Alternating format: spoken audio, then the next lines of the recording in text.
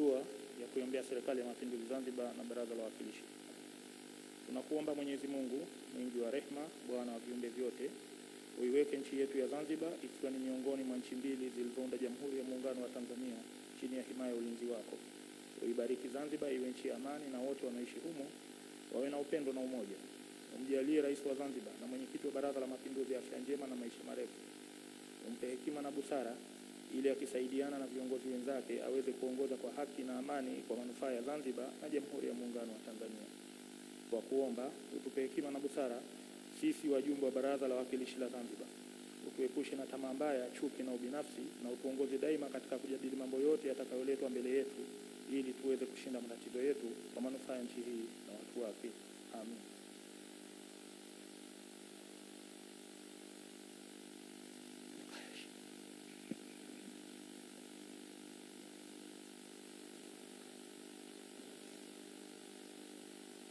Mheshimiwa wajumbe, mkutano wa kumi na tisa kikao cha tisa. Katibu, Hati za kuwasilisha mezani. asante. Naomba nimwite Mheshimiwa Waziri wa Habari, Utalii na Mambo ya Kale ili aweke hati mezani. Mheshimiwa Waziri, karibu.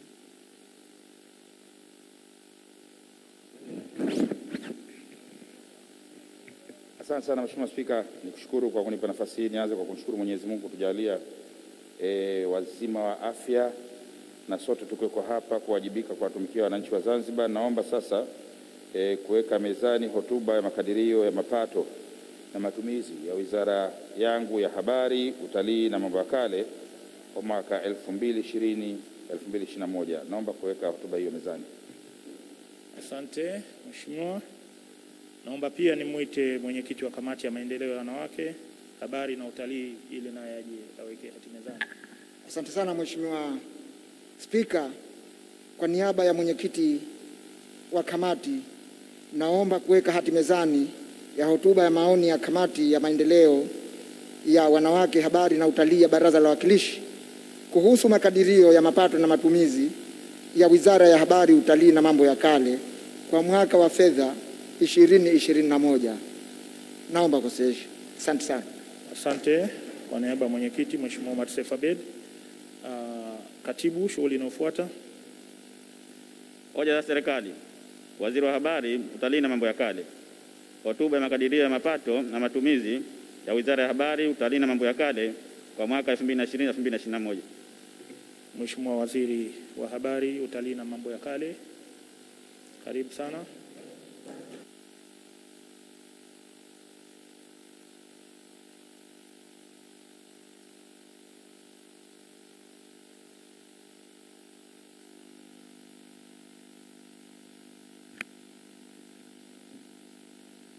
Bismillahir Rahmanir Rahim. Mheshimiwa Spika, naomba nianze hotuba yangu kwa kumshukuru Mwenyezi Mungu muumba mbingu na ardhi kwa kutujalia afya njema na kuweza kutukutanisha tena katika baraza lako tukufu ili tuweze kuzungumza mambo ya msingi ambayo yamechangia katika kuleta maendeleo ya nchi yetu. Tunamwomba Mwenyezi Mungu atujalie na atuongoze kutekeleza shughuli zetu kwa hekima, busara na uadilifu pamoja na kutujalia uwezo wa kufanikisha majukumu yetu kwa manufaa ya wananchi wa Zanzibar. Mheshimiwa Spika, kwa idhini yako sasa naomba kutoa hoja kwa baraza lako tukufu likae kama kamati ili lipokee, jadili na hatimaye ikubali kuidhinisha makadirio ya mapato ya matumizi ya Wizara ya Habari, Utalii na Mambo ya Kale kwa mwaka wa fedha 2020/2021. Mheshimiwa Spika, nachukua fursa hii kwanza kabisa kumpongeza Rais wa Zanzibar na kwa ustadi wa hali ya juu kabisa anaotumia katika kuiongoza nchi yetu. Chini ya uongozi wake, Serikali ya Mapinduzi ya Zanzibar imefanikiwa kut-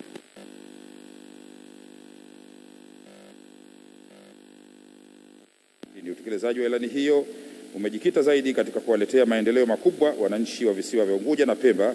Aidha, tumeshuhudia kwamba nchi yetu inaendelea kuwa na amani, utulivu na mshikamano mkubwa pamoja na upendo baina ya wananchi wote. Mheshimiwa Spika, kwa namna ya kipekee kabisa naomba kumpongeza kwa dhati Mheshimiwa Makamu wa Pili wa Rais Balozi Seif Ali Idi kwa ujasiri wake anaonyesha wakati wa kutekeleza majukumu yake ya kila siku. Aidha, anapenda kumpongeza kwa jitihada zake za kipekee kabisa za kumsaidia na kumshauri Mheshimiwa Rais wa Zanzibar na mwenyekiti wa Baraza la Mapinduzi Dr. Ali Mohamed Shein ipasavyo katika kutekeleza majukumu ya kila siku pamoja na kutatua changamoto zinazowakabili wananchi.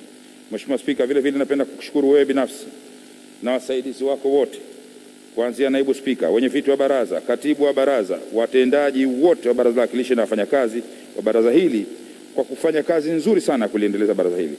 Mheshimiwa Spika, napenda pia kuchukua nafasi hii adhimu kuipongeza kamati yangu ya kudumu ya baraza la wawakilishi ambayo inasimamia maendeleo ya wanawake, habari na utalii ikiongozwa na mwenyekiti wake shupavu kabisa Mheshimiwa Mwantatu Mbarak Hamis na makamu wake Mheshimiwa Mheshimiwa Musa Fu Musa pamoja na wajumbe wake wote mahiri na watendaji makatibu kutoka baraza la wawakilishi kwa, kwa miongozo yao wanayotupa ushauri makini wakati wa kutekeleza majukumu na miradi mbalimbali mbali ya wizara yetu ya habari, utalii na mambo ya. Mimi binafsi na watendaji wenzangu wote tunafarajika sana kuwa nao pamoja na kushirikiana vizuri katika utekelezaji wa kazi zetu. Mheshimiwa Spika, kwa dhati kabisa naomba nichukue nafasi hii pia kuipongeza Serikali ya Mapinduzi ya Zanzibar kwa kuweka mikakati madhubuti ya kupambana na maradhi mabaya haya thakili ya homa ya mapafu, kwa kitaalamu yanaitwa COVID-19 yanayosababishwa na virusi vya korona, ambayo yameitikisa dunia nzima kwa sasa. Kwa kweli sote ni mashahidi na tunajionea kupitia vyombo mbalimbali vya habari jinsi maradhi haya yanavyoangamiza mamia na maelfu ya watu katika mataifa mengine duniani. Niendelee kutoa wito kwa wananchi wote wa Unguja na Pemba kuendelea kuwa watulivu katika kipindi hiki tunachopita na kufuata maelekezo ya serikali pamoja na wataalamu wa afya katika kupambana na maradhi haya. Tunamwomba Mwenyezi Mungu atuondoshee maradhi haya nchini pamoja na duniani kwa ujumla, ili shughuli za wananchi za kujitafutia riski na maendeleo ziendelee kama kawaida. Aidha, kwa namna ya kipekee kabisa natumia fursa hii kuwapa pole wale wote waliopoteza ndugu zao, jamaa na marafiki, pamoja na misiba mbalimbali mbali na mitihani iliyowakumba inayosababishwa na maradhi haya pamoja na mitihani mingineyo. Mwenyezi Mungu azilaze roho za marehemu wote mahala pema peponi, amin. Mheshimiwa Spika, Wizara ya Habari, Utalii na Mambo ya Kale imeundwa na taasisi kumi na nne kama zinavyoonyeshwa katika kitabu changu hichi cha hotuba. Mheshimiwa Spika, napenda kutumia fursa hii kwa muktasari kabisa kueleza kwa ujumla jinsi Wizara ya Habari, Utalii na Mambo ya Kale ilivyotekeleza malengo ya ilani ya Chama cha Mapinduzi ya mwaka 2015-2020 katika kipindi cha uongozi wa Dr. Ali Mohamed Shein kwa kutaja mambo machache kabisa ambayo yatabaki kuwa ni kumbukumbu kumbu na historia katika awamu za uongozi zote zijazo. Hii ni kwa sababu huu ni mwaka wa mwisho kwa awamu hii ya uongozi, na kwa msingi kuwa na mimi kwangu itakuwa ni mwisho kwa waziri katika wizara hii kwa mujibu wa katiba ya Zanzibar. Aidha, kwa vile mara nyingi Mheshimiwa Rais wa Zanzibar na mwenyekiti wa Baraza la Mapinduzi Dr. Ali Mohamed Shein amekuwa akihimiza utekelezaji wa ilani, maelezo haya machache yatatoa mwanga juu ya utekelezaji wa ilani ya CCM ambayo utekelezaji wake unategemea sana bajeti inayopangwa na kupitishwa na baraza lako tukufu. Naomba nichukue fursa hii pekee na mimi kumshukuru Mheshimiwa Rais wangu kwa imani yake juu yangu kunikabidhi dhamana hii na nikawa nafanya kazi naye mpaka hivi sasa hapa nilipo. Mheshimiwa Spika, nitaanza na sekta ya habari. Mambo kadhaa yametekelezwa ikiwemo kuanzisha gazeti la Kiingereza liitwalo Zanzibar Mail ambalo limezinduliwa rasmi tarehe tatu Novemba 2019. Gazeti hili linatoka wiki mara moja na imekusudiwa hasa kuwapasha habari wageni wanaoingia nchini kufaha, pamoja na wenyeji kufahamu habari na matukio mbalimbali mbali, na kuendeleza lugha ya Kiingereza kwa kila siku, kufahamu pia fursa zilizokuweko katika sekta za utalii, uwekezaji na maendeleo ya nchi. Gazeti kama hili la serikali lilikosekana Zanzibar kwa karibu nusu karne, miaka hamsini hivi sasa, baada ya gazeti hilo la mwisho la Kiingereza kusita mnamo mwaka 1970. Mheshimiwa Spika, kuimarishwa kwa kampuni ya uunganishaji maudhui ZMUX Zanzibar kumewezesha kuwapatia wananchi wengi matangazo ya televisheni kwa njia ya kidijitali kwa kuuza ving'amuzi vya kisasa ambavyo ni nafuu na vyenye ubora mkubwa kabisa ambavyo matangazo yake hupatikana katika maeneo yote ya Unguja na Pemba. Mheshimiwa Spika, katika hatua za kuliimarisha shirika la utangazaji ZBC, mitambo ya analog ilizimwa rasmi tarehe 31 Agosti 2017 na kuanza kutumika mitambo ya kidijitali. Aidha, studio za kisasa zilizinduliwa rasmi tarehe 9 Januari 2018 na Mheshimiwa Rais wa Zanzibar na mwenyekiti wa Baraza la Mapinduzi Dr. Ali Mohamed Shein. Studio hizo ni bora miongoni mwa studio bora Afrika Mashariki. Kuimarika kwa studio hizo kumeifanya ZBC kuwa, ni, kuwa na hadhi na kuangaliwa na kusikilizwa zaidi kuliko chombo chingine chochote cha habari hapa Zanzibar. Kwa mujibu wa utafiti uliofanywa kwa mujibu wa utafiti uliofanywa na Tume ya Utangazaji Zanzibar mnamo mwaka 2017 2018, ZBC TV na redio zinasikilizwa na asilimia 59.9 ya wasikilizaji wote wa redio na TV hapa nchini Zanzibar. Aidha, kununuliwa kwa vifaa vya live view viwili ambavyo vinawezesha kurusha matangazo ya moja kwa moja kumeongeza ubora wa matangazo wa chombo hicho cha habari. Mheshimiwa Spika, katika kusimamia shughuli za upigaji chapa, mafanikio makubwa yamepatikana ambapo jumla mitambo 35 imenunuliwa na mitambo 13 mitambo 35 imenunuliwa na mitambo 13 imetengenezwa. Katika mitambo iliyonunuliwa ni mtambo wa kisasa kabisa wa kuchapisha madaftari pamoja na mtambo wa Indigo. Mtambo wa kuchapisha madaftari umegharimu jumla ya shilingi milioni mia sita na kumi na saba laki tatu ishirini elfu na ule wa Indigo umegharimu jumla ya dola laki nne e, elfu kumi na nne mia tisa sabini na tano sawa sawa na milioni mia tisa. Mitambo hiyo imeshafika nchini na itafungwa mara tu baada ya ujenzi wa jengo la kuweka mitambo hiyo kukamilika mwishoni mwa mwezi wa Mei.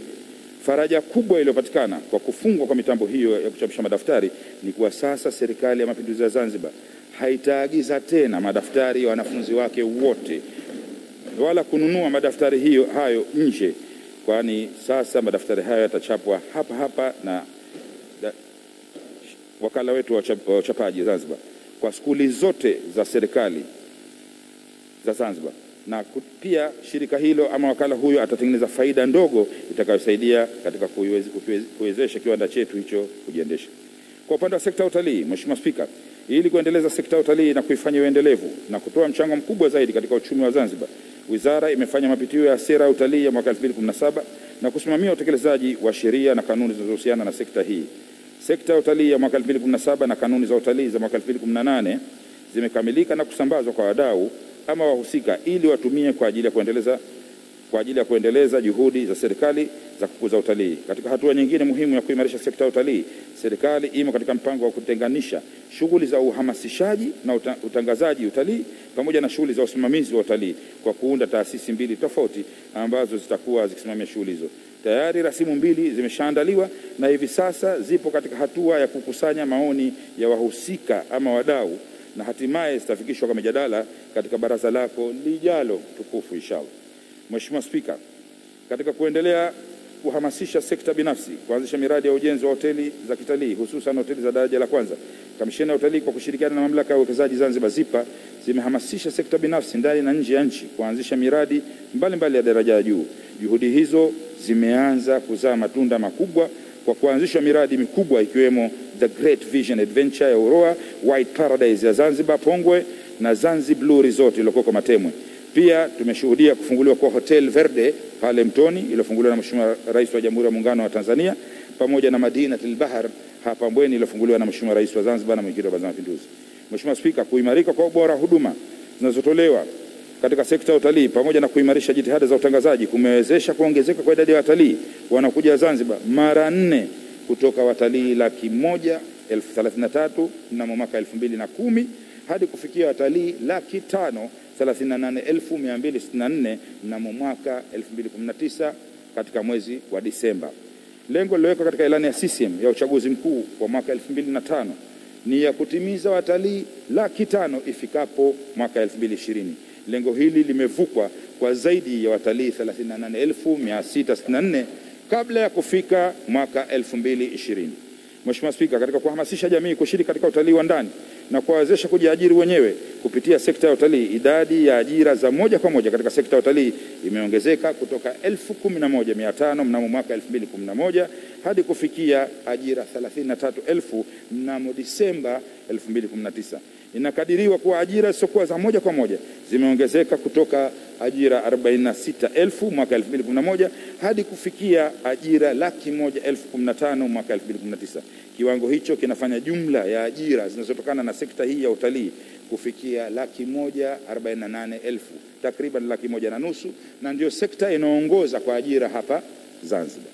Mheshimiwa Spika, wizara imepokea ujio wa ndege kubwa kutoka Urusi ndege kutoka Uganda na ndege kutoka Poland. Ndege hizi zinafanya safari za moja kwa moja kutoka nchini mwao na kutua Zanzibar. Pia nchi ya Italy imeongeza idadi ya ndege zinazokuja moja kwa moja na kufikia idadi hiyo e, ndege kumi na moja kwa wiki.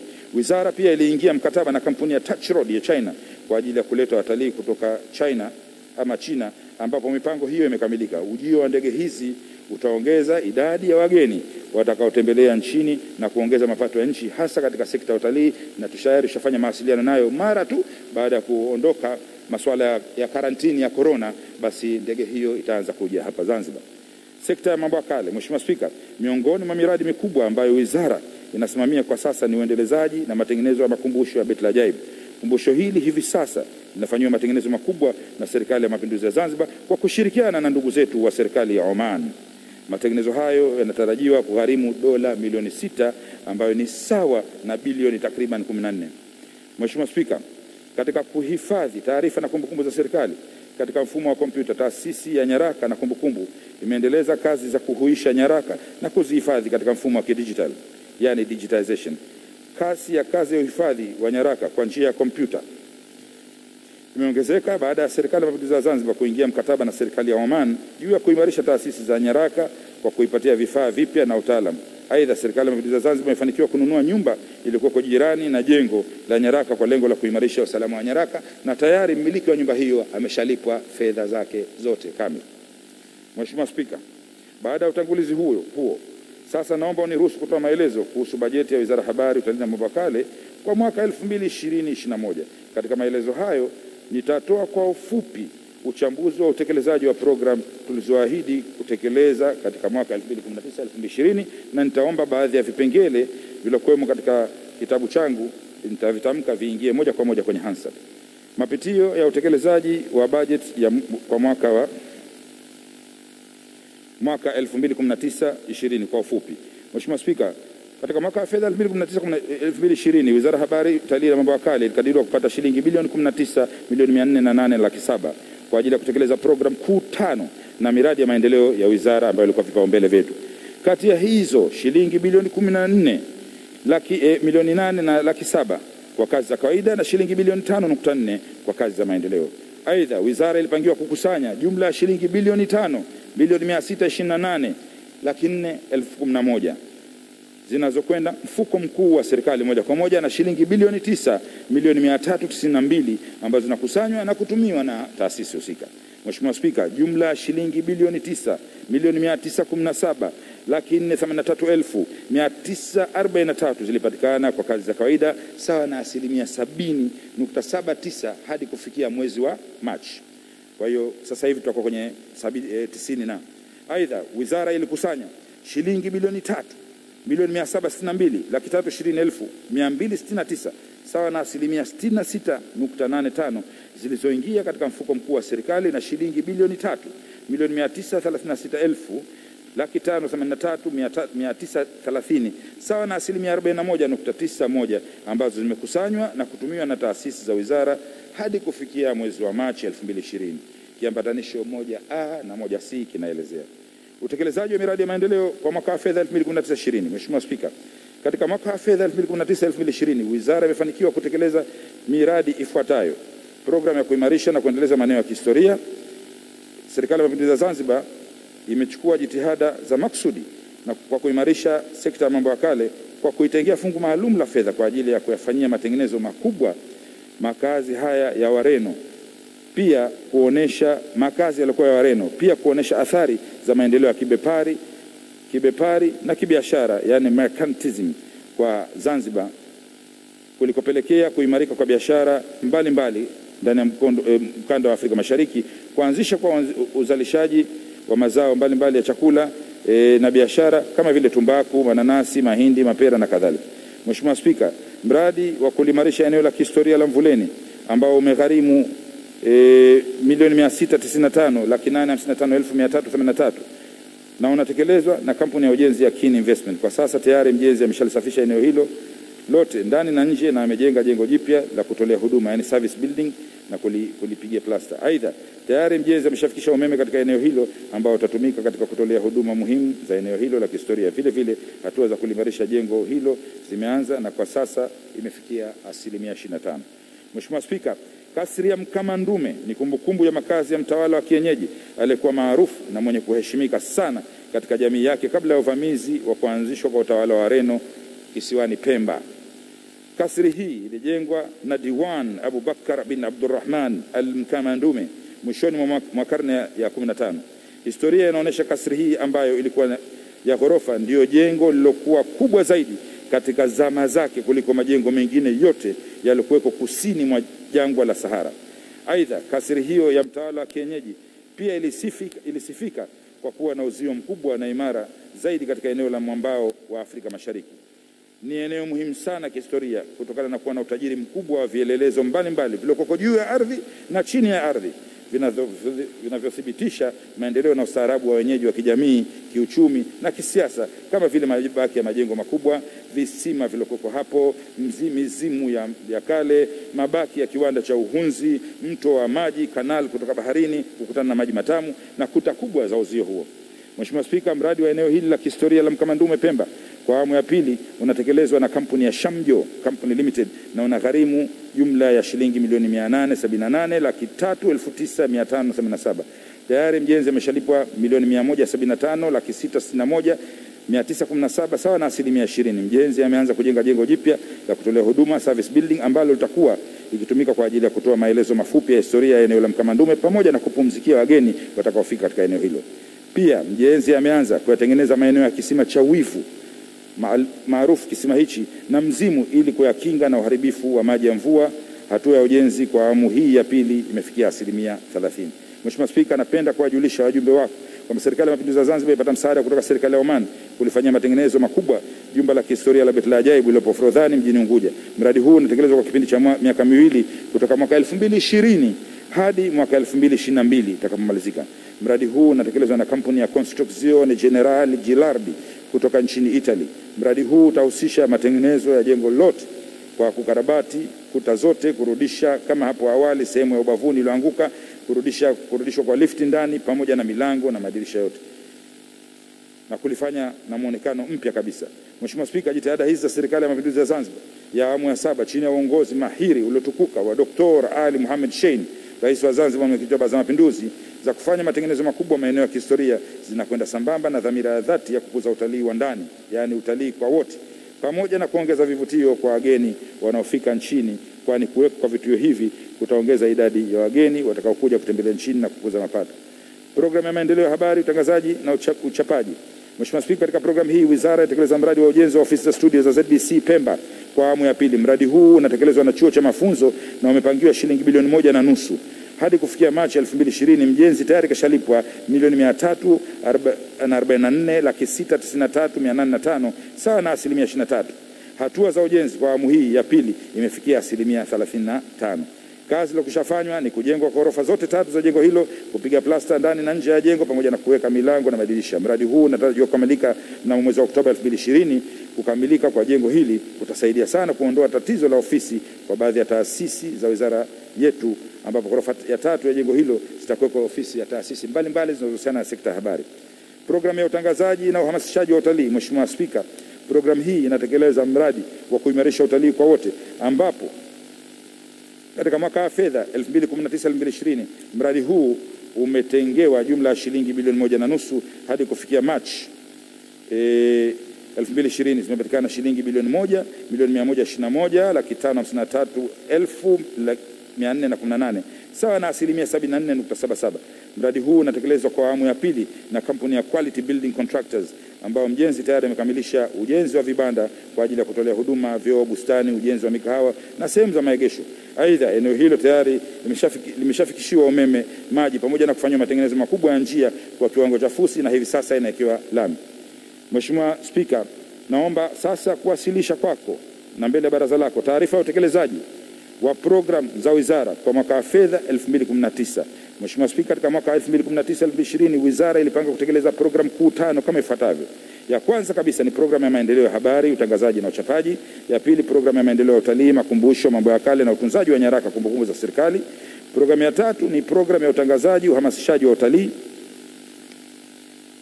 E, programu ya nne ni ya kuratibu na kusimamia maendeleo ya utalii na programu ya tano ya uendeshaji na mipango katika sekta ya habari, utalii na mambo ya kale.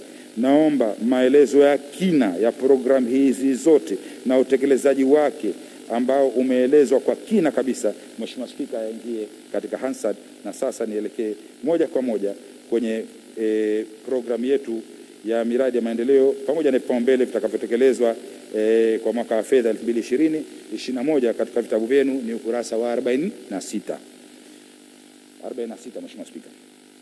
Mheshimiwa Spika, Wizara ya Habari, Utalii na Mambo ya Kale kwa mwaka wa fedha 2020/2021 imepangiwa kutekeleza miradi ya maendeleo ifuatayo.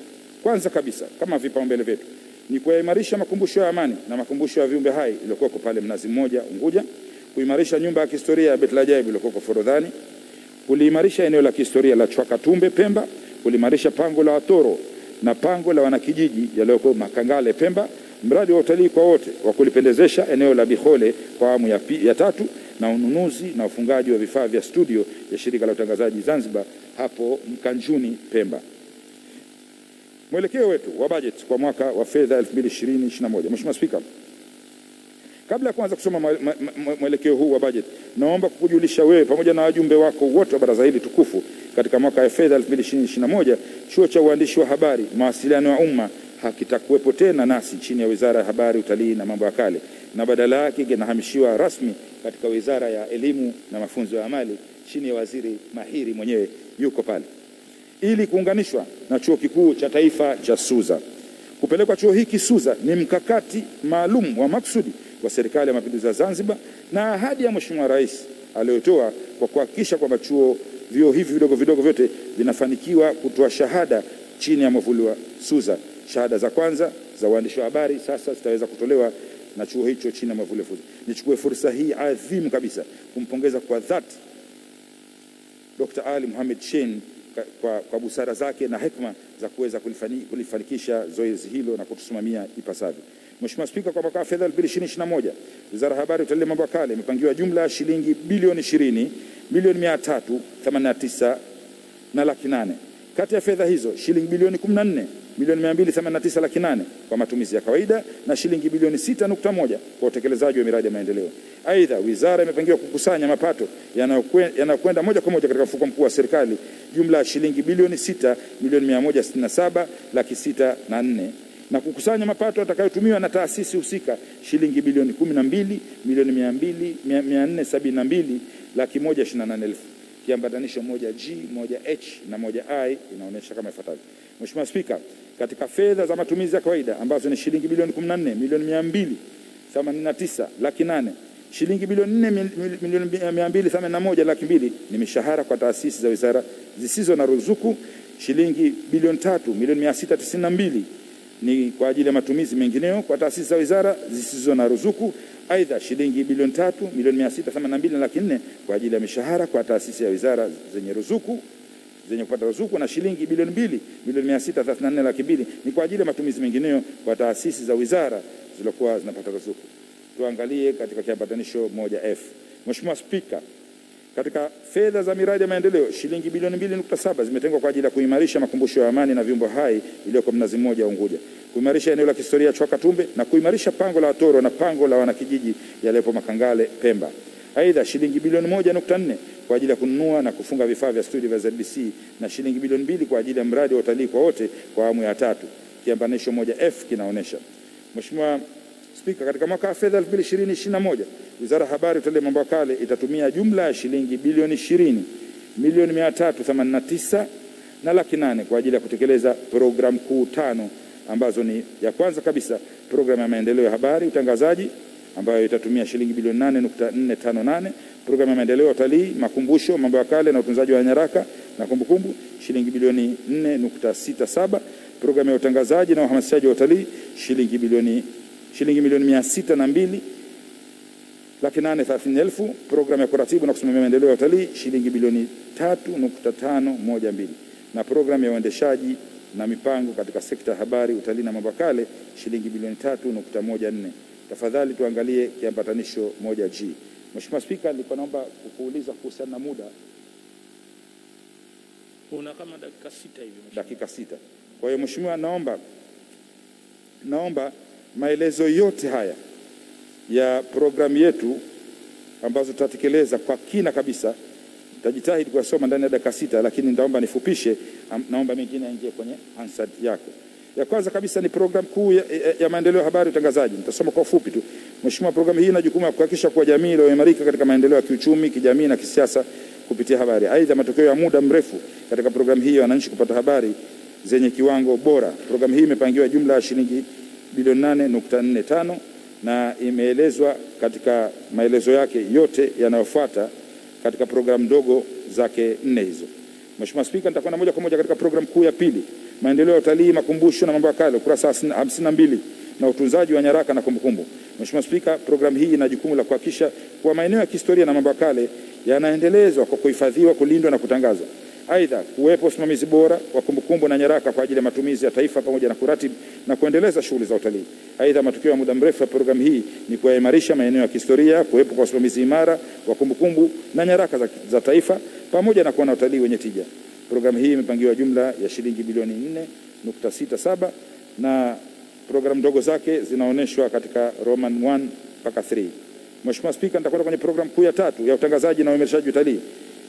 Programu hii inatekelezwa na Kamisheni ya Utalii kupitia idara ya masoko yenye jukumu la kupanga mikakati ya kuitangaza Zanzibar kiutalii ndani na nje ya nchi ili kuleta tija kwa maslahi ya taifa.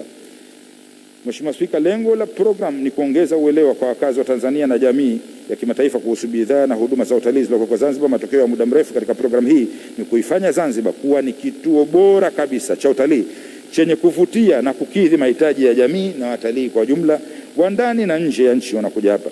Huduma inatarajiwa kutolewa ni kuitangaza Zanzibar ndani na nje ya nchi.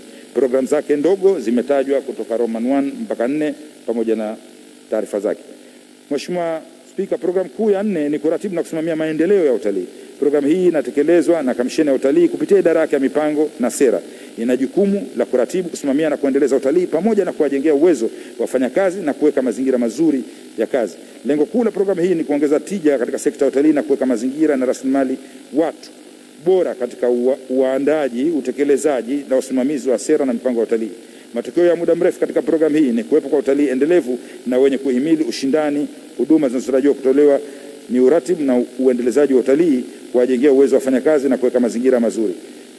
Programu hii inaonyeshwa katika ufupisho wake kuanzia Roman moja mpaka Roman nne katika ukurasa wa, thalathi, wa 57 na 58. Programu kuu ya tano ni uendeshaji na mipango katika sekta ya habari, utalii na mambo ya kale. Mheshimiwa Spika, programu hii ina jukumu la kusimamia na kuratibu mipango mikuu, sera na tafiti, pamoja na usimamizi uendeshaji mzuri wa rasilimali watu katika wizara. Matokeo ya muda mrefu ya programu hii ni kuwekwa kwa usimamizi bora wa mipango na uendeshaji wa rasilimali watu katika wizara. Programu hii imepangiwa jumla ya shilingi bilioni tatu milioni 145 laki sita sitini na nane elfu mia tano sabini na itasimamia programu ndogo tatu ambazo zimeelezwa katika Roman 1 mpaka tatu katika ukurasa wa 58. Mheshimiwa Spika, sasa naomba nimalizie. Kabla ya kuhitimisha hotuba yangu, Mheshimiwa Spika, naomba tena kutoa shukurani za kipekee kabisa kwa Mheshimiwa Rais wetu, na mimi leo nitasema rais wangu wa Zanzibar na mwenyekiti wa Baraza la Mapinduzi Dr. Ali Mohamed Shein kwa kuendelea kuniamini na kuendelea kutuongoza sisi zote sote pamoja na kuiongoza vyema nchi yetu katika misingi ya haki na utawala bora.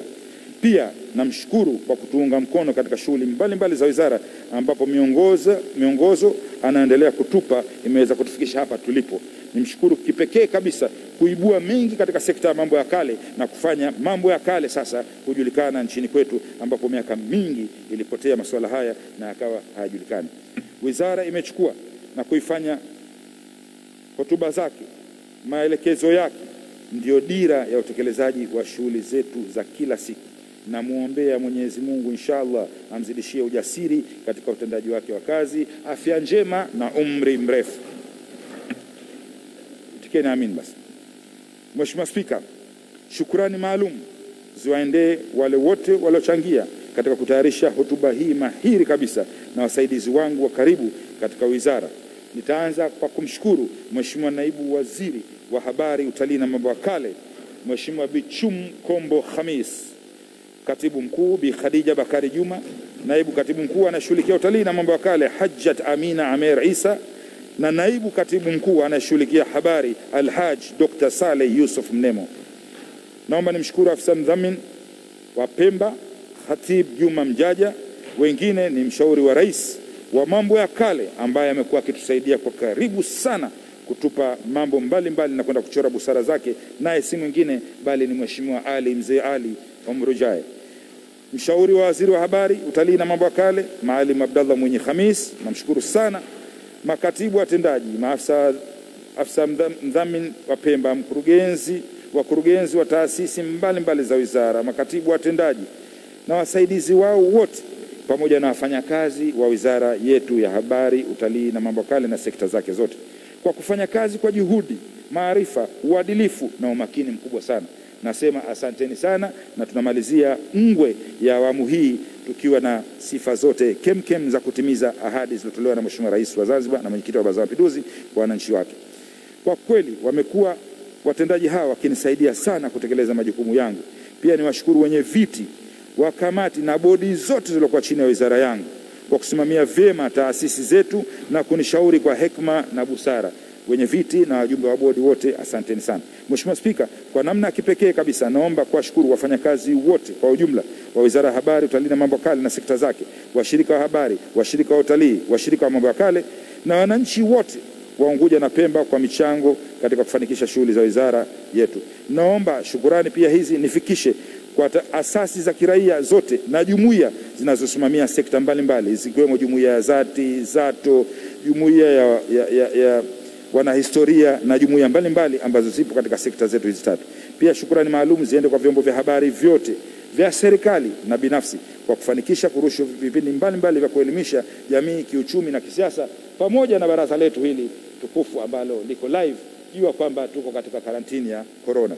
Nikushukuru wewe Mheshimiwa Spika pia kwa kuwaruhusu vyombo vya habari kuweza kutumia fidi yako ya baraza na kulionyesha baraza hili kuwafikia wananchi wote wa Zanzibar kupitia vyombo zaidi ya vinne ambavyo sasa vinarusha live kabisa.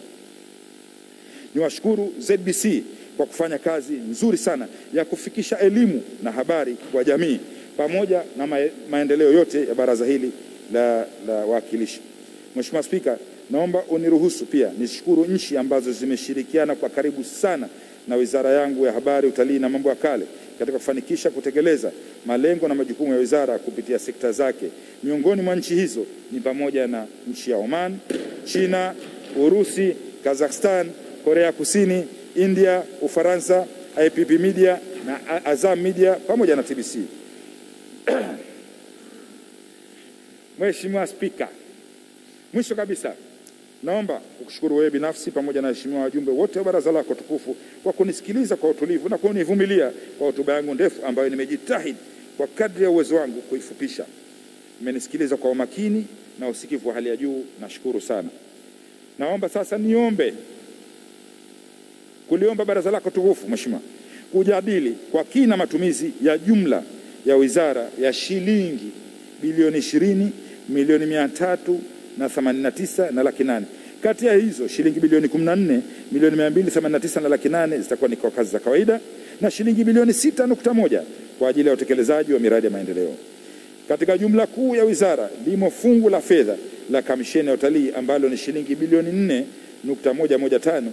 Kati ya hizo shilingi bilioni mbili nukta moja moja tano kwa kazi za kawaida na shilingi bilioni mbili kwa ajili ya utekelezaji wa kazi za mradi. Aidha, naliomba baraza lako tukufu liidhinishe makusanyo ya mpango ya mapato makusanyo ya mapato ambayo yatafanyika mwaka, mwaka, mwaka huu wa fedha ya shilingi bilioni sita milioni mia moja sitini na saba laki sita na elfu nne kwa fedha zitakazoingia moja kwa moja katika mfuko wa serikali. Pia baraza lako liidhinishe sisi kukusanya shilingi bilioni kumi na mbili milioni mia nne sabini na mbili laki moja ishirini na nane elfu ambazo zitakusanywa na taasisi zilizoruhusiwa kutumia makusanyo hayo. Mheshimiwa Spika, kwa heshima na taadhima, sasa naomba wajumbe wako wa baraza lako tukufu waipokee, waijadili, watushauri, watupe maoni yao, watuelekeza na baadaye kwa utulivu kabisa watupitishie bajeti hii ya Wizara ya Habari, Utalii na Mambo ya Kale ili tuwaachie hawa watakaokuja kuweza kuyasimamia haya. Mheshimiwa Spika, kwa heshima na taadhima, sasa naomba kutoa hoja. Asante Mheshimiwa, hoja imetolewa na imeungwa mkono. Uh, tutaendelea, tutakuja kuipigia kura mwisho kabisa. Uh, naomba sasa nichukue nafasi hii kumkaribisha mwenyekiti wa kamati ili naye aje atoe hotuba yake. Mheshimiwa Mwenyekiti, kwa niaba yake Mheshimiwa Omar Seif Abed. Asante sana Mheshimiwa Spika, na mimi nikushukuru. Awali ya yote, hatuna budi kumshukuru sana Mwenyezi Mungu Subhanahu wa Ta'ala kutujalia afya njema na uwezo wa kutekeleza majukumu yetu kwa lengo la kuiletea eh, maendeleo nchi yetu ya Zanzibar yanayowanufaisha wananchi wetu wa sasa na, vijavyo, na vizazi vijavyo. Pia kwa niaba ya mwenyekiti wa kamati ya, ya wanawake, habari na utalii ya baraza lako tukufu, naomba kwa umuhimu wa aina yake kuwasilisha maoni haya ya wizara ya bajeti ya Wizara ya Habari, Utalii na Mambo ya Kale kwa mwaka wa fedha 2020 na 21 kwa mujibu wa maelekezo ya kanuni ya tisini na sita kifungu kidogo cha kwanza ya kanuni za kudumu za Baraza la Wawakilishi la mwaka 2016, naomba kulijulisha baraza lako tukufu ya kwamba kamati yetu ya maendeleo ya wanawake, habari na utalii ya Baraza la Wawakilishi imepitia makadirio ya mapato na matumizi ya kazi za kawaida na kazi za maendeleo kwa mwaka wa 2020 na 21 kwa Wizara ya Habari, Utalii na Mambo ya Kale. Mheshimiwa Spika, kamati ya maendeleo ya wanawake, habari na utalii ya Baraza la Wawakilishi inaipongeza sana Serikali ya Mapinduzi ya Zanzibar kwa kuipandisha hadhi chuo cha uandishi wa habari na mawasiliano ya umma na kukihamishia chuo kikuu cha Zanzibar ili kuweze kutoa shahada ya kwanza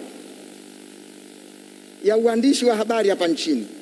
Ni matumaini yetu kwamba kitendo hiki ni miongoni mwa hatua muhimu za kukuza na kuinua tasnia ya habari hapa Zanzibar, ikiwa ni miongoni mwa mafanikio ya utekelezaji wa ilani ya Chama cha Mapinduzi ya mwaka 2015 2020. Mheshimiwa Spika, kuhusu mapato, kamati yetu inaipongeza sana wizara kwa kusimamia vyema makusanyo, hasa kamisheni ya utalii ambayo imefikisha asilimia sabini na moja, lakini hata hivyo juhudi zaidi bado zinahitajika kwa taasisi nyingine za wizara. Hiyo zinazopeleka mapato yake katika mfuko mkuu wa hazina ikiwemo idara ya habari maelezo, tume ya utangazaji na idara ya makumbusho. Na mambo ya kale, taasisi ya nyaraka na kumbukumbu pamoja na ofisi kuu Pemba, ili nazo ziweze kufikia malengo ya makusanyo yaliyopangiwa, kwani kwenye makusanyo ya taasisi zilizoruhusiwa kutumia hadi haiko vizuri sana, Mheshimiwa Spika, ambapo kwa tathmini jumla ya taasisi hizo zimeweza kukusanya kati ya asilimia ishirini na saba na arobaini na mbili na shirika la utangazaji ambalo limefikisha asilimia thelathini ya ukusanyaji.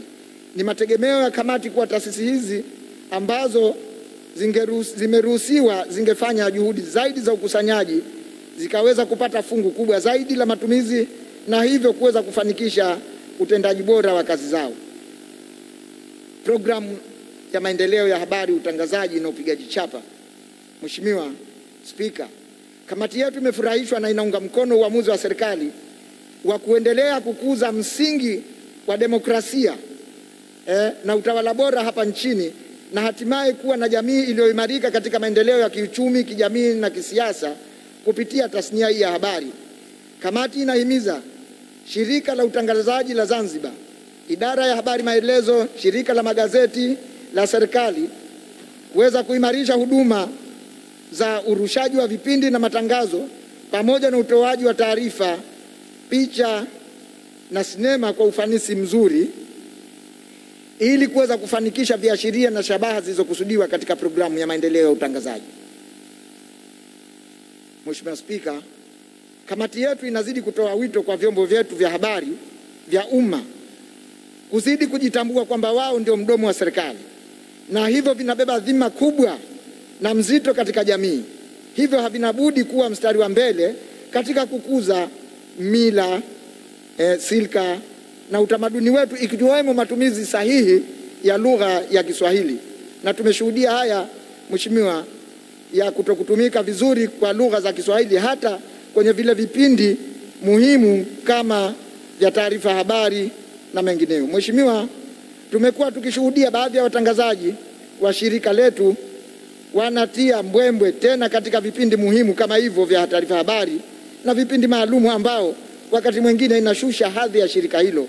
Kwa hiyo tunawaomba wale ambao wamepewa dhamana ya kusimamia vipindi hivyo vinavyotangazwa na shirika la ZBC TV na ZBC Radio watimize wajibu wao kwa na kuwasimamia vyema watangazaji waliopewa dhamana kutangaza vipindi hivyo, na pia waweze kutekeleza vizuri, wasiwakwaze wasikilizaji na watazamaji kwa kuwa na, na matamshi mazuri na maneno, kwa maneno anayoyatumia.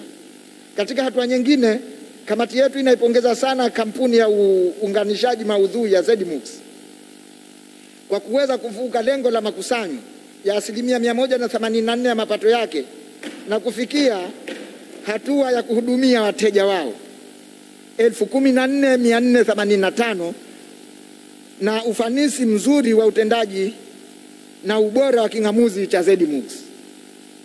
Programu ya maendeleo ya utalii, makumbusho ya kale na utunzaji wa nyaraka na kumbukumbu. Mheshimiwa Spika, katika eneo ambalo Serikali ya Mapinduzi ya Zanzibar inapaswa kujivunia ni uendelezaji, uendelezaji wa maeneo ya kihistoria na mambo ya kale kwa jitihada zake ya kuyalinda na kuyahifadhi maeneo hayo. Kamati ilitembelea takriban maeneo yote yaliyofanyiwa ukarabati katika miaka ya hivi karibuni kwa Unguja na Pemba na iliridhika sana sana na kazi iliyofanyika na inayoendelea kufanyika katika maeneo hayo na kupelekea kuongezeka kwa watalii wa nje na wa ndani katika maeneo hayo. Kamati imeridhika kabisa eh, kwa hatua ya ufungaji wa boya katika mji wa kale uliozama wa Rasi Mkumbuu uliopo katika shehia ya Ndagoni Pemba. Hata hivyo, Mheshimiwa Spika, kwa kuwa mkono mmoja wa Swahili wanasema hauchinji ng'ombe, tunaziomba sasa na zile mamlaka nyingine e, ambazo zinahusika kushirikiana kufufua miundombinu yote ili kuweza kulifikia eneo hilo na kulitangaza kwa lengo la kuongeza idadi ya wageni wanaotembelea katika mji huo wa kale. Mheshimiwa Spika, kamati pia imefarijika na uamuzi wa wizara kwa kuanza kufikiria kubuni vianzio vipya vya mapato ambapo kwa mwaka ujao wa fedha idara ya nyaraka na kumbukumbu inakusudia sasa kuanzisha eh, inakusudia kuanza kutoza ujira kwa kutengeneza nyaraka. Huu ni mwanzo mzuri na tunaishauri wizara isichoke kutumia wataalamu wake wa mipango na kiuchumi kufikiria njia bora ambazo zitatunisha mifuko ya wizara hiyo na serikali kwa ujumla. Programu ya utangazaji na uhamasishaji wa utalii.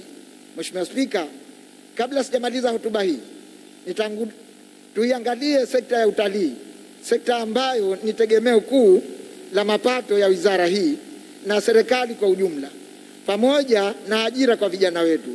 Tunapata matumaini kusikia kwamba kamisheni ya utalii kwa kipindi hiki imeweza kusimamia uanzishwaji wa miradi ya wazalendo mia moja na kutengeneza ajira za moja kwa moja zinazopata zinazofikia mia tisa na themanini. Hii ni hatua nzuri na tunaiomba kamisheni ya utalii kuongeza juhudi na bidii ya kazi ili kupiga hatua kubwa zaidi katika sekta hii ya utalii. Tunawaomba waheshimiwa wajumbe, tunawaomba narejea kwamba tunawaomba waheshimiwa wajumbe kuridhia maombi ya kamisheni ya kuwaidhinishia jumla ya shilingi bilioni nne milioni mia moja kumi na tano na laki tatu kwa ajili ya shughuli mbalimbali walizojipangia kwa mwaka ujao wa fedha ikiwa ni pamoja na kuimarisha mashamba ya viungo yanayotoza huduma kwa watalii na kuandaa vielelezo na kutangaza utalii kwa kushirikiana ipasavyo na ofisi za ubalozi wa Tanzania zilizoko nchi za nje. Mwisho kabisa, Mheshimiwa Spika, naomba kuchukua fursa hii kwa kwa kuwashukuru wajumbe wa kamati wote kwa mashirikiano wanayo waliotuonesha kuanzia mwanzo hadi mwisho kwa kupitia bajeti hii. Kwa ruhusa yako sasa, naomba Mheshimiwa tuwatambue kwa majina kama hivyo ifuatavyo: Mheshimiwa Mwantatu Mbaraka Hamisi, mwenyekiti; Mheshimiwa Musa Fumu Musa, makamu mwenyekiti; Mheshimiwa Omar Sefu Abedi, mjumbe; Mheshimiwa Zaina Abdalla Salim, mjumbe; Mheshimiwa Sada Ramadhan Mwendwa, mjumbe; Mheshimiwa Mwanaidi Kasim Musa, mjumbe; Mheshimiwa Makame Said Juma, mjumbe; na ndugu Himidi Haji Choko, katibu; ndugu Musa Isa Musa, katibu; na pia ndugu Amina Abedi ni msaidizi na ndugu Azmina Hamadi naye ni msaidizi. Nimalizie kwa kuwashukuru wajumbe wote wa Baraza la Wawakilishi kwa kunisikiliza kwa umakini na utulivu mkubwa. Mheshimiwa Spika, naomba kuwasilisha. Asante sana. Asante sana Mheshimiwa Mheshimiwa, Seif Abeid. kwa ruhusa yako, kama ingekupendeza kidogo, ningechangia mawili matatu kwa niaba yangu. na kuruhusu Kwa ruhusa yangu. Asante sana Mheshimiwa. Na mimi nichukue fursa hii sana kukushukuru sana Mheshimiwa Spika kwa unavyotuongoza, na Mwenyezi Mungu akujalie hili ni baraza la mwisho kwa sisi, lakini halitakuwa la mwisho kwa uwezo wa Mwenyezi Mungu. Tutarudi sote na wewe utaendelea kuwa spika wetu. Mungu akujalie. Mheshimiwa, mimi naomba nijikite kidogo kutokana na umuhimu wa wizara hii, niweze kuizungumzia wizara ya habari, utalii na mambo ya kale. Mheshimiwa, hii ni wizara ambayo inabeba taasisi muhimu kama taasisi hiyo, idara ya utalii. Kamisheni ya utalii, Mheshimiwa Spika, kama tunavyojua, ndio uti wa mgongo wa nchi yetu. Nichukue fursa hii kuwapongeza sana viongozi wetu wakuu wa nchi hii akiwemo Rais wa Zanzibar na mwenyekiti wa Baraza la Mapinduzi Dr. Ali Mohamed Shein na Rais wa Jamhuri ya Muungano wa Tanzania Dr. John Joseph Pombe Magufuli kwa umahiri na weledi wao wa hali ya juu ambao Mwenyezi Mungu kawajalia vipaji vya kuweza kuona mbali. Mheshimiwa Spika, mimi nakubaliana na hakuna asiyekubali kwamba ugonjwa wa korona upo na ni ugonjwa thakili ambao umeutikisa ulimwengu. Kila mmoja anafahamu hivyo, na sisi Zanzibar umetukuta ugonjwa huu. Lakini Mheshimiwa Spika, nalotaka kusema ili tuende, naiomba serikali yetu tukufu na viongozi wetu waangalie uwezekano, kwa sababu mwezi wa sita, mwezi wa sita msimu wa utalii unaanza, ili serikali iweze kukusanya mapato, mapato ambayo yataweza kwenda kuwasaidia wananchi wetu, kuwaletea maendeleo, kuweza kuwasaidia wanafunzi wetu walioko elimu ya juu, serikali ambayo imebeba dhima hiyo, walimu wa sekondari, hata elimu za msingi na mambo mengine, kupata madawa na masuala mengine. Tunaitegemea sana sekta ya utalii kwa ajili ya kuingiza mapato katika serikali. Ni shauri sasa, watizame namna bora serikali, ili kama ikiwezekana, serikali ikiridhia, ikiona iko uwezekano, wataalamu wa uchumi na wataalamu wetu wa afya wakae pamoja, waangalie namna gani tunaweza tukapokea watalii ambao wataweza kuiletea mapato mazuri nchi yetu. Mheshimiwa, leo viongozi wetu kama sikutumia busara na elimu na akili na hekima walionayo ambao Mwenyezi Mungu amewajalia, sasa hivi nchi yetu ingekuwa katika hali ya dhiki, ingeweza wananchi wetu wengepata shida zaidi kulikoni hii ya korona iliyopo. Kwa hiyo mimi nichukue fursa hii kurejea kuwapongeza na niwashauri, ikiwezekana, nishauri serikali ikiwezekana, kutafuta vyombo ambavyo vitaweza kuwapima wageni watakapoingia. Wale ambao watabainika wana maradhi wakarejeshwa, na wale ambao wako salama wakaweza kuingia, na serikali ikaweza kucollect mapato ambayo yanaweza yatasaidia kuendeleza nchi yetu. Mheshimiwa, mimi yangu yalikuwa ni hayo. Nikushukuru sana sana sana. Mwenyezi Mungu atubariki, atujalie tuiunge mkono hotuba hii, na wajumbe wenzangu naomba tuiunge mkono kwa asilimia mia. Asante sana mheshimiwa. Asante sana mheshimiwa kwa mchango wako. Mheshimiwa wajumbe, sasa naomba tuanze kuichangia, na wapo wachangiaji kadhaa ambao wameshaleta maombi.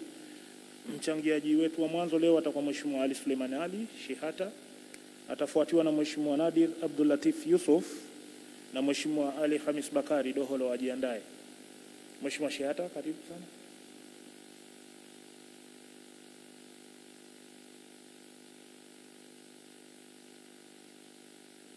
Mheshimiwa Shehata yuko yu- yupo yupo.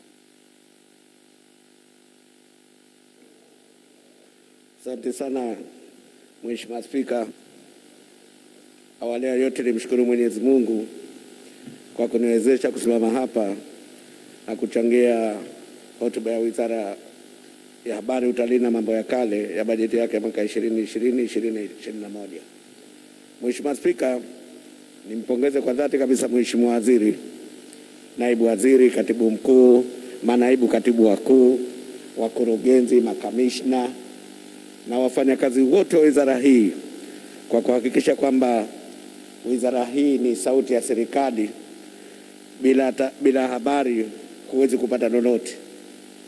Nawapongeza wafanyakazi wa wizara ya habari, hasa vyombo vya habari kupitia redio, televisheni na magazeti kwa kazi nzuri ya, ku, ya, ku, ya kuisomesha jamii juu ya maradhi haya yanayoingia katika nchi yetu, maradhi haya ya dunia, lakini kila wakati taaluma itolewe na wanafanya kazi nzuri kwa uwezo wao na kuhakikisha kwamba hata watoto wadogo wamefikia wakati wanajielewa, korona korona korona.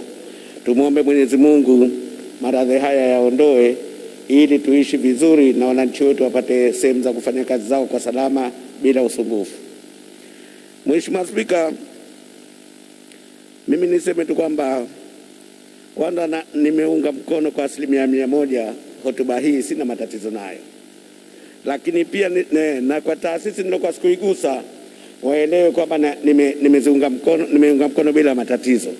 Na kuja haraka haraka kwa kwa muda, Mheshimiwa, sekta ya utalii Utalii ni uti wa mgongo na utalii ni roho ya wananchi wengi katika maisha yao, hasa tukizingatia kwamba ajira kwa asilimia kubwa sana katika nchi yetu ni sekta hii ya utalii.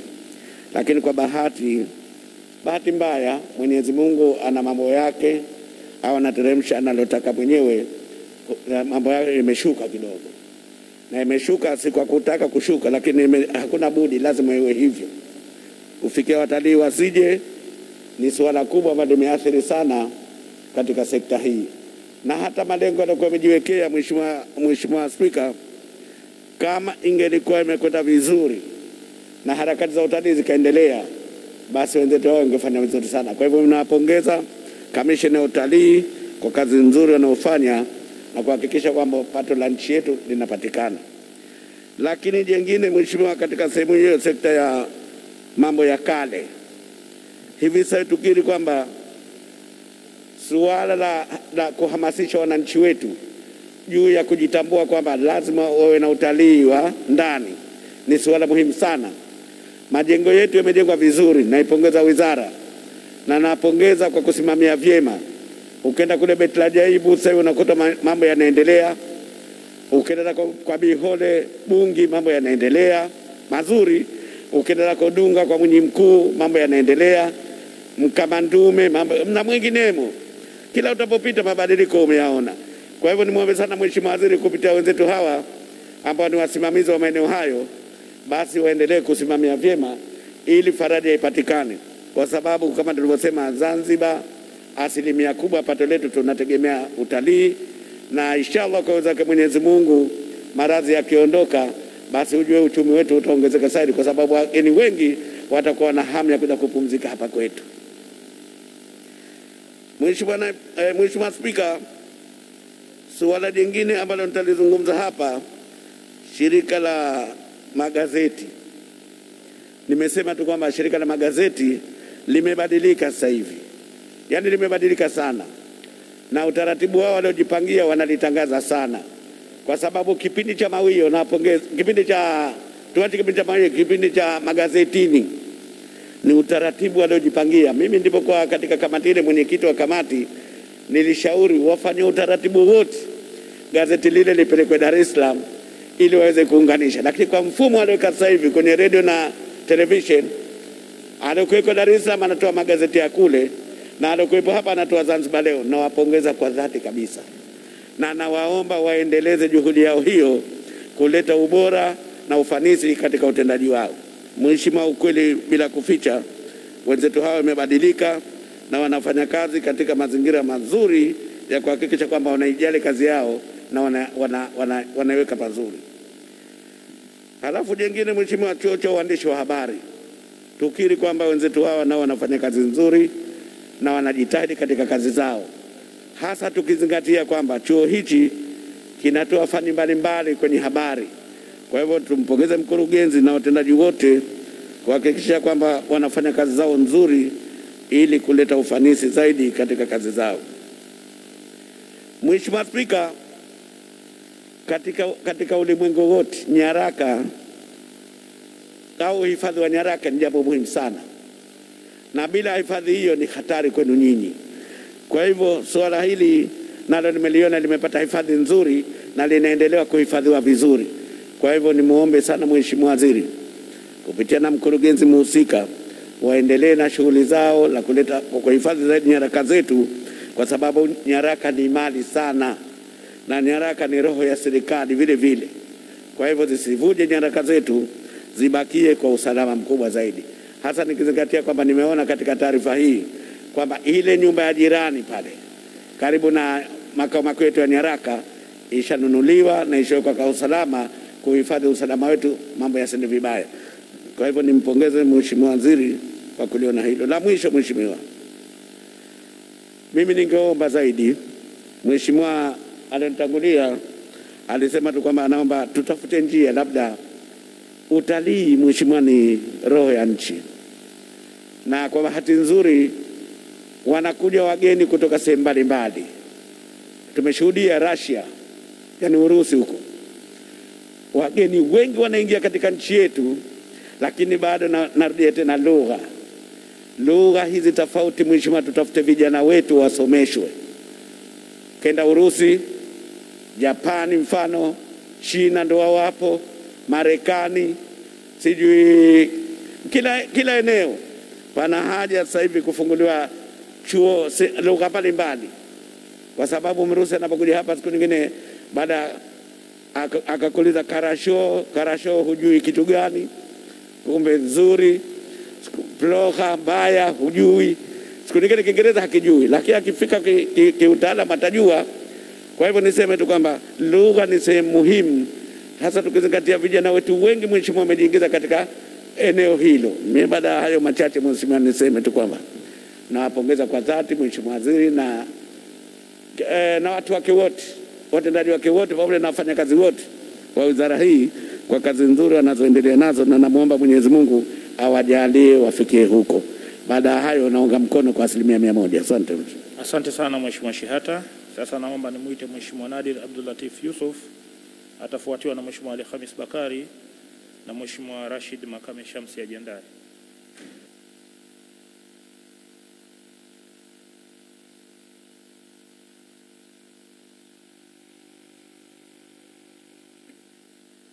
Bismillahi rahmani rahim. Mheshimiwa Spika, na mimi nimshukuru Mwenyezi Mungu kutujalia uzima sote kwa pamoja.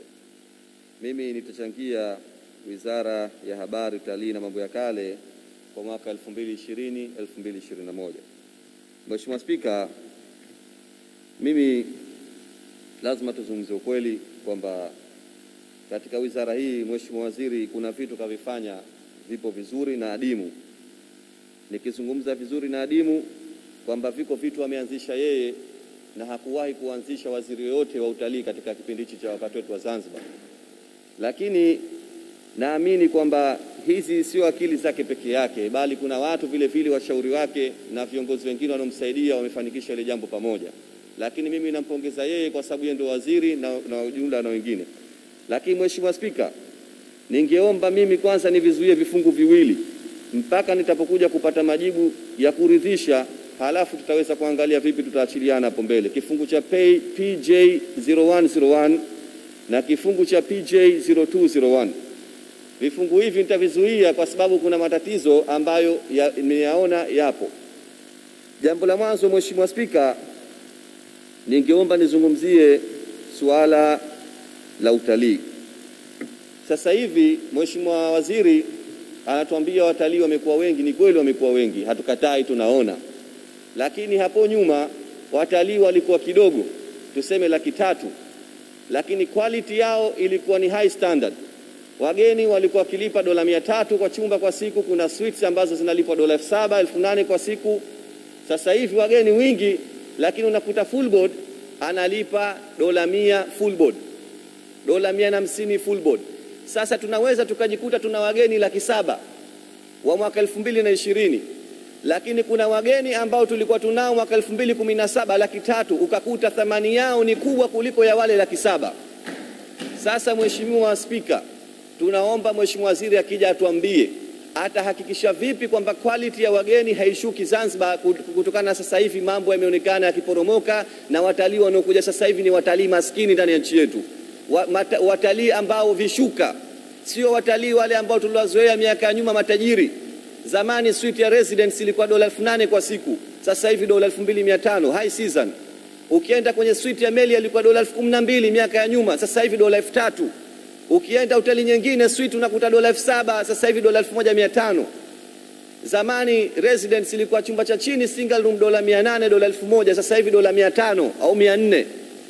Hii inatokana na nini? Standard ya watalii wanaokuja Zanzibar sasa hivi ni vishuka na ni maskini, na hususan hao wageni tulioambiwa wa, wa, wa, wa, wa, Russia na wengineo, hizi package wanazokuja wanazoletwa, mgeni anachajiwa full board, maanake breakfast, lunch, dinner na kila kitu analipishwa dola mia na ishirini mia na thelathini. Maana yake nini? Ukitoa vyakula vyote vile chumba kwa siku dola thelathini. Na hii ukiangalia sasa inaua mzunguko mzima wa restaurant, lakini unaua uchumi mzima ambao wageni walipaswa kwenda kununua nje vitu kwa wazalendo. Ningeomba mheshimiwa uje tuambie una kitengo gani unacho cha kukontroli au kudhibiti masuala ya uchumi wa, wa watalii wanaokuja nchini wasiwe watalii vishuka. Leo mtalii anatumia, anatumia kwa siku dola tano, anaenda kununua chapati na mishikaki Forodhani. Si bora tuwe wenyewe peke yetu Zanzibar, tunacheleza tunatumia kuliko wao. Leo watalii wanaendesha baskeli baada ya kutumia gari humu mjini. Tuna watalii wa maajabu ajabu, na ni vyema ukakontroli mahoteli. Leo Riu nimeona kwenye gazeti mlolileta, wanasema wanataka kuweka 1000 beds.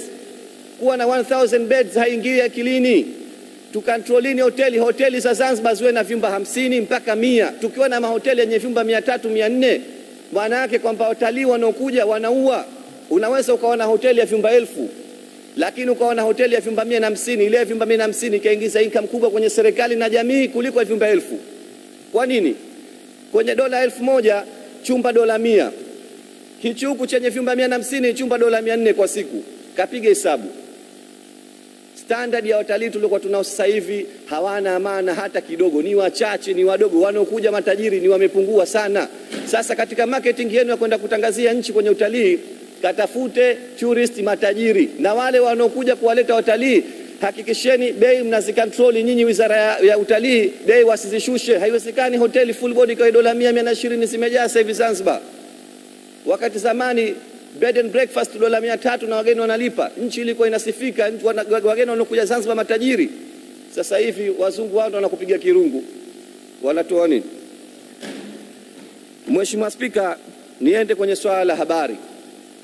Kwenye swala la habari, ZBC ina vifaa wamepewa vya kutosha, lakini haieshi kukatakata. Nimpongeze mkurugenzi mpya, nasikia anadili vizuri sana na watendaji na anafanya kazi zake vizuri, mimi simjui lakini kwenye habari kuna matatizo, na kifungu hichi nakizuia kwa sababu nimeona kwamba kuna pale kuna harufu ya rushwa inasemekana. Kama hujalishia, huna mwenyeji, habari yako hairushi kwa wakati wala hairushi kwenye kiwango kinachotakikana. Nitatoa mfano.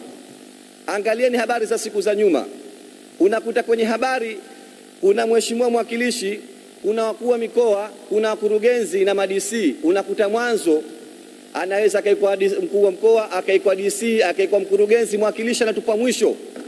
Katika nchi kiongozi mkuu ni mheshimiwa rais, anafata mheshimiwa makamu wa rais, anafata waziri, anafata naibu waziri, anafata mheshimiwa mwakilishi, alafu anapata katibu mkuu kiongozi, anafata mkuu wa mkoa. Waheshimiwa wakilishi ni wakubwa, waheshimiwa wakilishi ni level ya mawaziri. Inakuwaje mwakilishi habari yake siku tatu hairushwi? Mwakilishi habari yake inaikuwa ya mwisho kuliko mkurugenzi na DC na mkuu wa mkoa. Imeelekea vipi ya mambo? Na kipindi cha nyuma ZBC hii hii walikuwa wakimrusha mkuu wa mkoa mmoja mwanzo kuliko mheshimiwa rais, karibu miezi miwili. Ikianza habari tu, kabla kuanza habari anaonyeshwa mkuu wa mkoa, anatoa maelezo, alafu anapelekwa rais. Huu si utofu wa nidhamu? Rais wa nchi mnamwonyesha yeye mtu wa pili au watatu. Inatakiwa ZBC muonyeshe ikiwa habari ya mheshimiwa rais, muonyeshe mfano dakika kumi habari yake, makamu wa rais dakika saba, waziri dakika tano, naibu waziri dakika nne, mwakilishi dakika tatu, na waliobakia washuke. Lakini leo vice versa, mkurugenzi anayekuwa madakika mingi, muda wa mapema. Habari ndio hiyo. Juzi wakuu wa mikoa wawili wa Pemba wamewekwa mwisho kuliko mkurugenzi kuliko madisi. Hivi kweli si udhalilishaji huu? Hivi kweli mkuu wa mkoa wa Chake na mkuu wa mkoa wa Kusini level yao sawa ki- ki- kinini? Mkuu wa mkoa wa mjini ni kitu chengine, anatakiwa yeye aonyeshwe mwanzo, lakini mwakilishi mbunge anawekwa mwisho. Sasa ZBC, kama hamjaja na jibu lenye heshima hapa, kifungu unazuia kwa sababu tushaona sasa ZBC mnatuzalilisha. Waheshimiwa wakilishi ni lefu ya mawaziri wenu, na ndio maana tumo humu. Akishuka moja kuja huku mwakilishi na anopanda haji DC wala mkurugenzi. Mheshimiwa Spika, jambo jingine ambalo nalizungumza kwenye masuala ya watalii ambao mnawapa leseni, tumepitisha sheria. Mgeni yoyote ambaye anataka kuja kuinvest Zanzibar apite through ZIPA ainvest 2.5 million dollars equivalent to 6 billion shillings, na Mzanzibari tulipitisha angalau ainvest dola laki tatu kupitia through ZIPA. Leo kuna watalii mnawajua wananunua viwanja Uroa, Mwangapwani, Chukwani, Nungwi, kiwanja ananunua milioni ishirini, milioni hamsini, anajenga hoteli ya milioni mia na leseni mnatoa. Hii maanake nini? Mnawaua wazalendo wasiweze kuinvesti. Mgeni wanashirikiana watalii watatu, hata wanainvesti jengo la milioni mia. Haya wazalendo watajenga nini? Na leseni mnazitoa nyinyi. Leo mmoja mtuambie hapa, wageni wangapi waliopita ZIPA walioinvesti kwa, kwa kiwango ambacho tuliwekeka serikali na sio kiwango wanachokifanyia wao cha ujanja. Mtutajie leseni zote, la sio hivyo humu leo bajeti yako haipiti. Wazanzibari wazalendo mnawaua. Haiwezekani mgeni ana invest dola laki moja kwenye hoteli wanashare watu watatu, wakati tumeweka sheria maalumu sisi. Wageni hawa ndio tuliwazungumza maskini, kwa siku anatumia shilingi elfu saba tu chapati na mishikaki, mchezo umekwisha. Wageni hawa tuwataki, wao wametuwekea masharti magumu. Kama hujaweka dola laki tano muda wa miaka miwili, hata hiyo resident hawakupi. Kama hujanunua nyumba dola laki tano hawakuthamini. Leo sisi hapa akija na dola elfu ishirini anakuwa mfalme. Kama nini waondoke, tutafanya wenyewe. Milioni ishirini, hamsini, mia Wazanzibari tunayo. Tunataka watalii wenye uwezo wajanufaishe nchi kwenye mapato, sio vishuka. Mheshimiwa Spika, jambo jingine ningemshauri Mheshimiwa Waziri, Dakika moja imebaki. bahari zimejaa uchafu hasa kila asubuhi. Tafuteni mashine ya kusafisha bahari katika maeneo ya beach side, katika masuala yale majani yanayofanya weusi, muondoshe uchafu, bahari ziwe safi, kwani mna competition kubwa, sio Zanzibar peke yake yenye bahari yenye utalii. Vile vile mweke maguards wale ambao maboti, wale wa, mapolisi wa utalii wawekwe kwenye mabichi 24 hours, wawalinde watalii, wajue lugha na mikakati hii mimi sikuiona, lakini jengine tunaomba ndege msiruhusu utalii ufungueni. Huu usanii wa, wa, virus uliotengenezwa huu, sisi hatukubaliani na waliotengeneza mazingira haya. Maradhi haya hayapo na haya kwa wa Mwenyezi Mungu ataondoka.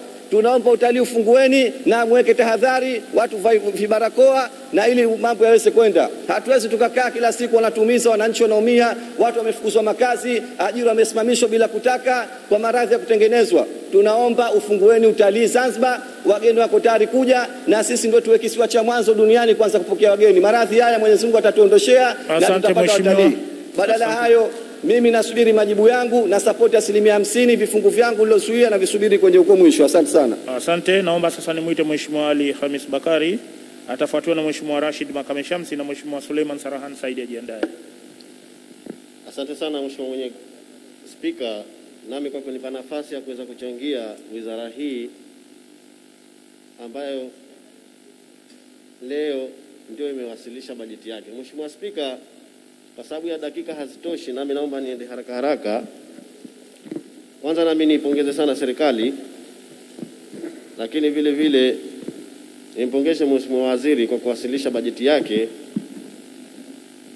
kwa kutu kwa kuweza kupanga programu zake ili kuweza kufanikisha katika wizara hii. Mheshimiwa Spika, kwanza nianze katika ukurasa wa 46 ambao nimeona hapa katika suala zima la mwelekeo wa bajeti wa mara hii 2020-2021 miongoni mwa programu walizopanga ni kuimarisha eneo la kihistoria liliyopo Chwakatumbe katika jimbo langu. Mheshimiwa Spika, kwanza nipongeze sana wizara kwa kuliona jambo hili. Ni muda mwingi ambao na mimi nimelipigia kelele jambo hili, lakini leo hii nimeliona hapa katika ukurasa. Kwa kweli nimefarijika sana, lakini tu nimwombe Mheshimiwa Waziri, nilikuwa nataka kujua ni kiasi gani labda cha pesa ambacho mmekitenga kwa kuja kuliendeleza eneo hilo, lakini vile vile nimwombe Mheshimiwa Waziri kwamba kipindi kitakapofika kwa uwezo wa Mungu, kama bado ni kali mwakilishi, naomba nishirikishwe katika kuhakikisha kwamba ili eneo kati linapoanzishwa ujenzi wake na mimi vile vile na kuwepo. Lakini vile vile, Mheshimiwa Spika, kipindi ambacho kitaanzisha ujenzi huu, niombe Mheshimiwa Waziri kwamba wananchi wa jimbo la Tumbe wawe wafaidika namba moja katika harakati zitakazokuwepo pale za kutoa ajira. Lakini Mheshimiwa Spika, jengine nimwombe Mheshimiwa Waziri kwamba katika suala zima la habari kwa upande wa Pemba, programu yao ina mambo mengi ambayo wamekusudia kuyafanya katika kipindi kilichopita, lakini hata hichi ambacho tunaendelea na bajeti hii 2020 21. Mimi nilikuwa nataka kujua tu kwamba je, ujenzi wa lile jengo la Wizara ya Habari kule Pemba lini litakamilika ili liweze kutoa jambo zima la wafanyakazi kuweza kupata eneo lao la kutumia. Lakini vile vile kulikuwa na ujenzi wa nyumba ya Wizara ya Habari kule Chake Chake Pemba, nayo hii sijui hatua gani imefikia, nilikuwa nataka kujua. Lakini jengine, Mheshimiwa Spika, katika kipindi ambacho alikuwa anawasilisha bajeti, Mheshimiwa Waziri ametaja swala zima la jengo la Baitul Ajab kwamba mradi huu utaendelezwa karibu awamu tatu kuanzia 19 20 21 22, lakini nilikuwa nataka kujua, kuna kipindi kirefu hapa hili jengo limesita, ujenzi wake ulikuwa hauendelei. Nilikuwa nataka kujua ni sababu gani ambazo zilistopisha ujenzi huo ukaweza kukaa mpaka leo ikawa hakuna ujenzi wote ambao unaendelea. Mheshimiwa Spika, nikienda kwenye suala jingine,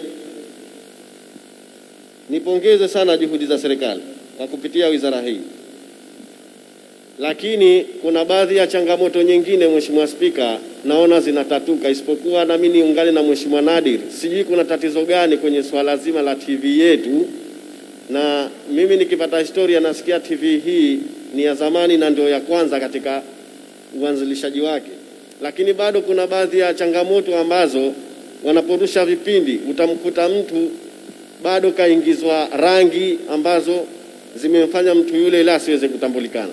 Lakini swala jingine, Mheshimiwa, hebu Tanzania bara wameanzisha TV au channel maalumu ambazo zinaonyesha wanyama lakini vile vile zinaonyesha misitu iliyopo katika eneo lile la Tanzania bara. Kwa nini na nyinyi kwa wizara yetu kupitia swala zima la TV iliyopo Zanzibar, tuna wanyama wengi pori, wanyama pori waliopo, lakini vile vile tuna misitu yetu ukiwemo msitu wa Ngezi na, na, na, na wapi, lakini naona hakuna chaneli yoyote ambayo imeanzishwa maalum kwa kuonesha kwenye swala hili la wanyamapori, lakini vile vile kwa kuonyesha swala zima la, la hii misitu ikiwa ni, ni, ni, ni jambo moja ambalo ni miongoni mwa kuweza kupata watalii wakaweza kuona, lakini vile vile hata wenyeji waliomo humu ndani ya nchi yetu wakiwemo uh, wananchi wenyewe, badali ya kuweka tu labda vipindi kwenye redio au TV ambayo munaonyesha au muna munaitangaza labda kuna kitu gani na kitu gani. Mimi ningependelea sana kuombe Mheshimiwa Waziri, kwa sababu misitu tunayo, una wanyama wapo, kuna popo wa Pemba, kuna kunguru wa Unguja, kuna kunguru wa Pemba. Hawa wote mkiwatengenezea mazingira ya channel maalum ya wanyama na misitu, mtu anaweza akafungua naye vile vile akaweza kuona na uchumi ukapatikana na watu wakaweza kujua kama e, Zanzibar kuna wanyama hawa, kuna na misitu hii.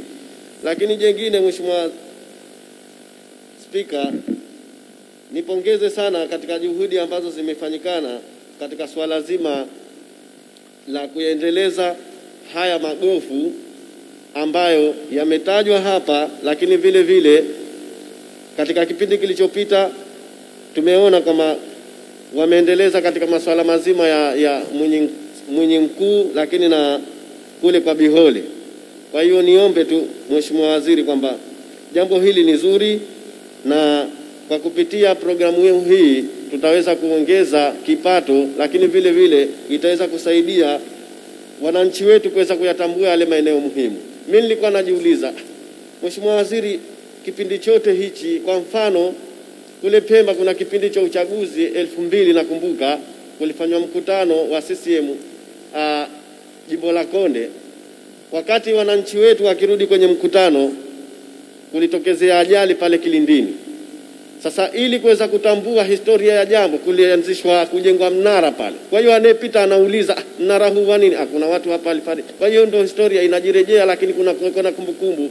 Sasa haya maeneo kama hatukuyaendeleza, vizazi vyetu vikafahamu kama ah, kuwepo kwa jambo hili kuna jambo kadha, hata yale maeneo anaweza akapotea. Lakini jengine, mheshimiwa, kuna swala zima la, la hivi ving'amuzi ambavyo mumesema mnaviendeleza ili wananchi kuweza kupata taarifa. Mheshimiwa, kisiwani Pemba kuna redio mbili za jamii, moja Micheweni na moja iko mkoani. Redio hizi zinajitegemea na chaneli zao wanajua wenyewe kwe- ziko kwenye FM. Tunaona ukiwepo ndani ya ule mkoa husika, chaneli hizi unazisikia na unapata taarifa zake siku hadi siku.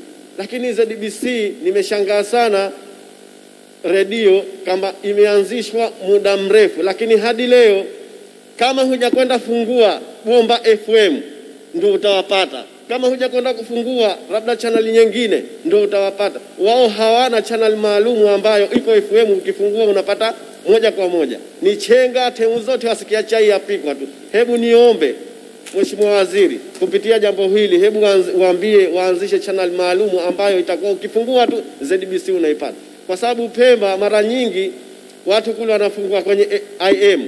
IM ni mia tano hamsini na tano. Ukifungua wakati mwingine hamna kitu, labda unaweza ukasema labda umeme umekatika. Kwa hiyo niombe sana Mheshimiwa Waziri, na jambo hili ulione, watu wanahangaika, wataka waone TV yao, wataka waone redio yao, wasikie matangazo, lakini inakuwa ni shida na hasa wakati mwingine hizi chaneli ambazo wameenda kujipandikiza au wameenda kukaa, wengine wana vipindi vyao, wanaweza akakutangazia kitu kidogo, baadaye wakakukata wakaendeleza mambo yao. Kwa hiyo niombe sana wizara hii kupitia bajeti hii uwatengee na uwekee eneo maalumu na wao, ili waweze kusikilikana zile taarifa zetu tuweze kuzipata.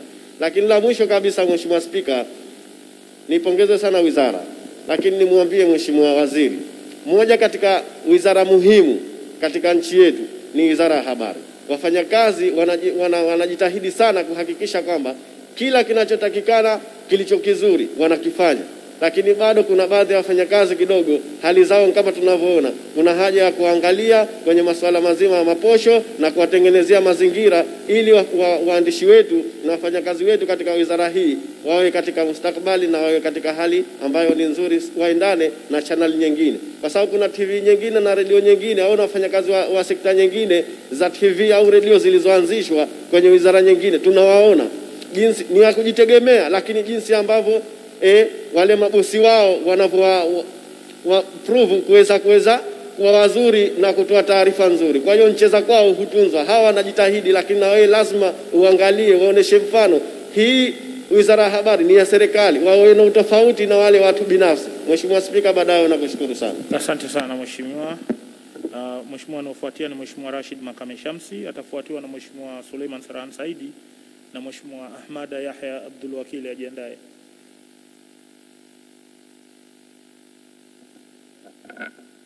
Asante sana Mheshimiwa Spika, na mimi kwa kunipa nafasi hii ya kuweza kuchangia machache kwenye hotuba hii muhimu sana ya wizara muhimu sana ya, ya, ya habari, utalii na mambo ya kale. Awali nimpongeze sana Mheshimiwa Waziri, naibu na watendaji wake wote, lakini nimpongeze sana mwenyekiti wa kamati inahusika, lakini kwa upekee kabisa nimpongeze Mheshimiwa Omar Seif Abed kwa uwasilishaji kwa niaba ya mwenyekiti, lakini na wajumbe wote ambao wamenitangulia. Mheshimiwa Spika, naweka nia ya kuweza kuzuia fungu la PJ 0104 fungu kuu fungu dogo la SJ 010401. Maelezo yangu nitaeleza mbele sababu ya kuzuia fungu. Mheshimiwa Spika, kwanza nitangulize kutoa shukurani za dhati kabisa kwa wizara inayohusika, na hapa nisije nikasahau, niwapongeze sana wenzetu wa ZBC Radio na ZBC TV kwa urushaji wa vipindi vyenye kuelimisha suala zima la korona katika kipindi hichi. Napongeza sana, wanajitahidi sana, na kwa kweli hivi sasa elimu imefika chini. Lakini nichukue fursa za pekee kabisa nimpongeze mtangazaji Abubakar Harith ambaye kwa kweli ni mbunifu na ana, ana hamu ya kazi. Sijui yule kijana alikuwa wapi, anajiuliza sijui alikuwa, alikuwa BBC au alikuwa wapi, lakini ni mtangazaji mzuri na ana hamu ya kazi, yuko makini na anaelewa jinsi ya kazi yake. Nimpongeze sana Mheshimiwa Spika. Baada ya dibaji hiyo, nende katika fungu kuu la maendeleo ya habari na uchapaji. Niwapongeze sana wenzetu kwa maelezo ambayo wameyatoa. Kuwepo kwa mtambo mpya wa kuchapisha madaftari, naipongeza sana serikali kwa sababu tulikuwa tunatumia pesa nyingi sana kuchapisha madaftari katika viwanda vya nje na hususan China, lakini kumbe Zanzibar tuna uwezo mkubwa wa kuweza kuzalisha madaftari, na hiyo ni biashara ya kila mwaka, kwa sababu tunazo skuli nyingi sana za msingi sekondari na hata maandalizi na vyuo vikuu. Kwa hiyo nipongeze sana kwa juhudi hizo, lakini nipongeze sana ZBC Radio vile vile kwa ubunifu wa vipindi kama nilivyotangulia kusema, na niwapongeze ZMUX ving'amuzi ambavyo kwa kweli vina ubora mkubwa sana na mimi ndo ninavyovitumia. Changamoto katika eneo la fungu hili, Mheshimiwa Mheshimiwa Spika, ni kwenye uandaji wa vipindi, bado kuna changamoto. Vipindi ambavyo vinarudiwa, vipindi vya marudio na hususan vile ambavyo vinakera zaidi, vile ambavyo vinatumia mawasiliano ya simu, kuweza kuweka neno kwamba hichi kipindi kinarudiwa inakuwa mtihani katika baadhi ya, ya vipindi. Kwa hiyo mtu msikilizaji anaweza kufikiria, mtazamaji anaweza kufikiria kipindi kile kinaenda live, kumbe kipindi kile ni cha marudio, anapoteza muda kupiga simu. Ninasisitiza sana kama ni kipindi cha marudio basi iwekwe eneo pale kwamba hii ni marudio, ili mtangazi, ili msikilizaji na mtazamaji aweze kuelewa hilo. Lakini chengine kinachokera sana ni kukosekana kwa vipindi kwa baadhi ya wakati, vipindi ambavyo vimezoeleka. Kwa mfano Mawio, unaweza ukaambiwa leo hauzipati habari za Mawio. Inasikitisha sana sana sana sana, kwa sababu Wazanzibari wengi hivi sasa wamejenga utamaduni asubuhi aweze kusikiliza kipindi cha Mawio, lakini vile vile kipindi cha magazetini. Magazeti yanatoka Maisara pale kufika pale studio, unaambiwa leo hakuna kipindi cha magazetini. Hili nalo linasikitisha sana. Mheshimiwa Waziri, mara kwa mara huwa nakupigia simu, na hapa nasisitiza mbele ya wananchi ili waweze ku, kuipata hiyo habari lakini swala zima la ZMUX 2 ZMUX 2 nafikiri kuna mkataba kati ya kati ya kati ya ZMUX na Azam. Kwa kweli hapa panahitaji kazi kubwa, kwa sababu vipindi vinavyorushwa ZMUX 2 ndo vile vile mwaka wa nne sijui wangapi, hakuna ubunifu wa vipindi vipya. Naomba Mheshimiwa Waziri, utakapokuja utueleze mkataba kati ya ZMUX na na Azam uko vipi, kwa sababu hakuna mvuto katika ile ile channel mpaka hivi sasa. Tunarudia hayo kwa hayo, unampata Nyundo jioni, mchana huyo huyo, usiku Nyundo tu kashika pale.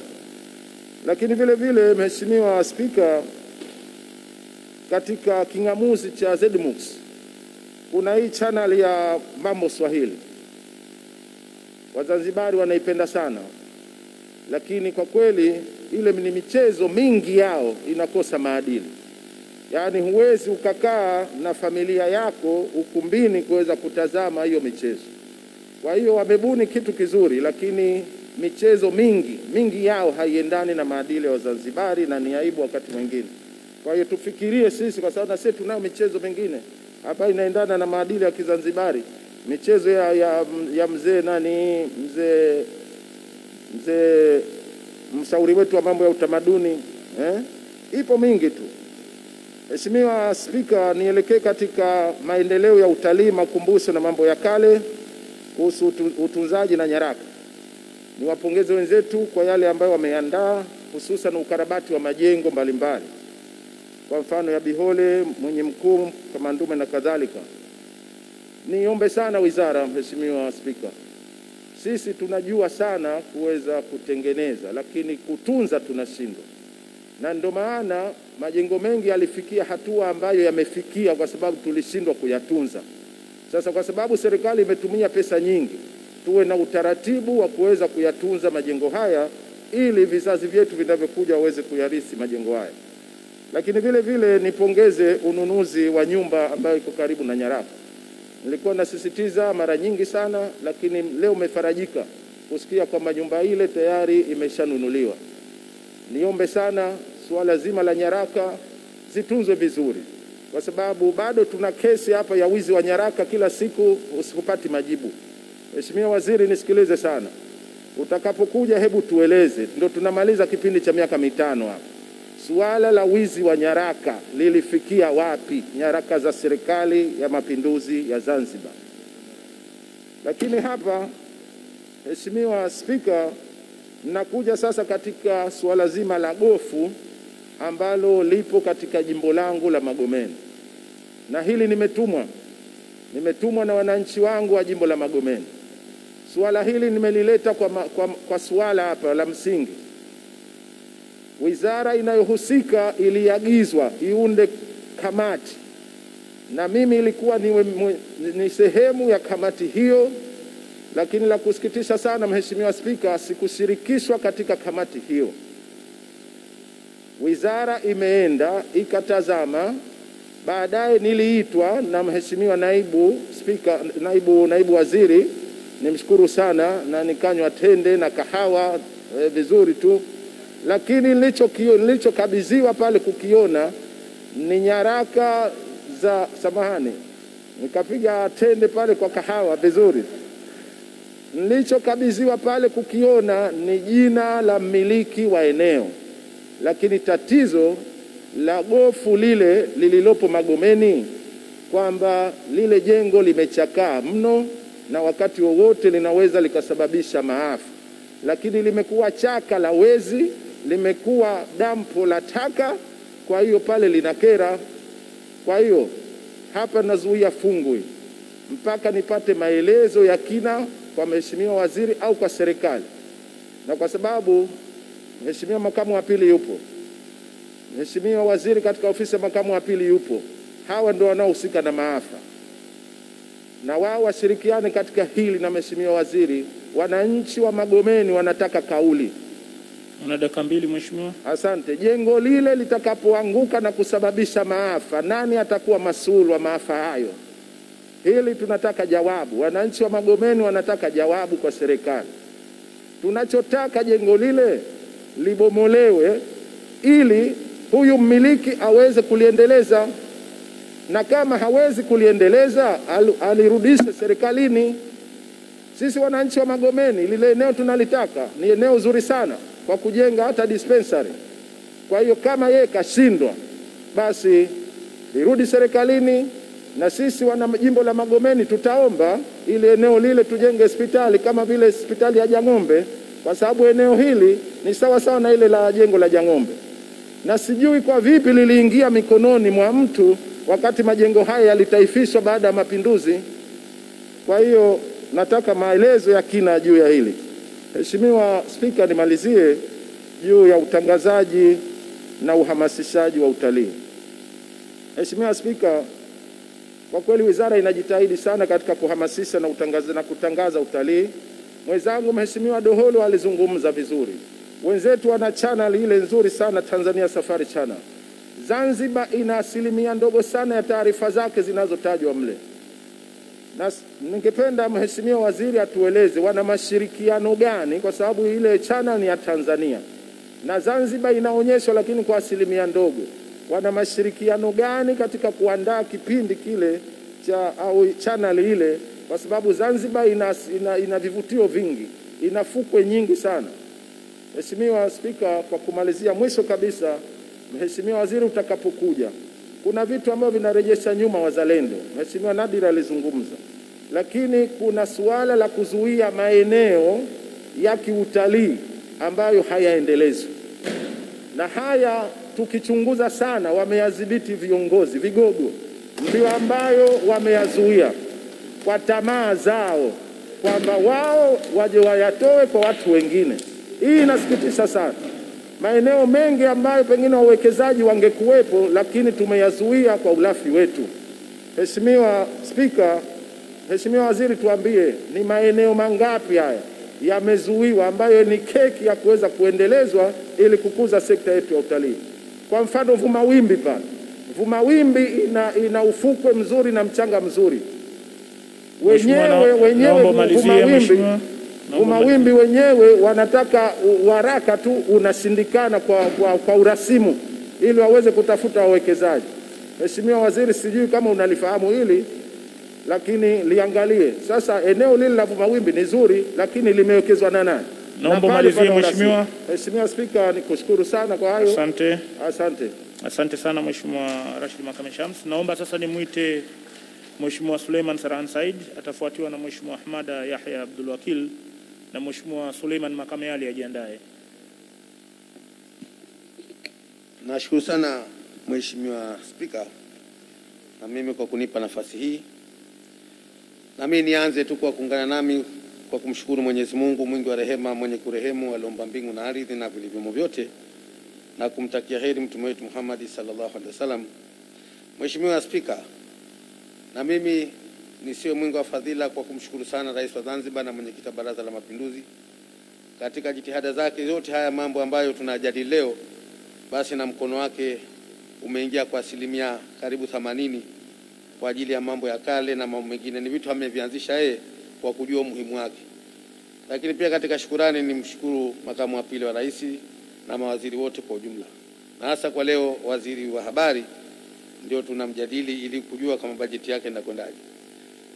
Mheshimiwa Spika, na mimi niungane na wenzangu, lakini na mimi nataka upande mmoja niweze kupingana kidogo na na hotuba ya mwenyekiti. Mheshimiwa mwenye, Mheshimiwa Spika, mwenyekiti alisema kuna mbwembwe zinatokezea kwa waandishi wa habari au wale watangazaji. Sijui mbwembwe gani alizokusudia yeye, lakini mimi na kwa upande wangu nakubaliana na wale wanaoweka mbwembwe, kwa sababu idara ya habari katika sehemu zile za kioo zinahitaji mbwembwe lazima wanawake wana macho yao wanayazungumsha, lakini pia hata wanaume wana mbwembwe zao wanazoziweka ili kupendezesha ile kioo. Kwa hivyo mi na, na, naungana nao katika kujipendezesha, lakini Mheshimiwa Spika, na mimi niongezee ni, ni, ni, ni kwa kweli waandishi wa habari au watangazaji wa habari wamebadilika sana. Wizara au idara ile ya utangazaji imebadilika vizuri sana wanawake wanapendeza, lakini mi nataka nimwambie Mheshimiwa Waziri kwamba zile gharama za kujipamba wanatoa wenyewe au wanapata fungu. Maanake wanajipamba pengine kwa siku pengine hapungui hamsini elfu mpaka laki moja kwa jinsi wanavyong'ara. Sasa kama fungu wanatoa wenyewe, basi Mheshimiwa Waziri naye awape mafao madogo ya kujipamba angalau kupunguza makali. Lakini pia Mheshimiwa Waziri, pia na mimi nimsifu yule kijana Abubakar yule kijana bwana, naweza kusema sasa hivi kutokana na uh, mwendo anaokwenda, basi mheshimiwa marehemu Marini anaweza kaekwa nyuma. Ni kijana ana, ana, anajipendezesha katika, katika position nzuri. Mimi nilikuwa nafikiria kwanza katoka BBC katoka wapi, ana, ana act ana, ana, ana act nzuri katika, katika uandishi wa habari. Sasa muhimu asomeshwe aweze kujua kama lugha mbili tatu hivi aweke mbwembwe zaidi. Kwa hivyo ninge ningeshauri asaidiwe kuangaliwa kimasomo, kwa sababu katika kuji- kujikimu kwenye masuala ya mbwembwe anaziweza za uandishi wa habari. Lakini Mheshimiwa Spika, niendelee na mimi na kumshukuru waziri kwamba sasa hivi kwa maneno aliyosema ni kwamba karibu ma, mabuku yetu ya shule yatakuwa yanatoka hapa hapa bila kuingia vi, viwanda vya nje. Mimi nitamshukuru kwa sababu mabuku yatakuwa bei rahisi. Inawezekana serikali pia ikazidi kupeleka mambo hayo bure zaidi baada ya masuala kama hayo. Lakini pia nimshukuru waziri mambo ya kale yanaimarika kwelikweli. Nikupongeze sana. Mambo mengi bado mengine, lakini hayo tulikuwa tunapiga kelele mengi, sasa hivi yanaonekana umuhimu wake. Kwa hivyo nikushukuru sana, hatua zinaendelea, Mheshimiwa Waziri. Lakini pia Mheshimiwa Waziri, nataka ni, nikupe pongezi tena nyingine, manake kwa kweli katika kipindi hichi chote tulikuwa tunahangaika na wewe sana, lakini umejitahidi sana katika kuvuka baadhi ya malengo. Kweli utalii ulishavuka lengo na kila mtu aliuona utalii umekuja juu, lakini ndio mambo yaliyotokezea, utalii utalii umeteremka kidogo. Lakini mimi nikushauri kwamba sio tulale hapa tulipo na kuomba uondoke ofisini ukayapitie maeneo yote pamoja na mahoteli. Kutokana na mwenendo tunaokwenda nao, si hasha muda wote mahoteli katika sehemu ya utalii talii ikafungulika, nchi zikaanza kutembea, na sisi tuwe wa mwanzo katika masuala kama haya, isiwe tena tunaanza kuja kukupua vumbi yakatoka ma, mapanya na nini mambo mengine. Kwa hivyo sekta za utalii zikae standby wakati wowote, kutokana na hali ilivyo, pamoja na viongozi wetu kwamba tunaona kwamba hali ya korona ina, inazidi kupungua, kwa hivyo tuweze kukaa katika mkao wa kula. Lakini pia nataka nikupongeze ni lakini pia nisi, nisi, nisiongezee zaidi kwamba utalii Pemba, Mheshimiwa, ulipiga spidi kubwa ya kuleta utalii Pemba au kuendeleza utalii Pemba, na kuomba sana kwamba bado una nafasi hiyo, endeleza bado kupeleka utalii Pemba kwa njia zote ulizoziona una haja ya kuitangaza Pemba. Kwa hivyo msimamo ni ule ule, usirudi nyuma katika masuala hayo. Lakini jengine, niende kwenye masuala ya Beit la jaibu. Mheshimiwa, ni kweli umeshasema ndani ya miaka miwili elfu moja ishirini ishirini mbili beti jaibu litakwisha. Ningekuomba, limeshakaa muda mrefu sana, lakini ndani ya miaka miwili hii basi lisisimame, liendelee kulimaliza hilo jambo. Lakini pia tumeshapata funzo kwa yale majengo mengine ambayo ya utalii ambayo tunayaona kwamba yanahitaji kurekebishwa, basi hilo tatizo liangalie kwamba tunafanyaje ili kuhakikisha kwamba yasikae kama haya mpaka yakaanza kubomoka. Kwa hivyo nakuomba tu hili la beti la jaibu lisisimame tena, mwendo mdundo ishirini ishirini na mbili, basi tuwe tumekaa vizuri. Lakini Mheshimiwa Spika, niendelee na kumwambia Mheshimiwa Waziri kwamba kwa, kwa ZBC hile moja utapata matatizo sana, kwa sababu Wazanzibari wote wanaitegemea ZBC. Wazee wa, wa, wa zamani wanafunga seruni usiku, wanataka ZBC tarabu. Vijana wanajua ZBC, wanataka rasta, wanataka na yale masuruali ya kuchana. Miziki inabadilika kila aina. Kama hujaanzisha chaneli nyingine ambazo zitakuwa zinaendana na wakati, wakati tukiangalia masuala kama hayo utakuwa unapata lawama. Kwa hivyo mimi ningekuomba ZBC ukaiacha kama ZBC, ikawa iendelee na watu wazima na wazee ambao pamoja na mambo mengine ya habari na kila kitu, lakini na madhehebu yake kutokana na ilivyozoeleka vile vipindi vya baba na mama na nini na nini, lakini ukatafuta chaneli nyingine, vijana wakaselebuka huko, kwa sababu dunia ndio ilikokwenda huko. Kwa hivyo ningekuomba kwamba kwa TV moja hii bado utapata lawama nyingi sana kama hujafungua milango ya TV nyingine utapata hivyo. Lakini pia mheshimiwa, kama anavyosema wenzangu, lakini mimi nikushauri au nikuambie, unapata lawama mpaka habari za kutoka Pemba. Hivyo bado haijafika wakati wa kusema tunaweza kupata channel moja ya Pemba ikawa TV yake Pemba. Mtu akihitaji kupata TV ya Pemba anaangalia moja kwa moja kupata Pemba, kupata maelezo ya Pemba, ikawa TV ya ZBC inakwenda kwa mambo ya kitaifa lakini mambo mengine tulikuwa tunapunguza punguza kule Pemba, ikiwemo utalii na mambo mengine ambayo yatakuwa yana yanakuwa katika kuya, kuyatangaza. Lakini mheshimiwa Mheshimiwa Spika, mimi nimpongeze Mheshimiwa Waziri kwa wizara yake iliyoko Pemba, ofisi kuu. Mheshimiwa, unaye kijana yule si anaitwa Haji Mjaja e, kama kama sikosei, ni kijana hodari anajitahidi kuendeleza utalii. Ni nyenzo ndio zinahitaji kumsaidia yule kijana, atakusaidia sana kwa sababu ni, ni mchakarikaji na ni mtu mwelewa inaonekana, lakini anahitaji nyenzo kutokana na masuala ya utalii, anahitaji nyenzo sana. Kwa hivyo ningekuomba sana ukawa naye karibu katika masuala ya kumsikiliza nini matatizo yaliyoko kule ili utalii uweze kuendelea. Lakini mheshimiwa, tumeona madhara yanayotutokeza ni kwamba mambo ya kidunia yakikwama, yakikwama, sisi wenyewe tunaanza kutafuta ya kwetu wenyewe. Utalii wa ndani, mheshimiwa, unahitajika. Sasa hivi hatujajua milango ya dunia itafunguliwa lini. Mbakiwa na dakika mbili mheshimiwa. Nakushukuru sana. Wewe mheshimiwa, ningekuomba basi utalii wa ndani ukahamasika, sio tulale kwamba ndio utalii hakuna, ndio utalii hakuna. Utalii wa ndani hata hizi sikukuu basi tungeweza, kwa sababu pori lina nafasi nyingi, sio kwamba ile tunakaa karibu karibu. Watu wakienda kwenye, kwenye mbuga kwenye maeneo fulani yakafunguliwa, ili watu wakaenda kutembea katika maeneo hayo, sio lazima watu wote waende Forodhani na watu wote. Kwa hivyo hizi sehemu za utalii zingefunguliwa, basi sikukuu na watu wakaenda kutembelea huko, kwa sababu sio msongamano. Kwa hivyo ningeangalia hilo, lakini mheshimiwa, nikuombe sana, bado kuna, kuna, kuna matatizo kidogo katika ofisi zako, ni kwamba kuna, kuna vijana wanajitolea wanataka kwa, wan, wanaanzisha miradi katika masuala hasa mambo haya kama ya kebo ya kitu gani, na yuko mmoja kule Pemba, mheshimiwa, tatizo lake limeshindwa kutatulika mpaka leo. Mtu ameweza kukushanya madishi, amekushanya mitambo. Makosa yenu ni kudaiana. Mheshimiwa Waziri, umeshindwa kulimaliza suala la yule kijana anamalizika, mashine zinakufa kwa sababu ya kuto kulipana na serikali.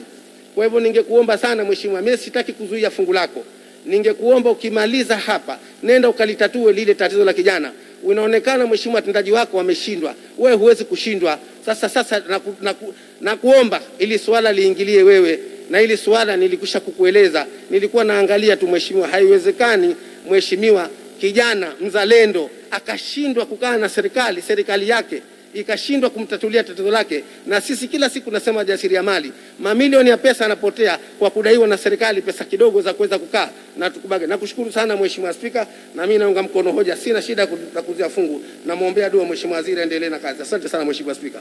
Asante sana mheshimiwa.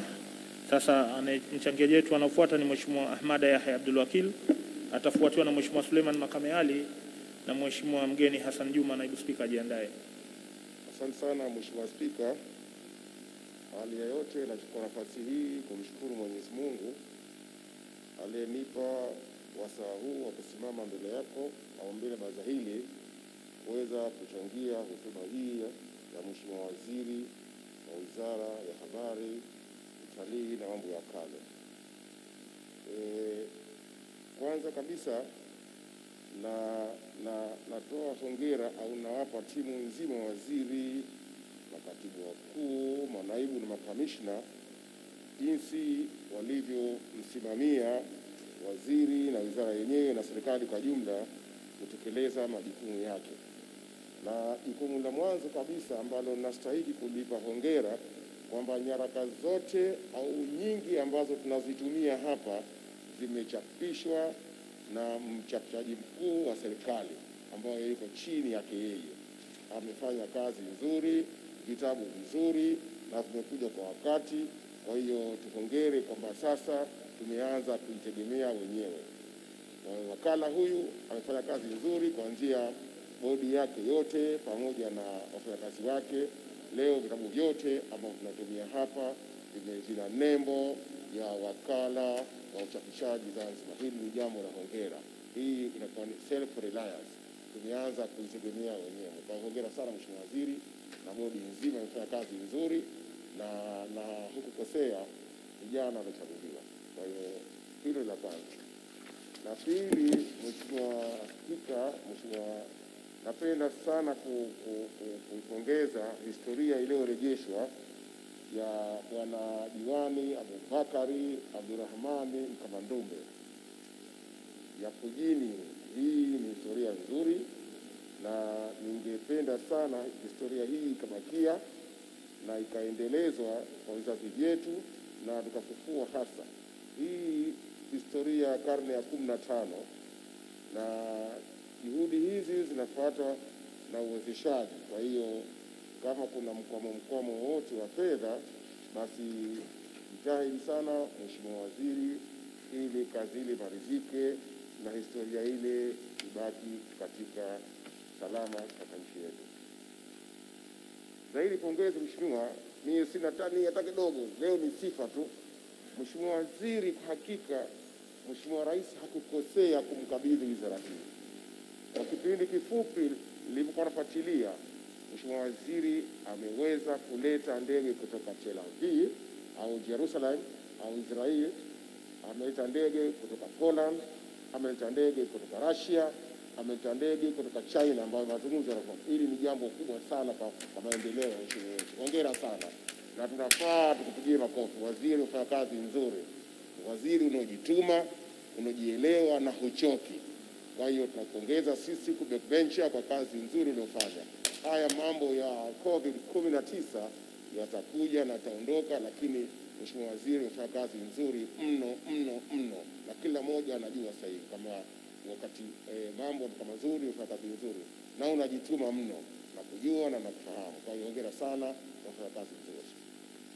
Eh, Mheshimiwa Spika, Mheshimiwa Waziri, eh, katika azma nzuri ya Mheshimiwa Rais ya kufufua magofu yani mambo ya kale tumejitahidi mno, lakini hapa kidogo nataka maelezo. Kampuni ya, ya, ya Sine Sons ambayo imekubaliana kufufua magofu ya historia ya Mwinyi Mkuu yenye thamani ya shilingi milioni mia nane na mbili mia nne sabini na nne na shilingi mia tatu na nne amelipwa only asilimia sita 60% mno.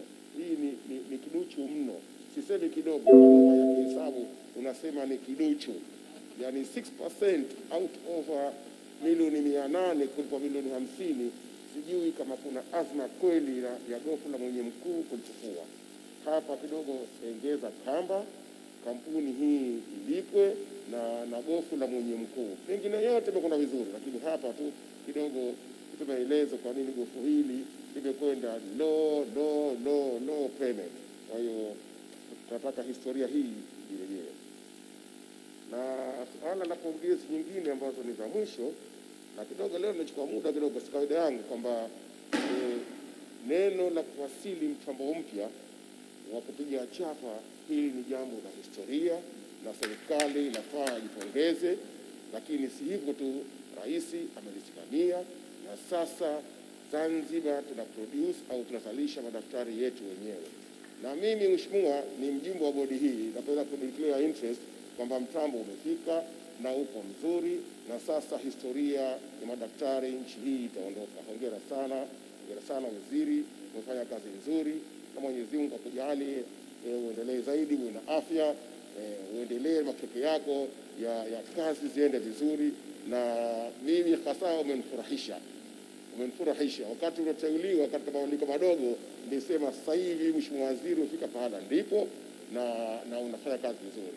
Na kwa haya machache tu, Mheshimiwa Spika, naunga mkono hoja asilimia mia moja and over, apewe mafungu yake yote aweze kufanya kazi. Asante. Sana Mheshimiwa Ahmada Yahya Abdulwakil Shah kwa mchango wako na kwa kuokoa muda kwa kiasi kikubwa.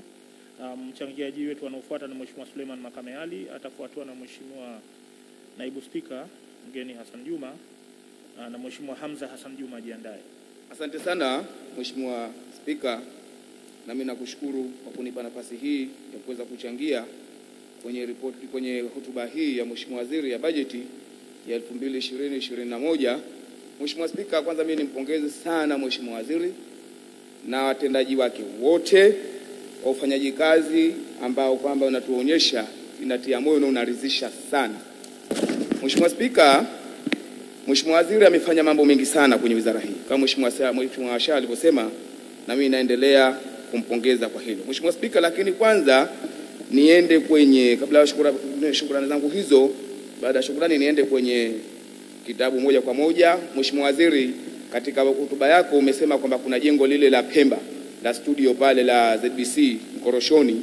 Mheshimiwa, lile jengo nakumbuka siku aliyokwenda Mheshimiwa Waziri Mkuu nilikuwepo wale wafanyakazi na wale ambao kwamba wanajenga kikosi chetu cha cha mafunzo walisema baada ya miezi miwili jengo lile litakuwa limeshamalizika, na pesa tumeziona uingiaji wake zinaingia vizuri, serikali inaipongeza.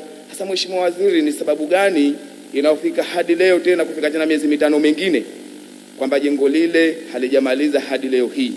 Mheshimiwa Waziri, tunaomba utupatie majibu, kwa sababu unapomaliza lile jengo, wale wafanyakazi watakuwa na amani ya kufanya kazi vizuri na kuacha ile kubanana mule.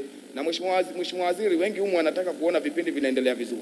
Sasa leo Mheshimiwa Waziri, ukienda kwenye ofisi kama itakuwa watu hawapati nafasi, wanabanana huku wanajikuna huku wanaendeleza kipindi, inakuwa ni shida. Kwa hiyo Mheshimiwa Waziri, nakuomba sana jengo hili liweze kumalizika, lakini pia vile vile na wale kikosi cha mafunzo wanaojenga ni watu wazuri sana, lakini pia vile vile kuna tetesi ya kwamba pesa zao malipo inakuwa ni hafifu. Sasa Mheshimiwa Spika, nikitoka hapo niende moja kwa moja kamati, niipongeze Mheshimiwa Mwantatu, hongera sana, unafanya kazi vizuri kwenye kamati hii. Mwenyezi Mungu akujalie urudi tena uwa mwenyekiti wa kamati hii au kamati yoyote. Mheshimiwa Spika, kusema la ukweli, pindi kwa kama hatukupata yale mafunzo vizuri, lakini umeona wewe mwenyewe jinsi gani tunavyofanya kazi, jinsi gani wenye viti wetu hawa wanavyofanya kazi kwa kushirikiana na wajumbe wao wa kamati. Mheshimiwa Mwantatu alikuwa makamu mwenyekiti wa kamati ya sheria, tulikuwa tunakwenda vizuri, na mara hii amekuwa mwenyekiti wa kamati ya wanawake. Kamati imepata mwenyekiti kweli kweli. Mheshimiwa mwenyekiti, Mheshimiwa Spika, mengine tunaoyaongea humu tunaongea kwa maslahi ya serikali, lakini na wananchi kwa ujumla. Mheshimiwa Spika, kama utakumbuka, kuna siku Mheshimiwa Mahamudu nilimwambia kwamba ikiwa hana uwezo wa boya kule Mkumbuu kwenye ule mji wa historia, basi akaweke japo lile dumu la mafuta. Mheshimiwa Spika amefanya. Mheshimiwa Waziri, hongera sana. Wala mimi pale Mheshimiwa Waziri sifikiri kama nitapata chochote, lakini nina imani kwamba itakayopata ni serikali. Ikipata serikali na mimi ndio nimepata. Kwa Mheshimiwa Spika, namuomba tu Mheshimiwa Waziri, kidogo nataka nimpe historia ya miji mingine kwa wenzetu ambayo kwamba imefikia hadi leo hii.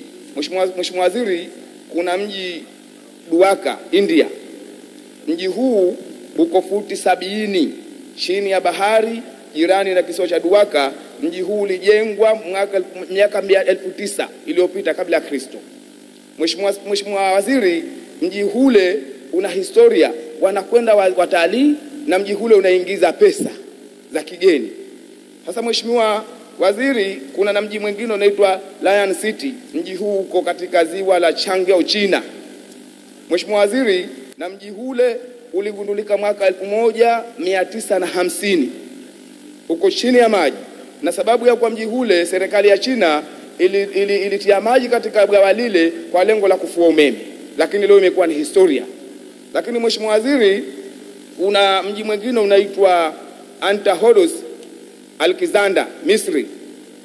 Mji huu ulizama baada ya tetemeko la ardhi, uligundulika mwaka 1996 karibu na bandari ya Alexander kule, Mheshimiwa Waziri. Sasa Mheshimiwa Waziri, miji hii yote niliyokutajia ni kwamba inaingiza faida. Sasa Mheshimiwa Waziri, mimi nakuomba sana, kwa sababu hii miji niliyokutajia ukifuatilia historia utaipata. Hebu na ile mji wa kule Mkumbuu uliozama uliokwenda Ekewa Boya, ifuatilie historia yake, ili wale watalii wanapokuja na wakaenda kule Mkumbuu waweze kufika katika ule mji.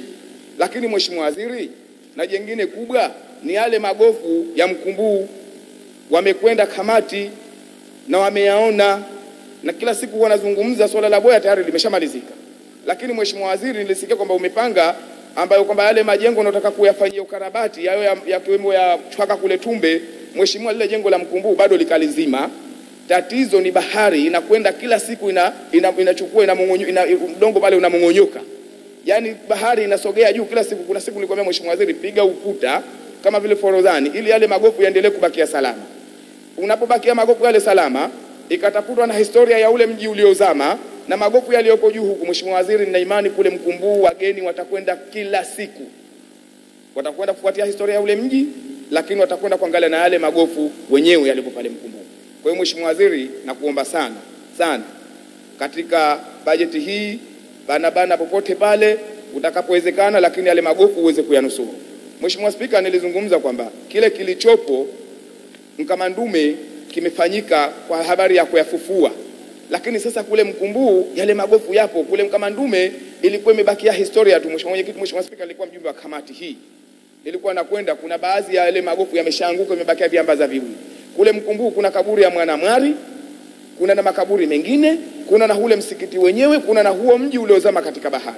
Mheshimiwa Waziri, kuna na kisima pale chini hapo ulipoweka ile boya, pana na kisima panaitwa Mkomani. Yaani ni kila kitu, ukienda ukifuatia historia ni historia mzuri sana, itafuatia kama historia hizi nilizokutolea za miji mingine. Mheshimiwa Waziri, nakuomba sana na kuamini leo, sitaki nizuie kifungu chochote. Mheshimiwa Spika, naunga mkono asilimia mia moja. Asante sana Mheshimiwa Suleiman Makame Ali kwa mchango wako na kuokoa muda kwa kiasi kikubwa. Naomba sasa nimwite Mheshimiwa mgeni Hassan Juma, naibu spika, atafuatiwa na Mheshimiwa Hamza Hassan Juma na Mheshimiwa Usi Yahya Haji ajiandae. Mheshimiwa Spika, na mimi nichukue fursa hii adhimu kwanza kukushukuru wewe, lakini vile vile nichukue fursa hii kumshukuru Mwenyezi Mungu mwingi wa rehma ambaye ametujalia uhai na uzima na akatupa pumzi ya kuweza kuja hapa leo hii kuendelea na shughuli yetu ambayo tumekusha jipangia kwa muda mrefu. Mheshimiwa Spika, na mimi niungane na wenzangu kwa kumpongeza sana sana sana Mheshimiwa Waziri wa Wizara hii ya Habari, Utalii na Mambo ya Kale. Nampongeza pamoja na watendaji wake na naibu waziri pamoja na katibu mkuu pamoja na makatibu waku, manaibu katibu wakuu pamoja na wakurugenzi na watendaji wake wote ambao wanamsaidia katika kutekeleza yale majukumu ambayo amepangiwa. Mheshimiwa Spika, nampongeza waziri kwa sababu kuna tofauti kubwa sana katika muda ambao amepewa kazi hii ya wizara hii kuifanya. Tumeona maendeleo makubwa sana sana yamefanyika, si tu kwa yale ambayo tuliyokuwa nayo, lakini katika hali ya ubunifu mkubwa sana Mungu aliyompatia na kuweza na kuweza kuyatekeleza yale ambayo anaona ni muhimu kwa maendeleo ya nchi yetu. Mheshimiwa Spika, mimi sitokuwa na mengi sana ya kusema na nilikuwa nataka kuchangia mawili matatu, ambayo moja nimeliona. Kwanza kabisa nataka kupongeza taasisi hizi ambayo ni ZBC, idara ya habari maelezo, shirika la magazeti na pamoja na, na, na chuo cha uandishi wa habari pamoja na kampuni ya usambazaji maudhui SMUKS. Nawapongeza hawa wote kwa sababu kwa kweli kama nilivyotangulia kusema tumeona tumeona mabadiliko makubwa sana katika idara hizi na tumeona kazi kubwa ambazo zinafanyika. Mheshimiwa Spika, katika haya basi nilikuwa na, na, na machache tu nataka kutoa ushauri wangu. Kwanza kabisa, kwanza kabisa Mheshimiwa Spika, nilikuwa nasoma uh, kitabu cha Mheshimiwa Waziri ambacho ameki, ameki, amekisoma mbele yetu. Nilikuwa naomba katika ukurasa katika ukurasa wa, wa kumi, kumi, kumi na nane ambao ametoa amezungumzia kuhusu suala la, la, la, la, la kuelimisha kutoa elimu. Mheshimiwa Spika, mimi nafikiri unakumbuka vizuri sana vijana wengi anasema kwamba wamepata wafanyakazi wengi wamepata elimu, lakini tatizo linajitokeza kwamba taarifa ambayo au takwimu ambazo zinatolewa humu hazijachanganuliwa. Mheshimiwa Spika, unafahamu vizuri sana na hili inabidi tulifanyie kazi.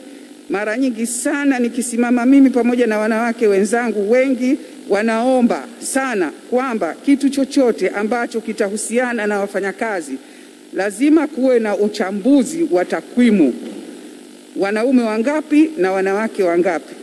Hili halijafanyika, ingawa katika ukurasa wa ishirini na moja kutoka kwenye chuo tumeona kwamba kuna, kuna uchambuzi wa takwimu. Naomba hili liwe, lipewe kipaumbele kwa bajeti nyingine vile vile ambayo itasaidia sana katika kuona uwiano wa maendeleo katika nchi yetu. Mheshimiwa Spika, jingine ni kwamba ningeomba sana ZBC hasa katika kipindi kama hichi. Mheshimiwa Spika, kwa bahati nzuri sana nimeona kwamba ZBC inafanya kazi na kwa bahati nimeona kipindi kinachohusiana na masuala ya wanawake ambacho nafikiri kinaitwa Dr. Sheni na wanawake. Ni kipindi kizuri sana, lakini bado tuna kazi kubwa ya kufanya. Ni kipindi ambacho kinatoa hamasa kubwa kwa wanawake katika masuala mbalimbali mbali ya uongozi, lakini bado, Mheshimiwa Spika, nikifananisha na wenzetu, television za wenzetu Tanzania bara, ninaona kwa kweli Zanzibar bado tuko nyuma sana. Mheshimiwa Spika, mimi ni shahidi pamoja na wawakilishi wengi sana humu ndani, tunaona vipindi mbalimbali mbali, na waandishi wa habari wengi wanakuja kutoka Tanzania bara kuja kutufanyia interview na vipindi vyetu kuonyesha katika television mpaka za, za, za, za Tanzania bara.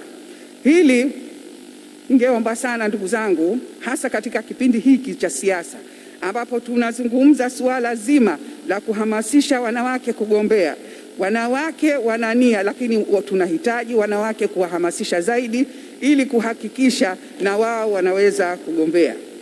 Mheshimiwa Spika, ningeomba ZBC waongeze kutayarisha vipindi ambavyo vitaweza kuhamasisha wanawake waweze kugombea.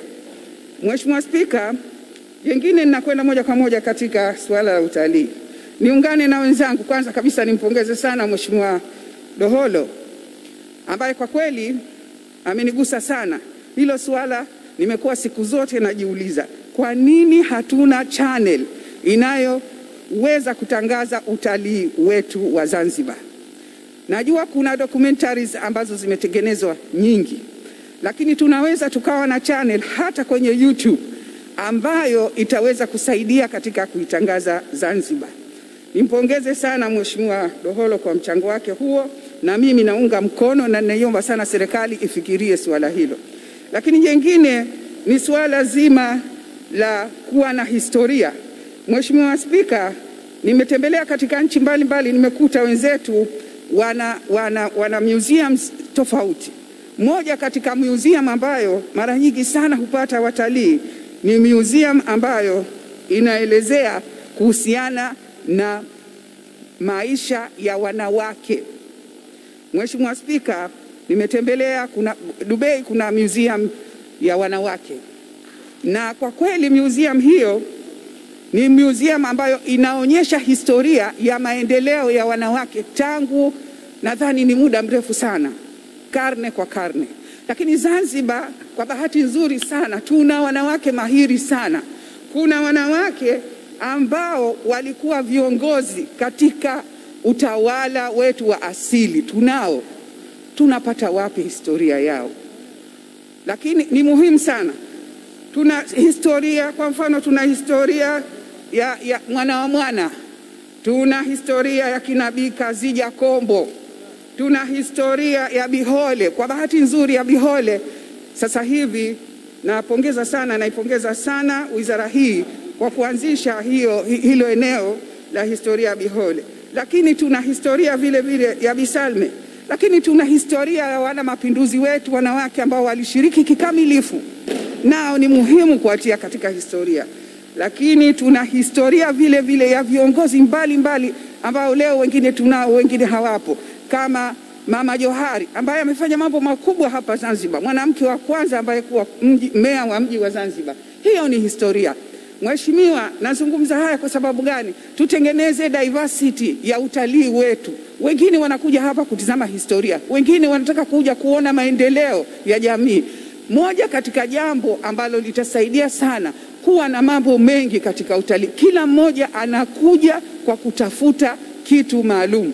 Kwa hiyo Mheshimiwa, ningeomba sana, ningemshauri Mheshimiwa Mheshimiwa Waziri na hili pia, kwa sababu kuna mambo mengi sana ya kufanya na kwa bahati nzuri Zanzibar kwa kweli tuna mambo mengi ya kuonyesha dunia. Kwanza, jambo la kwanza ambalo mimi huwa sina wasiwasi nalo siku zote kwamba Zanzibar tayari jina letu limeshauzika. Zanzibar ni maarufu sana, hilo moja, lakini Zanzibar tuna, tuna umaarufu wa, wa, wa, wa, wa, umaarufu wa kuwa sisi ni watu wakarimu. Hilo ni jambo ambalo ni la pili ambalo tunalo, na wengi wanakuja kwa sababu hiyo vile vile ukarimu, lakini wanataka kuona vitu gani ambavyo vimetufanya sisi, vimetulea mpaka tukaendelea leo kuwa watu wakarimu. Lazima wasome historia zetu na watuelewe vizuri sana. Mheshimiwa, lakini jengine ambalo nilikuwa nataka kulizungumza la mwisho ambalo pia ninataka ku, ku, ku, kushauri kwamba mheshimiwa, jambo lolote ambalo linakuja ambalo linajitokeza ikiwa kama ni changamoto kama kwa mfano kama hii ya COVID-19 ambayo kwa kweli ni changamoto, ni janga la dunia, lakini lazima kulitengenezea fursa, na kwa bahati nzuri sana tumeziona fursa nyingi sana zimejitokeza Una dakika moja ya- Mheshimiwa Naibu Spika. ndani ya, nda, ndani ya, ya tatizo hili kuna fursa, watu wametengeneza, wameweza kutengeneza wengine barkoa, watu wametengeneza vitu mbalimbali, lakini mheshimiwa, tumejaliwa na kitu kimoja. Sasa hivi kumejitokeza, kuna dawa nyingi sana za asili ambazo wazee wetu wamezitumia. Ningeomba sana, ningeomba sana hii katika utalii tuitumie kama fursa kwa sababu dawa hizi zimeonyesha kwamba zimeweza kusaidia na kutibu baadhi ya watu ambao walipata matatizo haya. Lakini vipi tutakwenda, vipi tutakwenda, tutajiuza katika suala hili ni kuwa na, na green zones ambazo zitaonyesha species zote za dawa zetu. Hili wa, lazima washirikiane na Wizara ya Kilimo pamoja na Wizara ya Afya. Tuna dawa ambazo kwa kweli zinapatikana tu misituni. Inawezekana sana kwa tabia zetu za binadamu tunaweza tukazimaliza ndani ya misitu yetu, lakini tukiwa nazo tukazihifadhi, lakini tukazitumia vizuri dawa hizi pamoja na kuwa na wataalamu. Kwa bahati nzuri, mheshimiwa, na nitamalizia hapa. Kwa bahati nzuri sana, kwa bahati nzuri sana wataalamu tunao, lakini hizi tunaweza tukatengeneza hata documentary kuweza kuuza nje, kuiuza vile vile Zanzibar. Kwa hiyo ningemuomba sana hii, hili tatizo ambalo limejitokeza kwa kweli tulitumie fursa hata kwenye utalii. Mheshimiwa Spika, nakushukuru sana na naomba sana nimpongeze Mheshimiwa Waziri, nimpongeze mwenyekiti wa kamati hii ambaye kipindi cha miaka miwili na nusu iliyopita, Mheshimiwa Spika, tulizungumza na wewe ukatuambia kwamba wahamasisheni wanawake kuchukua nafasi. Wanawake leo wamechukua nafasi na wameweza. Tuna wanawake watatu wenye viti wanafanya kazi vizuri sana. Mheshimiwa Spika, tunakushukuru. Asante sana. Naomba sasa nimwite Mheshimiwa Hamza Hassan Juma, atafuatiwa na Mheshimiwa Usi Yahya Haji na Mheshimiwa Dr. Mwinyi Haji Makame Mwadini ajiandae. Mheshimiwa Spika, na mimi nakushukuru kunipa nafasi hii nikaweza kuchangia hotuba ya Mheshimiwa Waziri wa Habari, Utalii na Mambo ya Kale. Mheshimiwa Spika, kama kawaida, napenda sana kumpongeza Mheshimiwa waziri huyu na Mheshimiwa Waziri wa Habari, Mheshimiwa Mahabudi Thabit Kombo. Waswahili kama kuna msemo wa Swahili basi unasema kwamba pumu imepata mkohozi. Mheshimiwa Spika, Mheshimiwa Waziri anafanya kazi nzuri sana na anajitahidi sana, ukiacha ile bajeti ya wizara tunomtengea kutangaza utalii, basi na yeye anatumia fursa ya taaluma yake kutangaza utalii kupitia katika mitandao ya kijamii. Mheshimiwa, ukiangalia kwenye Facebook kila siku anautangaza utalii, na mimi nampongeza sana, tofauti na wale wengine wanaotumia mitandao ya kijamii kukashifu asili za wazee wao. Mheshimiwa Spika, baada ya hayo nataka niendelee na mchango wangu. Eh, hiyo ilikuwa dibaji. Mheshimiwa Spika, nataka niendelee na mchango wangu e, kwanza kwa kumpongeza sana Mheshimiwa Waziri kwa, kuwa, kwa kuunga mkono au kwa kuendeleza au kwa kutekeleza ile azma ya Dr. Sheni ya kuondoa umaskini Zanzibar kwa kuanzisha utalii wa tunaita utalii kwa wote. Tunaona sasa hivi katika maeneo yetu mengi wananchi wamehamasika na wanashiriki katika kushiriki katika utalii wao. Sasa hapa nilikuwa na maombi kidogo. Mheshimiwa Simai, naomba mwachie Mheshimiwa Waziri ili waweze kutusikiliza. Mheshimiwa Spika, katika suala zima la utalii wa ndani, na nafikiri kama tunavyoona sasa hivi dunia imeingia na haya maradhi ya COVID-19. E, Mheshimiwa Spika, tumeona sasa hivi kila mtu na laki hakuna mjomba sasa hivi, kila mmoja anaangalia pishi yake iko vipi, na hata kama kuna mtu ana raia wake wako nje ya nchi yake, anawatafuta kokote waliko, anawarejesha ili kuendelea na maisha yao. Sasa hapa ndo pale ninapokumbuka kwamba kuna viongozi wetu wa Zanzibar na Tanzania, kwa kweli fikira zao, maneno yao wanapoyasema, kumbe kuna kama vitu wanavifikiria huko baadaye.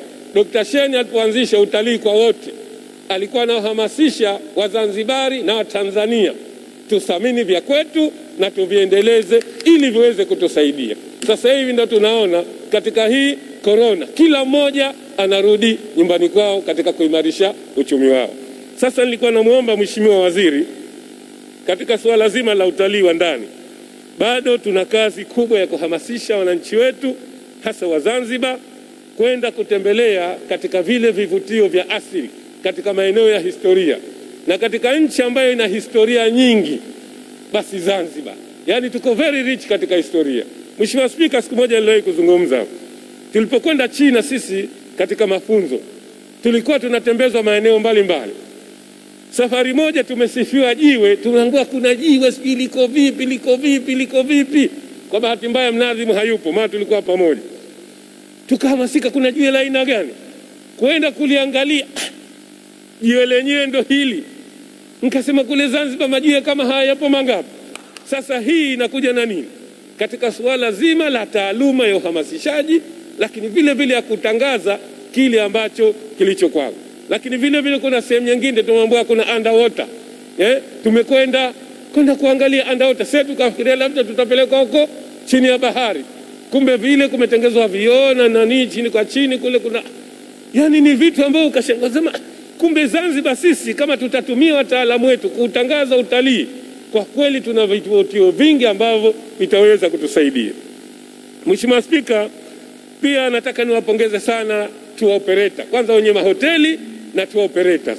Mheshimiwa Mheshimiwa Spika, laiti kama tungekuwa tunatumia kabajeti chetu, maana nasema kabajeti chetu tunachokitenga kwa ajili ya kutangaza utalii, tungelichelewa sana kuwapata watalii lakini tunawashukuru sana wenye mahoteli na tour operators kwa kazi kubwa wanayoifanya ya kuhamasisha kuwatafuta wageni watalii kuja kutembelea Zanzibar, kuja katika mahoteli yetu, na sisi tunaongeza namba ya idadi ya watalii ambao waliokuja. Wenzangu kama walivyosema, kuboresha aina ya watalii wanaokuja. Mheshimiwa Waziri, nafikiri ushauri umepewa, hilo tunaamini utaweza kulifanyia kazi. Lakini jengine, Mheshimiwa Spika, E, hivi karibuni nilipopita pale Forodhani, Forodhani sasa hivi yani iko katika modern city. Katika modern city sasa hivi nafikiri eneo la Forodhani tayari limeshajichanganya, bustani ya Forodhani, njia ile zile nani ndogo ndogo zilizowekwa. Sasa kuna kitu Mheshimiwa Waziri mmekifanya, nimefurahi sana. Kuna picha pale, nafikiri sijui kama za wajumbe wa bodi wale au nini, katika ile Palace Museum pale, yani zile picha zimenikumbusha kipindi nilipokwenda Geneva niliona, Mheshimiwa Spika, niliona kwamba katika lile eneo ambalo kule katika ule ukanda ambao uko kama Forodhani kuna picha za ndege wa aina mbalimbali ambao wako katika nchi ile. Unakuta pale kuna ndege wameandikwa historia yake, ndege wa aina fulani. Sasa mimi nafikiri eneo lile tungeliendeleza pale, tumeweka picha za wale wazee, sijui wajumbe wa bodi wa nini, lakini nafikiri tungeliangalia vile vivutio vyetu, kama kuna makobe unaandika pale katika eneo fulani kuna makobe hivi na hivi na hivi, katika eneo nyingine. Kutokana na muda, mheshimiwa, nafikiri hayo ndio ndio ndio kusudia eh, vile vile. Lakini jengine, mheshimiwa Spika, nilikuwa nataka nije katika magofu. Mheshimiwa Spika, mimi nampongeza sana mheshimiwa waziri, anafanya kazi usiku na mchana, anajitahidi sana. Tumeangalia magofu, kuna kipindi tulikuwa tukipiga kelele, magofu yanaachwa, magofu yanaanguka, magofu hivi lakini sasa hivi tunaona yanaanza kuimarishwa na tunampongeza sana, kwa sababu hayo magofu ndio vielelezo vya historia zenyewe. Tukiachia hali yakipotea, ukibakia uwanja, hakuna kitakachokuja kuangaliwa. Sasa nilikuwa na maswali kidogo. Kuna magofu, kuna hii Mbweni Ruins, hii yale magofu pale yanamilikiwa na nani? Kwa sababu pale najua kuna uwekezaji. Sasa sijui pale kama kuna mkono wetu wa serikali kama tunapata mapato, mheshimiwa ananiambia kuna Protea hoteli pale pale, kuna magofu pale wanaita Mbweni Ruins. Sasa lile sijui, lakini vile vile kuna eneo la pale Ngalawa kule eneo la ki, ndo kijichi Kihinani kule tulipokwenda kule ndani kuna maeneo kule kuna magofu magofu yako kule karibu na bahari, lakini naona kama hayana ushughulikiaji yanaelekea kuanguka. Sasa hebu mheshimiwa waziri akija anaweza akaja akatuambia e, ni namna gani yale ambavyo yanavyoshughulikiwa. Lakini kuna eneo moja sasa, sijui niliweke katika magofu au nini. Kuna nyumba ambayo aliolelewa mzee Karume ambayo iko Mwera, ile tunaichukulia vipi? Hatuwezi tukaweka kama kielelezo cha historia. Sasa hili vile vile nilikuwa namwomba mheshimiwa waziri akija aje anipatie ufafanuzi, kwa sababu hakuna nchi ambayo haina historia. Kwa hiyo sisi historia nchi yetu, mzee Karume ndo alosimamia mapinduzi ya nchi hii. Kwa hiyo lazima katika eneo ambalo alilolelewa, alilokulia, lazima tuhakikishe tunalitunza na linabakia katika historia ya nchi. Mheshimiwa Spika, e, vile vile nilikuwa nataka e, nimpongeze mheshimiwa waziri e, kwa jitihada yake ya kusimamia jengo la beti la ajabu. Nilikuwa tunataka niulize e, tumeona pale ukarabati ulianza, nguzo ziliwekwa, sijui maendeleo yake e, yako vipi? Kwa hiyo mheshimiwa Spika, kutokana na muda nataka nimalizie malizie, nilikuwa nataka tu e, kwanza naendelea tena kupongeza mheshimiwa waziri kwa jitihada zake za ku, kuendeleza utalii na kuna ile kule show ambayo sasa hivi inafanyika, nafikiri itakuwa kila mwaka, wanaita Zanzibar Tourism Show ambayo inafanyika pale Verde. Hebu nilikuwa nataka nijue ile inaandaliwa na nani hasa? Inaandaliwa na mwenye hoteli au inaandaliwa na wizara? Na kama inaandaliwa na wizara, kuna tija gani, mapato gani yanapatikana? Ingawa sitaki niangalie zaidi kwenye mapato, nataka mimi niangalie zaidi mtazamo wale walioanzisha. Napongeza kwa sababu pale ukenda kuna wawekezaji wengi eh, kuna tour operators wengi, kuna wengine wanakuja kutoka bara, kuna connection nyingi unazipata pale. Kwa kweli inazidisha hamasa ya kutangaza utalii wetu kwa nchi yetu eh, ya Zanzibar. Mheshimiwa Spika, nataka nimalizie la mwisho kabisa suala la studio. Mheshimiwa Spika, nataka nimwambie ukweli Mheshimiwa Waziri, sipendezwi sana na ile sura ya jengo la ZBC pale Rahalea. Kwa kweli, hebu, hebu tukae tuangalie, na sasa hivi ukiangalia mji wetu wa Zanzibar pale, for, pale nani Michenzani panaanza kubadilika sasa hivi, yaani unaweza kama mtu aliondoka labda miaka kumi nyuma, akija baadaye, ukija ukianza kumpigia picha, naweza kakwambia hapa sio sio mchezani. Sasa ule mji unaendelea, unakuja zake, unaungana Kariakoo, na sasa hivi kwa jitihada za Dr. Sheni katika kuondoa umaskini, maana kuna watu hawajui hizo jitihada katika kuondoa umaskini. Dr. Sheni anaunganisha mji kutoka Michenzani anakuja zake Kariakoo, anaunganisha mpaka Kwahani. Sasa lazima ile sura iendane na studio yote ya Raha Leo, jengo zuri kubwa. Tunataka Mheshimiwa Waziri eh, pamoja na korona tuliokuwa nayo, lakini naamini sijaangalia sana kitabu chako, lakini nataka lazima tuangalie jengo lile tuliboreshe, na mule ndani mboreshwe. Mheshimiwa Spika, kuna siku nilia- nilialikwa pale na vijana wa Spice, nikaenda pale, lakini kimsingi yale mazingira ya studio sikuridhika nayo. Kwa Mheshimiwa Waziri, naomba sana tuboreshe mazingira ya studio yetu ili tuhakikishe kwamba nchi yetu inaendelea. Baada ya haya machache, Mheshimiwa Spika, naunga mkono kwa asilimia mia, lakini vile vile na asilimia kumi namwongezea Mheshimiwa Waziri kwa kipindi kifupi alipokuwa wizara hii na jitihada anayoifanya katika kuimarisha utalii. Lakini la mwisho kabisa, swala hajanijibu, samani kidogo, wale watalii wa Kazakhstan tumefikia vipi? Kuna watalii wana pesa nyingi, lakini bado kulikuwa kuna changamoto kupitia wizara mambo ya nje kupata ruksa ya kuja Zanzibar, na watalii wale tulitegemea zaidi ya watalii mia saba na hamsini kwa mwezi tungeliweza kuwapata, lakini bado kulikuwa kuna changamoto. Sijui mheshimiwa waziri amefikia vipi?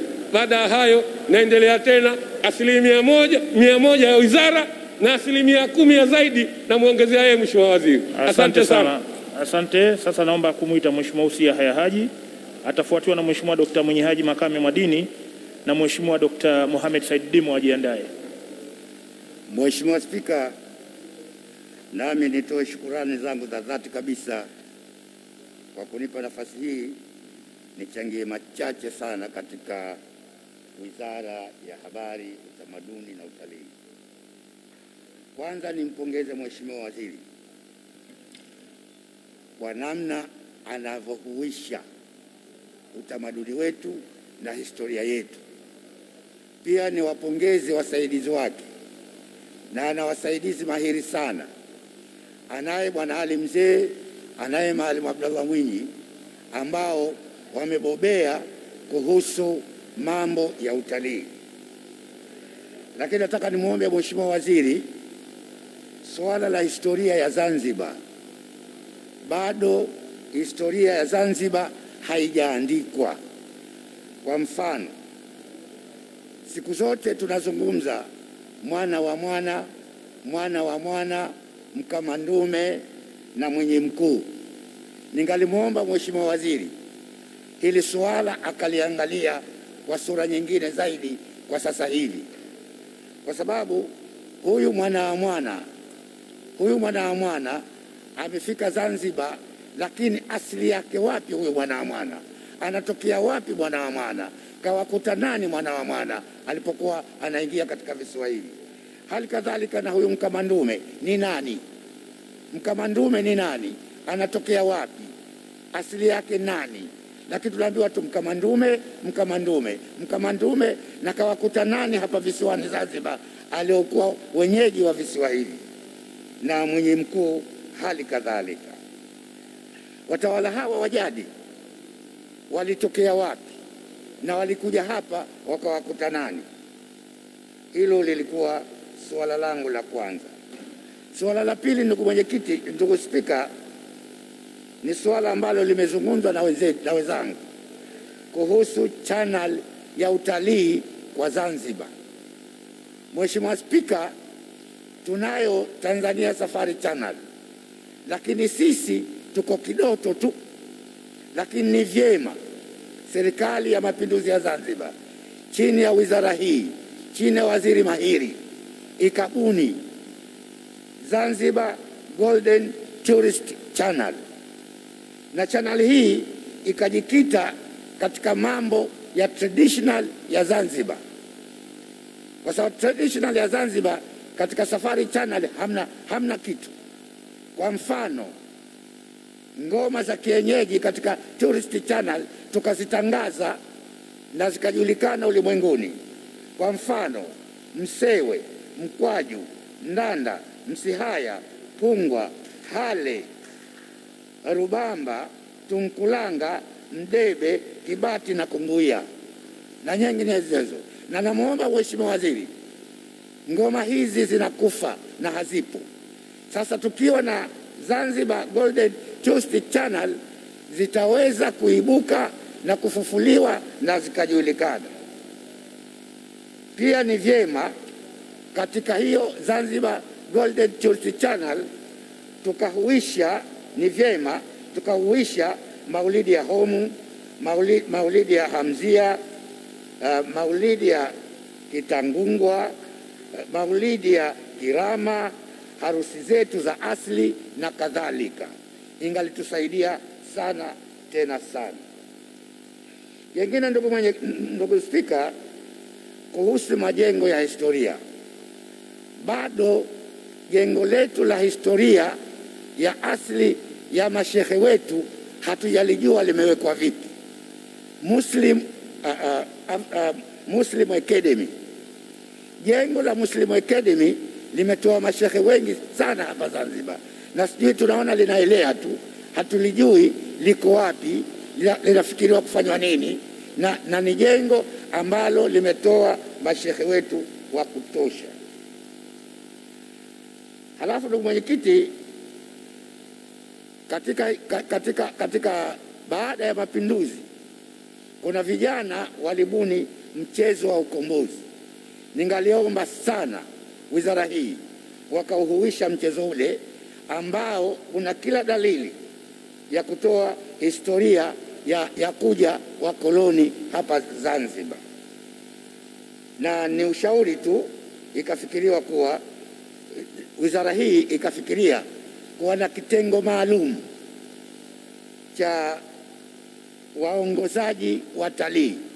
Kwa sababu sasa hivi waongozaji watalii kila mmoja might is right, kila mmoja anazungumza, akimkuta mtalii anamzungumza historia anavyotaka yeye, lakini wizara ikiwa na kitengo maalum cha waongozaji wageni itakuwa wana, wanawapa taaluma maalum. Kila mwongozaji mgeni akimpata mgeni, ikiwa anatoka India, anatoka Italy, anatoka Uingereza, lakini atamzungumza ile historia ya Zanzibar ilivyo. Lakini leo wengine wanapotosha historia ya Zanzibar. Kwa hivyo ni vyema tukawa na kitengo maalum cha kuweza kuwa, kuwasaidia hao watalii. Na, na la mwisho, Mheshimiwa Spika, tumepewa gazeti leo ile hivi asubuhi. Gazeti hili tumepewa leo asubuhi, na katika ukurasa wa dress to impress, ni vyema mhariri wa gazeti hili asitutoneshe. Katika mwaka 1956 kulikuwa kina mama wengi na kina baba wengi wanaovaa buibui na kanzu, lakini leo mhariri wa gazeti hili ametuletea picha ya mfalme mdhalimu kwa sisi. Huyu ni dhalimu, anamwonyesha ana, ana, ana, ana nani? Saidi Khalifa na mkewe Bihumudi, binti Humudi. Walikuweko kina Fatima, kina Mwajuma, kina Fatuma, kina Makame, wanavaa kanzu mwaka elfu moja mia tisa na hamsini na sita kuliko mfalme kutuonesha leo. Si vyema, si vyema mhariri huyu akatuonesha akatutonesha machungu, kutuonesha mfalme na mkewe mwaka 59 1956 kavaa kanzu na koti na mkewe kavaa buibui. Nani ilikuwa hawezi kuvaa buibui hapa Zanzibar? Katika wanawake wa Kitumbatu, Kundu, Wapea walikuwa wanavaa buibui kuliko mkewe huyu. Kwa hayo machache, naunga mkono hoja. Asante sana. Asante sana Mheshimiwa Usi Yahya Haji. Sasa naomba nimkaribishe Mheshimiwa Dr. Mwinyi Haji Makame Mwadini, atafuatiwa na Mheshimiwa Dr. Mohamed Said Dimwa na Mheshimiwa Ramadhan Hamza Chande ajiandae.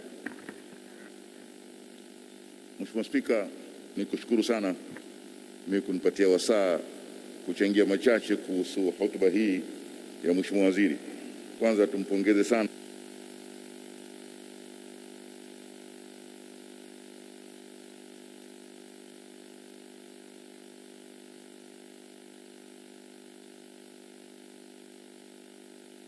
Mheshimiwa, usikiki vizuri, mike kidogo hiyo ijisogezee. Eh.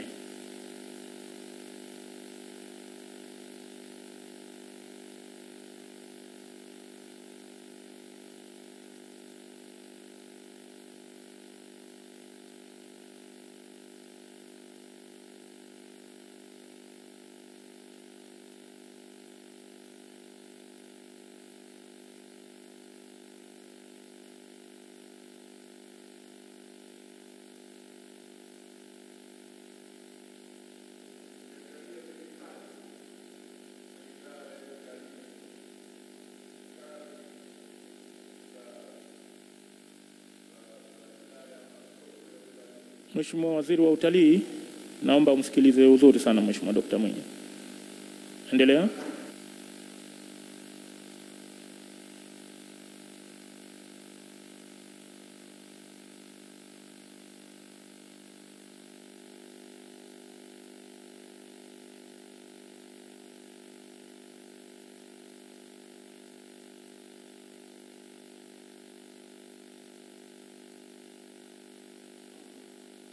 Kwa mtizamo wangu, hizi kazi naona zinagongana sana. Nitatoa mfano, nitakoti moja tu. Idara ya utalii, idara ya utalii anasema hii ni programu ndogo, kazi yake ni kuratibu na kuendeleza shughuli za utalii nchini. Eh, ana underline neno nchini. Sasa njoo njoo kwenye kwenye programu ya utangazaji wa uhamasishaji wa utalii, anasema E, lengo kuu la programu hii ni kuongeza uelewa kwa wakazi wa Tanzania na jamii ya kimataifa kuhusu bidhaa na huduma za utalii zilizopo Zanzibar. Twende idara ya masoko. Kwa mujibu wa muundo wa kamisheni ya utalii, ndio jukumu la kuandaa mikakati ya, uta, ya utangazaji utalii ndani na nje ya nchi. Bado tunarudi pale pale nchini.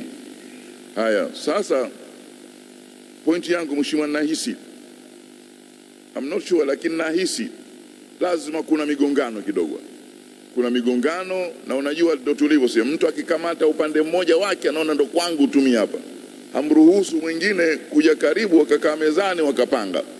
E, tuliasikia sikia migongano hii tunaisikia sikia inatokezea tokezea.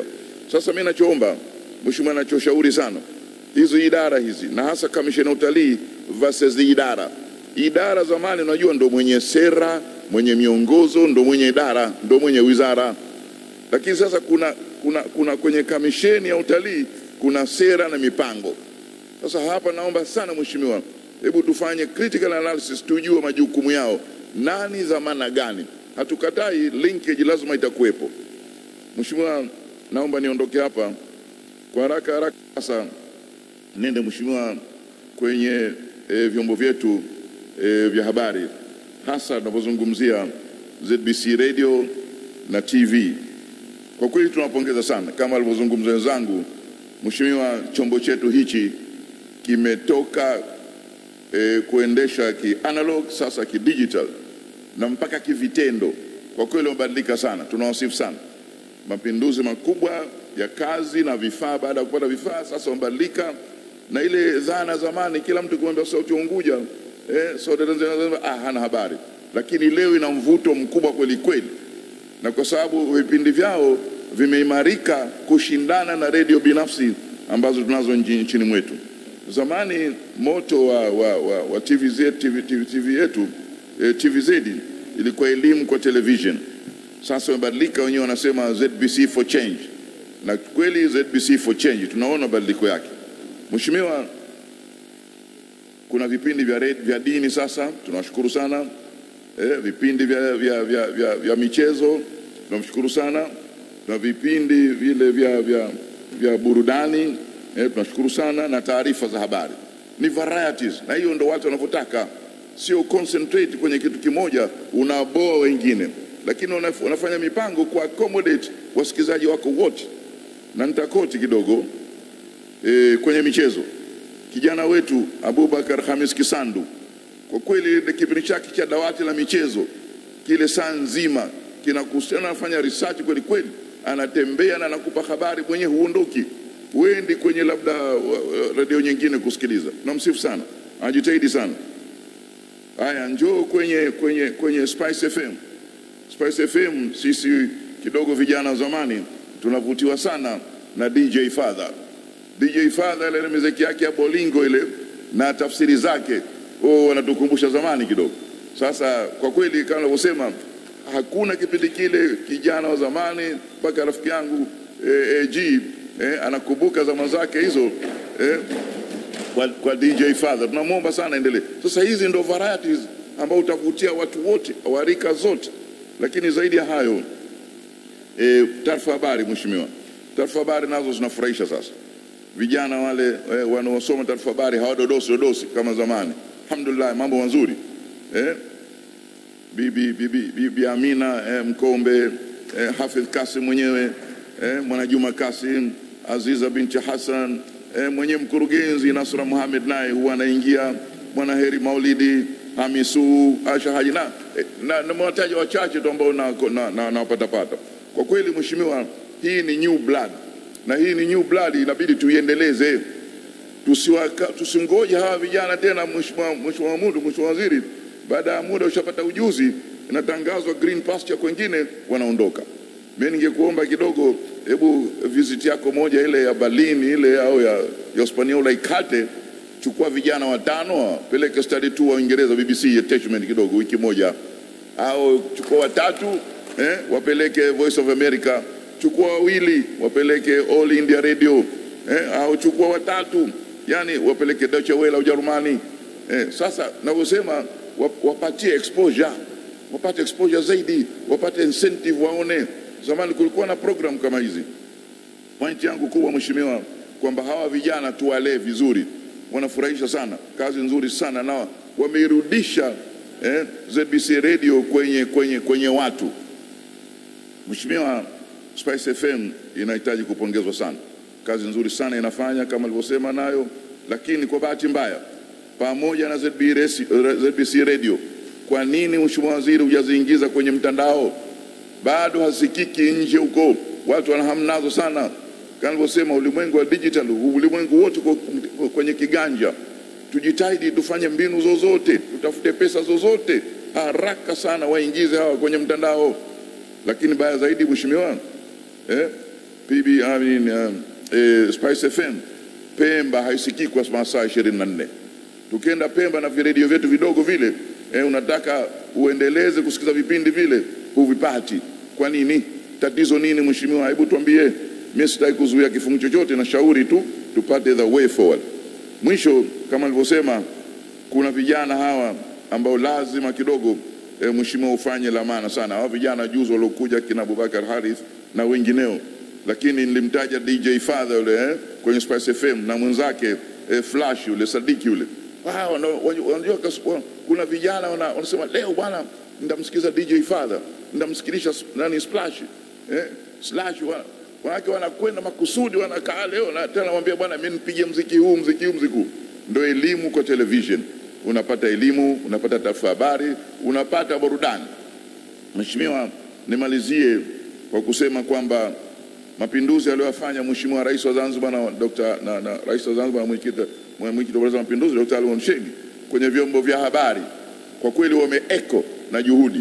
Tumepata manpower nzuri na vyombo vipya, nafikiri wanakwenda sambamba. Sasa muhimu incentive, Mheshimiwa, incentive lazima kuwa maintain hawa, lazima wape incentive, wasitutoroke hawa.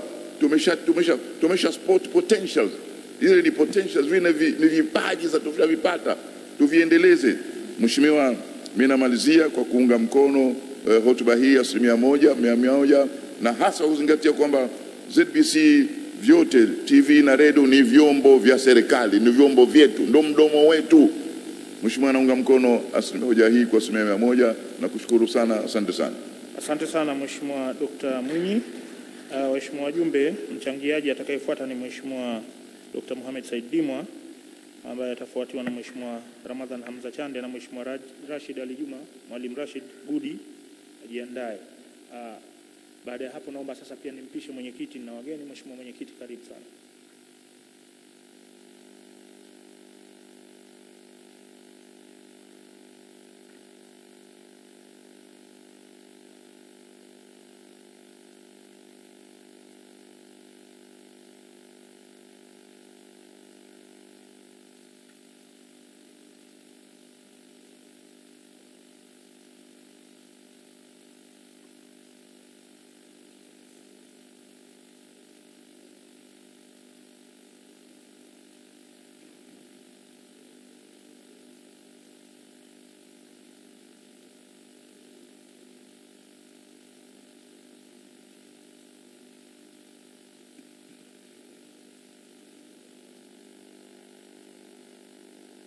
Mheshimiwa, tunaendelea sasa. Kwa heshima, naomba nimwite Mheshimiwa Dr. Mohamed Said na Mheshimiwa Ramadhan Hamza Chande ajitayarishe. Mheshimiwa Dr. Mohamed, karibu, endelea. Mheshimiwa Mwenyekiti, niendelee kukushukuru sana na niendelee kumshukuru sana Mwenyezi Mungu kwa kunijalia siku ya leo kuwa na afya njema na hasa hasa katika kumi hili la mwisho. Mwenyezi Mungu sote atukubali ibada zetu. Uh, Mheshimiwa Mwenyekiti, mimi tu nianze kuwapongeza Mheshimiwa Waziri pamoja na timu yake yote, wamefanya mambo mazuri, lakini nipongeze mwenyekiti wa kamati pamoja na wanakamati wote. Mheshimiwa Mwenyekiti, mimi niende kwenye moja kwa moja kwenye kitabu kwenye ukurasa uh, wa tisa uh, katika ninataka kwenda katika mwaka wa fedha mwaka 19 20 20 20 wizara ilijipangia kukusanya uh, bilioni 9.39 kwa ajili ya matumizi na taasisi husika. Hadi Machi ilipata, uh, ilipata bilioni tatu uh, milioni mia tisa na thelathini na tisa sawa sawa na asilimia uh, 41 tu.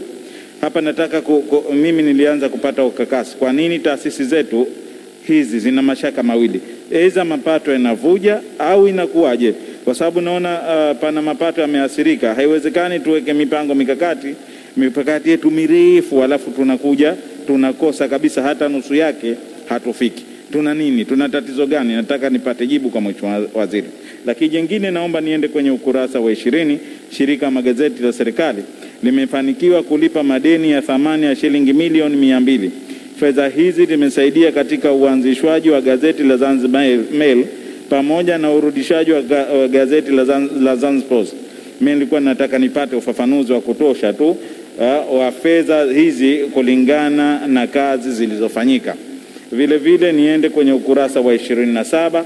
Uh, serikali imetoa idhini kwa wakala na wa serikali ya uchapishaji Zanzibar kupatiwa mkopo kutoka PBZ wa shilingi bilioni sita. Jambo hili ni hatari kwa benki yetu kwa mujibu wa taratibu za kiuendeshaji za benki hukopesha kwa hiari yake, ambapo wana, wana, panakuwa wanafanya biashara wao wenyewe. Serikali kuendelea kukopa benki ni bora ikawaachia wenyewe ili kuona basi ukwasi wa kifedha unakuwa vizuri. Sasa hapa nilikuwa nataka nishauri kutokana na jambo hili. Ushauri wangu PBZ ifanye biashara kwa mujibu walivyojipangia wenyewe na sheria zao na, na, na, na kanuni zao, ili iweze kuleta gawio serikalini kuliko kuweza kukopesha vitu kama hivi. Tunaweza tukaifilisi benki yetu. Mheshimiwa Mwenyekiti, niende sasa moja kwa moja kwenye kitabu kikubwa namba, uh, kwenye kifungu J, J01 uh, sita. Kuna hapa kuna viashiria, nilikuwa nataka nijue tu uh, kiashiria. Kwenye ukurasa wa J0C kitabu kikubwa. Kwenye kiashiria cha idadi ya watalii wa ndani wanaotembelea maeneo ya kihistoria kwa mwaka 2021 kunatarajiwa ongezeko la wastani kutoka uh, elfu uh, kutoka kutoka milioni nne uh, laki mbili ishirini na mbili hadi kufikia laki sita. Nilikuwa nataka kujua kigezo gani kilichopanga hapa ili kuweka matarajio kama haya, wakati target imewekwa asilimia mia. Nilikuwa pia nataka nijue kuna nini, lakini vile vile kwenye kitabu hichi JO2 3 afisi kuu Pemba, kiasiria cha asilimia ya utekelezaji wa bajeti afisi kuu Pemba. Hichi ni kiasiria ambacho hakijitoshelezi, kilitakiwa kionyeshe shughuli zisizo zilizo na zisizotekelezwa. Manake mnasema bajeti imetekelezwa kwa asilimia moja, mnakusudia nini? Na kwa, kwa nini uweke target ya asilimia mia wakati uh, mwaka jana ilitekelezwa asilimia sitini? Nilikuwa nataka kujua. Mheshimiwa Mwenyekiti, sasa niende kwenye uh, nyaraka. Mheshimiwa Mwenyekiti, nyaraka ni kumbukumbu za hazina muhimu, lakini kabla hapo niseme tu, ninaomba kuzuia kifungu hichi eh, PJ 0104 kifungu kidogo SJ 010402 na kwa sababu ya kupata ufafanuzi zaidi wa nyaraka, na hichi naomba nikizuie niki sasa niseme tu kwanza, niseme nini nyaraka, pengine wenzangu wengine hawawezi kuzijua nyaraka kitu gani. Kumbu, ni, nyaraka ni kumbukumbu kumbu, ni hazina muhimu yenye hadhi na thamani kubwa ya taifa letu au taifa lolote lile duniani, lazima liwe na nyaraka. Sasa hii nilisema nitoe dibaji ili kuona kwanza hii nyaraka ni kitu gani, lakini vile vile Zanzibar ina taasisi ya nyaraka. Taasisi ya nyaraka na Zanzibar imeundwa kwa mujibu wa sheria namba tatu ya mwaka elfu mbili na nane. Hiyo ndiyo nyaraka. Lakini nini mafanikio ya idara hii? Idara hii imepata mafanikio makubwa sana, Mheshimiwa Mwenyekiti. Taasisi ya nyaraka ni taasisi inayotunza na kuhifadhi nyaraka zenye thamani za kipekee na kongwe zaidi katika ukanda mzima Afrika Mashariki na Kati, zaidi ya miaka mia tatu iliyopita zikijumuisha lugha tofauti za maandishi yenye nyaraka hizo. Mheshimiwa Mwenyekiti, niende tu. Uh, serikali ya Oman na Zanzibar zilitiana MOU baada ya kuibiwa nyaraka zetu. Sasa mambo ambayo yalikuwemo kwenye MOU hiyo uh, yanakuwa hivi. Nilikuwa nimeona mambo mengi sana, lakini inasikitisha sana kuona kwamba mashirikiano hayatekelezwi kiuwazi ki yale ya MOU yenyewe ambayo yametiliwa na kati ya mshiriki wetu Oman na sisi wenyewe yanatekelezwa na kupata nyaraka ambazo zinahitajika kupata kwa muda mrefu kinyume na sheria, na mashirikiano hayo ina utata mkubwa sana. Hata AG hili anataka walifuatilie sana, na naomba niyasome, Mheshimiwa Mwenyekiti. Mmoja, mwanzoni washirika hawa walileta mashine na vifaa vya kuhaulisha nyaraka. Vifaa na mashine hizo haziwezi kufaa kuscan dokumenti nyingi zilizo, zilizo, zilizo katika jumba la nyaraka. Lakini ya pili, vifaa na mashine za maabara ya kuhaulisha nyaraka chakavu na baadhi ya vifaa vya maabara hiyo, washiriki hao kutoa amri za aina ya document na nyaraka ambazo wanazitaka wao tu. Hapa ndo utaona kwa nini uh, wao washirika wetu hawendi. Lakini vile vile nyaraka ambazo walikuwa wakizitaka ni zile za Arabic man, manuscript, Royal Family, AA na, na, na Arabic Contract Agreement. Hiyo inaonyesha kwamba mashirikiano haya yanalenga kusaidia nyaraka maalum na yanaenda kinyume na makubaliano yetu. Mheshimiwa Mwenyekiti, inaendelea kupatiwa baadhi ya nyaraka kwa njia za nyuma kupitia mkurugenzi baada ya watendaji wa kitengo cha digitization kama zile nyaraka za AV, nyaraka za picha za watawala kama Sultan, kuwepo na nyaraka nyingine AEA, AEA na nyaraka za majumba na AE2, nyaraka na mashamba. Katika mashirikiano hayo kuna fursa watendaji wa taasisi kwenda Omani kujifunza kwa ajili ya kupata mafunzo mafupi. Kinachoendelea sasa, matarajio ya safari hiyo hutolewa amri kupatiwa baadhi ya nyaraka na document hupewa watendaji hao kwenda nazo nchini Oman, tofauti na makubaliano yetu. Ndio maana nikasema hapa naweza kuwa mgumu kweli kweli. Mheshimiwa Mwenyekiti, bado bado kwa wenzetu kuwepo kwa Waarabu kuendelea na kazi ya uhaulishaji, bado wanaendelea. Nataka nisome hapa unisikie. Ifahamike kwamba mashirikiano yalisema Omani watakuja kutoa mafunzo ba, baadaye watendaji wa Zanzibar watakwenda huko kwa kubadilishana uwezo kinazotoroshesha katika mpangilio maalum wa kuzichukua kwa njia za siri kupewa mashirikiano na watendaji wa kitengo cha digitalization cha Zanzibar wanapewa bado mashirikiano. Tuliona mwanzo, tuliunda kamati yetu, kamati teule ilileta kila kitu hapa, lakini mheshimiwa, nini baadhi ya kumbukumbu ambazo linafanyiwa scanning na kupewa warabu kutoka kinyume na utaratibu nchini, nchini ya uangalizi wa mkurugenzi, nataka nizitaje. Moja, ARC 1 stroke 8 letter from Sir John Kick to Said Humud. ARC 1 uh, stroke 9 letter from Haji Mustafa to Said Humud. ARC 1 90 stroke 93 letter from Portuguese from the Canal Ferreira de Costa consult General wa Portuguese wa Said Humud na nyingine nyingi sana nakuja kidogo kidogo. Sasa nilikuwa nataka kuona changamoto zilizopo katika taasisi ya nyaraka, nataka kuzisema. Moja, vile vile katika utekelezaji wa majukumu yake, taasisi ya nyaraka na kumbukumbu inakumbana na changamoto za uvunjaji wa sheria na kanuni za utunzaji wa, uh, utunzaji, wa, uh, utunzaji na uhifadhi wa nyaraka na kumbukumbu katika vigezo vya kutumia mashirikiano ya kitaifa. Miongoni mwa changamoto hizo ni kama ifuatavyo. Mheshimiwa Spika, naomba, uh, Mheshimiwa Mwenyekiti, naomba nizitaje.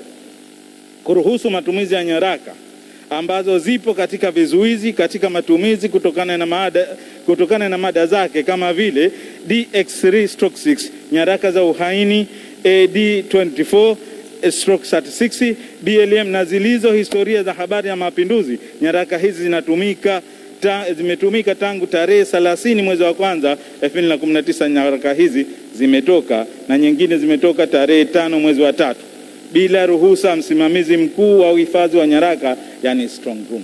Hii kuna matatizo. Sasa mapendekezo yangu, nataka nitoe tu mapendekezo yangu, lakini utekelezaji wa mradi huu niseme hauendi sawa. Mheshimiwa, una dakika mbili. Mheshimiwa, nikushukuru sana. Mradi huu labda niseme hauendi sawa. Nataka Mheshimiwa Waziri aje anijibu mradi huu wa mashirikiano umepangwa vipi, na nitakuwa mgumu sana kutokana na ripoti ile ya kamati teule ambayo Dr. Mwinyi Haji naye alikwenda Omani kufuatilia alikuwa. Sasa nataka nisome mapendekezo yangu Mheshimiwa, nataka uya, uyasikie.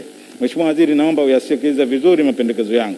Moja, mamlaka ya usimamizi wa rasilimali ya taifa ina, e, zina jukumu la kuangalia kwa karibu makubaliano makubaliano haya kwa maslahi ya taifa na athari zake zilizoanza kujitokeza. Lazima tuweze kufanya hivyo.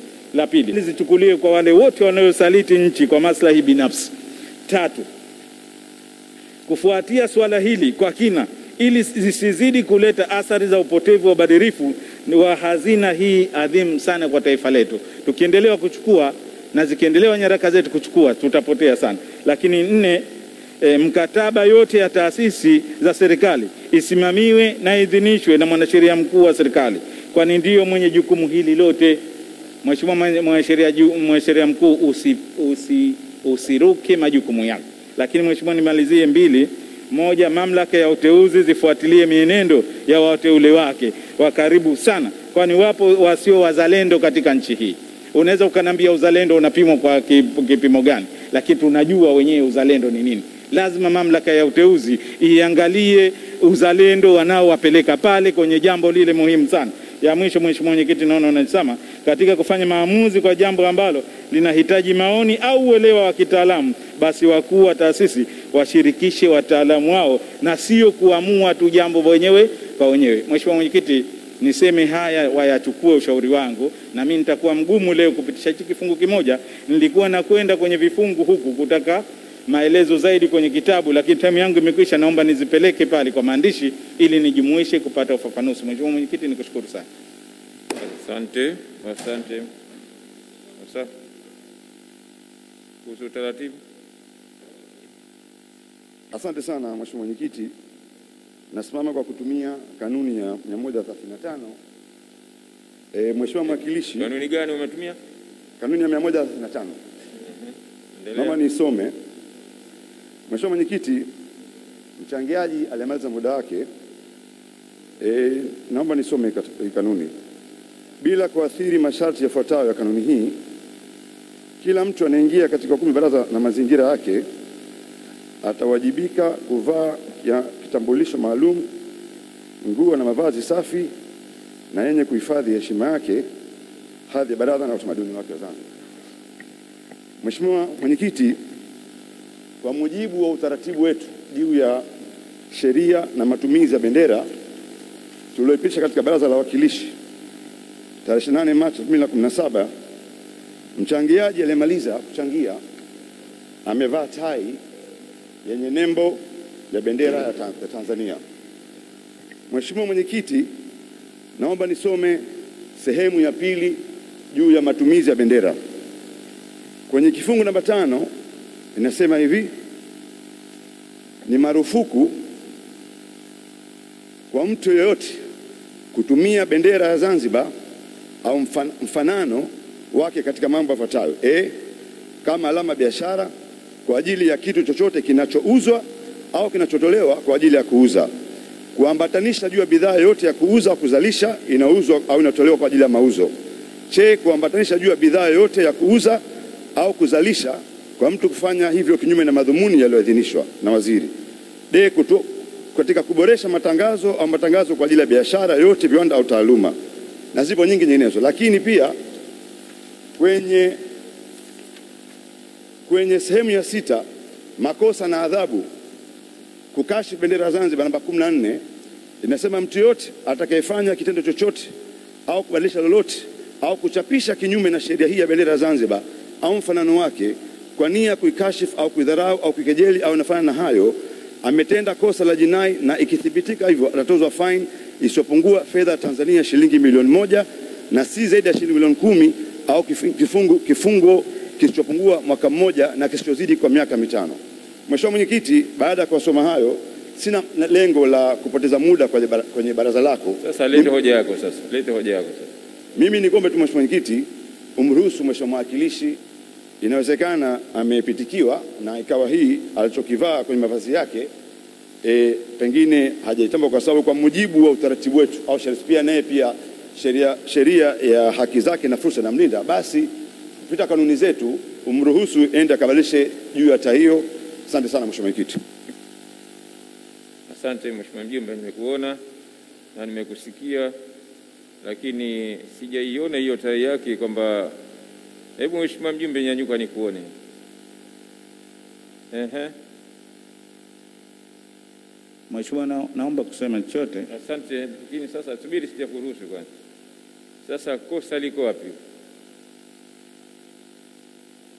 Nini, unaona umeshaisoma vizuri sana, lakini hiyo tai sijasikia kwamba kwamba ni, ni kosa kuvaa tai na aina hii, na zipo na hata muona waziri mkuu na- Mwenyekiti, waziri mkuu namwona huwa Mheshimiwa anavaa Mwenyekiti, eh, Mheshimiwa Mwenyekiti, na hatujasikia kutolewa bungeni. eh, na, hii, hii ni sheria juu ya bendera ya Zanzibar. Na ukiangalia bendera ya Zanzibar. kwa kifupi sana, naomba utume kwa kifupi sana, kwa kifupi sana. Mheshimiwa Mwenyekiti, Mheshimiwa Waziri anataka kutumia kanuni, lakini kanuni hazijui na hoja yake dhaifu sana na hoja potofu, na anataka kutu- ku- ku- kutupotezea muda wa baraza hili kujadili hotuba hii, kwa sababu kitu anachokisoma ni bendera ya Zanzibar. Mimi nimevaa bendera ya Muungano na haimo kwenye sheria hiyo, lakini bendera ya Muungano na sheria ya Muungano haijaruhusu mtu yoyote kuvaa bendera, si tu kuwa tai, hata bendera unaweza ukaichukua ukaivaa hapa, isipokuwa hoja hiyo ni nyepesi sana na Mheshimiwa Waziri hana mashiko wala hajui bendera ya Zanzibar. Naomba, asante, naomba ukae, naomba ukae ili naona limalizi liishe, kwa sababu bendera ni ya Muungano na mimi nilipoiona kuona kwamba hata waziri mkuu tunamwona na mawaziri wengine, hilo liishe. Sasa naomba nimwite Mheshimiwa Ramadhan Hamza Jande na Mheshimiwa Rashid Ali Juma ajitayarishe.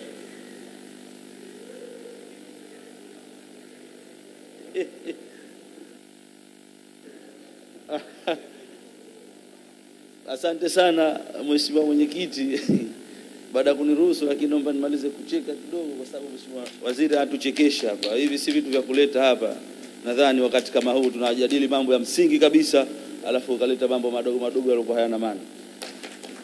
Uh, niendelee mbele. Uh, nami ni- ni- nianze kwa kumshukuru Mwenyezi Mungu kwa kutupa uzima na afya njema na kutuwezesha kuchangia katika mada hii ya hotuba hii ya, ya, ya Mheshimiwa Waziri wa Utalii, Habari na Mambo ya Kale. Nami nichukue fursa hii kumpongeza Mheshimiwa Waziri mahiri. Waziri namtambua sana, nimefanya naye kazi. Kwa kweli anatumia muda wake mwingi katika kufikiri jinsi gani anaimarisha sekta hii. Kwa hiyo pia nimpongeze Mheshimiwa Rais Dr. Ali Mohamed Shein kwa kufanya uteuzi sahihi kwa kumchagua Mheshimiwa Waziri kufanya kazi hii. Huyu Mheshimiwa Waziri hata ukikaa naye kwenye corridor mkiwa mnazungumza mambo mengine, basi atakuletea tu utalii hivi, utalii vile, yaani ile kazi iko kwenye damu yake. Hongera sana Mheshimiwa Waziri. Uh, pia nikupongeze katika maeneo mbalimbali, kwa mfano kuanzisha gazeti lile la Zanzibar Mail eh? ujenzi wa vile vituo mbalimbali mbali, kama hayo majengo ya, ya kale na vinginevyo. Kwa kweli umefanya mambo ya msingi sana. Kwa kuongeza idadi ya watalii pia ni jambo la msingi. Watu wanakimbia katika maeneo mengine watalii, lakini wewe kwako umekuwa ukiongeza. Kwa mimi nakupongeza sana kwa hilo, ingawa kuna maeneo machache pia itabidi niyazungumze kidogo pamoja na umahiri, kwa sababu kama hivyo, kama walivyosema wengine, hafanyi kazi peke yake. Inawezekana yeye ana nia safi kabisa, lakini pengine katika maeneo baadhi ya watendaji hawajafanya vizuri au anampa information ziliko zilikuwa si sahihi sana. Kwa mfano nikizungumza peji namba kumi na uh, peji namba kumi na nne ambapo yamezungumzwa umezungumzwa swala la uimarishaji wa utalii na uh, uimarishaji na ukuzaji wa utalii. Hapa ameeleza vizuri Mheshimiwa Waziri, lakini mimi niulize hapa, ndo na- naanza kuona kama kuna changamoto. Wakati wa utayarishaji, tunajua kama kuna sekta muhimu sana zinasaidia katika kukuza utalii hapa Zanzibar. Kwa mfano hawa jumuiya ya ZATO, Zanzibar Tour Operators, haikutajwa hapa na sababu hapa ni sehemu yake sahihi, tour operators wangekaa. Hawa wanachangia mchango mkubwa sana utalii. Wizara inafanya kazi, lakini tu operators wanafanya kazi nzuri sana ya kuhakikisha ina inaboresha kwa- vile inavyofuatilia na kuboresha swala la utalii. Lakini pia kuna kampuni kama za Zati Zati, yani Zanzibar uh, Tourism Investors hawa nao hawa katika kukuza utalii nilitegemea yawepo maeneo haya hapa katika jinsi ya kukuza na tuwazungumze mchango wao, wamekuza utalii kwa kiasi gani. Haitoshi tu kule kwenye kutoa shukrani ukasema tunashukuru mama taasisi mbalimbali, lakini hapa tungeeleza michango yao, kwa sababu tunaelewa kama hawa ni watu ambao wanafanya kazi kubwa sana katika swala hili. Lakini pia mimi kwa upande wangu niliposoma, nimeona hii ripoti hapa iko shelo sana, iko juu sana. Kwa mfano, katika ukuzaji wa utalii na kuutangaza utalii, sikuona hapa mambo kama vivutio vya, vya utalii kama game fishing hazikutajwa, ambao watalii wanakuja kuzamia na, na kuangalia dolphin diving na snorkeling wanafanya, sikuona kuzigusia hata kidogo. Haya ni maeneo ambayo muhimu sana kwa utalii wetu. Kwa hiyo Mheshimiwa Waziri, naomba utakapokuja ku- ku- kutujibu utueleze vitu hivi umevipa, umevipa umevipangaje na unakusudia kufanya nini katika maeneo hayo. Uh, lakini niendelee pia mbele. Sasa maswali haya, Mheshimiwa Mwenyekiti, ni, ni, niseme tu kwamba mimi si mtu wa kupiga mabuti, lakini nimejifunza kitu mubarazani. Saa nyingine unauliza swali lakini hupati majibu mpaka unaweka una, una, unaweka buti. Kwa hiyo kwa nia safi kabisa mimi leo nakusudia ku- ku- ku- kuzuia fungu PJ 01 0201 ili niweze kupatiwa majibu ya maswali yangu. Kwa mfano, swala la nikija katika hilo swala la uimarishaji wa utalii. Hapa, kwa mfano, amezungumza ujenzi wa vibanda. Pesa ame, ame, ameweka ametenga pesa ni milio, e, bilioni moja, bilioni moja na milioni mia tano kweli bilioni moja milioni mia tano kwa ujenzi wa vibanda. Ufafanuzi ni vibanda vya aina gani, na umesema katika maeneo hayo, lakini sijajua hivi vimejengwa katika maeneo gani, Mheshimiwa Waziri. Nataka ufafanuzi tu nipate, ukinijibu mimi nitakuwa nimeridhika, wala si, si, sina jambo kubwa. Lakini niendelee mbele nikute ni, ni, nizungumze swala la, la beti la jaibu, ameligusia wenzangu. Hili jengo limechukua muda mrefu sana, hili jengo linatia pesa nyingi sana. Sasa haya mambo ya kalenda ya kila siku, kesho ishirini ishirini ishirini na ngapi, haya nayo mimi nafika wakati napata shaka kidogo. Si hofu uwezo wako na kutambua, ah, Mheshimiwa Waziri, lakini na hofu hizi ahadi saa nyingine zinachukua muda mrefu kutekelezeka. Je, hapa tumekosa ama tumepoteza kiasi gani kwa muda ambao beti la halifanyi kazi? Naomba uje unipatie majibu, ni kiasi gani tumepoteza mpaka kufikia leo. Uh, nizungumze kuhusu utalii wa ndani.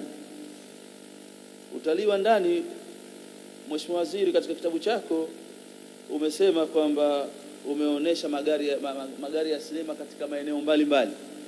Mimi kwa kweli hili najiuliza maeneo gani haya ambayo yamepita maeneo haya, na hii nimesoma kitabu kilichopita uh, cha mwaka- cha mwaka jana ilikuwemo hii na cha mwaka huu imo hii, lakini sijaiona. Haina maana kama nilokuwa sijaliona mimi halipo, lakini nataka tu anaambie katika maeneo gani amefanya kazi hii ili ni roho yangu ipate utulivu. Hata Nabii Musa alipokwenda kuongea na Mwenyezi Mungu alipoambia, naomba Mwenyezi Mungu nikuone, nazungumza na nani? Akaambiwa, huamini kama mimi nipo? Anasema hapana, nataka utulivu tu wa nafsi yangu na nataka utulivu wa nafsi yangu. Mheshimiwa Waziri, uje unijibu hili, ni maeneo gani umefanyia haya. Lakini hapa hapa nitoe ushauri katika hili. Mimi nadhani kwa kiasi gani ume, umefikiria kuweka zile screen kubwa katika maeneo hasa ya makutano ya, ya, njia, mfano Mwanakwerekwe eh, mfano Amani kule kwa Mheshimiwa Rashid, hata jimbo la Jang'ombe pale ukaweka screen moja kubwa, basi ukaona utangaza unautangaza utalii, tukaweza kujua huu utalii wa ndani. Lakini sambamba na hilo, kulikuwa na uzalishaji wa wale panunga ambao baadaye walikuwa wanatawanywa kwenye misitu yetu, na hili linge lingetupa pia faida ya kufanya ile uh, kusaka ule utalii wa kusaka katika games zile kama Jozani uh, na, na maeneo mengine wakati wa wale paa. Sasa je, utaratibu ule umekufa haupo? Na suala la Makobe ili lipo halipo? Kwa mfano vitu kama hivi vingetukuzia utalii wa ndani. Kwa hiyo sijui kwa nini mpaka leo hatujafanya kitu hicho. Jambo jingine ni kupongeze kwa kuongeza idadi ya watalii kutoka laki tatu plus mpaka laki tano plus. Ni jambo jema na ni jambo zuri, Mheshimiwa Waziri. Uh, lakini mimi hapa nilikuwa nataka kuuliza swala dogo vile vile. Hawa watalii wote wamelipa visa zao hapa Zanzibar au wengine wamelipia kutokea Tanzania bara? Hilo la kwanza. Lakini la pili, watalii hawa, unajua katika watalii unapohesabu unapo- unapohesabu unapo, yale mapato yao, hata siku wanazokaa hapa ni vitu ambavyo unapaswa kuvihesabu. Kwa hiyo hawa wamespend almost yani average wa- wa- wamespend siku ngapi hapa hapa kwetu? Maanake hicho kinacho- kinachotufanya kuona zile revenue kwa kiasi gani tunazipata. Kwa hiyo naomba na hili uje, uje, uje tuambie na hizo distribution za mapato hapa. Nataka kujua ile distribution collection zetu ziko vipi, kama mfano tunajua visa zimeingiza kiasi gani, na ulipotaja huku katika mapato yako umetaja cumulatively kwa pamoja, lakini hukutaja kama hichi kinatoka katika chanzo gani, viambatanisho vile. Sikuona sikuona jambo hili, kama lipo utanieleza, utanirifaa, hakuna shida. Na fedha nyingine um, ka- ka- katika suala la la, la, la huo utalii wa ndani, kwa mfano kuna mti umepandwa kama sikosei na Malkia katika hii bustani ya President hapa kwenye jimbo la Mheshimiwa Dimwa pale Migombani. Ni sehemu moja mu, muhimu sana, sijui umeifanyia kazi kiasi gani na pale umekusudia kupa, maintain kiasi gani. Ni issue ambayo tungepata hata watalii kutoka Uingereza tungewavutia. Hata alipokuja Malkia wakati fulani nakumbuka alikwenda kutembelea eneo lile. Sasa ni maeneo ambayo tunapaswa kuyainua katika utalii na tukatengeneza, na pale kuna baadhi kuna baadhi ya nyumba zimevamia vamia, lakini naamini kwa mashirikiano na, na, na, na, na, na wizara nyingine tunaweza tukafanya kitu na tukakuza utalii pale. Sambamba na hilo, katika kuyatunza kuya- kuya- na kuyaboresha mambo hayo, pia nilikuwa nataka mheshimiwa mheshimiwa waziri nikushauri jambo moja hapa. Kikao kilichopita Mheshimiwa Dimu alikukumbusha kuhusu mwakilishi wa, wa, wa, wa Mpendai alikukumbusha kuhusu una dakika moja. kuhusu asante, asante Mheshimiwa Mwenyekiti, kuhusu suala la, la, la, la, la Saidi Sudi na pale mental hospital sikuliona, nilitarajia ngeliona ili kwa sababu lile liko ndani ya jimbo pale la Jang'ombe. Naamini na naamini tungepata watalii wanakuja pale mental kuangalia chumba cha, cha, cha mtoto wa falme ambaye alilazwa kwenye eh, vyumba vile, lakini nikuombe hili, nikuombe Mheshimiwa Waziri uh, ukishauri Chama cha Mapinduzi kwa mfano ofisi kuu ya CCM ile pale na mchango wako mkubwa ungeutoa, basi pale pana historia kubwa ambayo sisi leo imetuleta ndani ya baraza hili la wawakilishi, imeanzia pale lile jengo. Mi, kwa, kwa mawazo yangu tungeanza kulifanya jengo la kukusanya mapato na historia ya Zanzibar, ili tukatambua sisi sote historia yetu imetoka wapi. Wazee wetu pale, jengo lilijengwa kwa michango, kwa hiyo tukaweka ile historia. Nimekwenda China Shaon kule mpaka nyumba ya, ya, ya Mao Zedong iko mpaka leo inatunzwa. Kwa nini sisi hatufanyi vitu kama hivyo? Asante sana mheshimiwa uh, mwenyekiti, mimi naunga mkono hoja kwa asilimia tisini na tisa na hii moja naibakisha kwa kujibiwa maswali yangu. Sipojibiwa basi nitazuia fungu kama nililolitaja hapa namba Asante. VJ 0201. Asante sana. Asante, asante Mheshimiwa Ramadhan. Sasa naomba nimwite Mheshimiwa Rashid Ali Juma na akifuatiwa na Mheshimiwa Juma Al Hatib na Mheshimiwa Mohamed Abud naye ajitayarishe. Asante sana Mheshimiwa Mwenyekiti. amenitumie nitumie ada ya kawaida kumshukuru Allah Subhanahu wa Ta'ala. Nimshukuru sana Mwenyezi Mungu kwa kuweza kutufikisha katika kumi hili la tatu la Ramadhani. Ni wengi walitamani kufika wakati huu kuweza ku kuendeleza ibada zao ili kupata nuru na kuomba kwake Allah subhanahu wa ta'ala kujua namna gani tunaweza tukafika katika pepo za Firdausi. Kwa hivyo inshallah, kwa rehema zake azidi kutubariki ili tuhitimishe Ramadhani hii, lakini vile vile niendelee kutoa shukrani zangu za dhati kwa Mheshimiwa Rais wa Zanzibar Dr. Ali Mohamed Shein kwa namna ya uangalifu wake na mwangaza wake katika kutekeleza suala zima la uchumi wetu wa Zanzibar na kuhakikisha anaendeleza zile sera zetu za kitaifa na anazisimamia ipasavyo.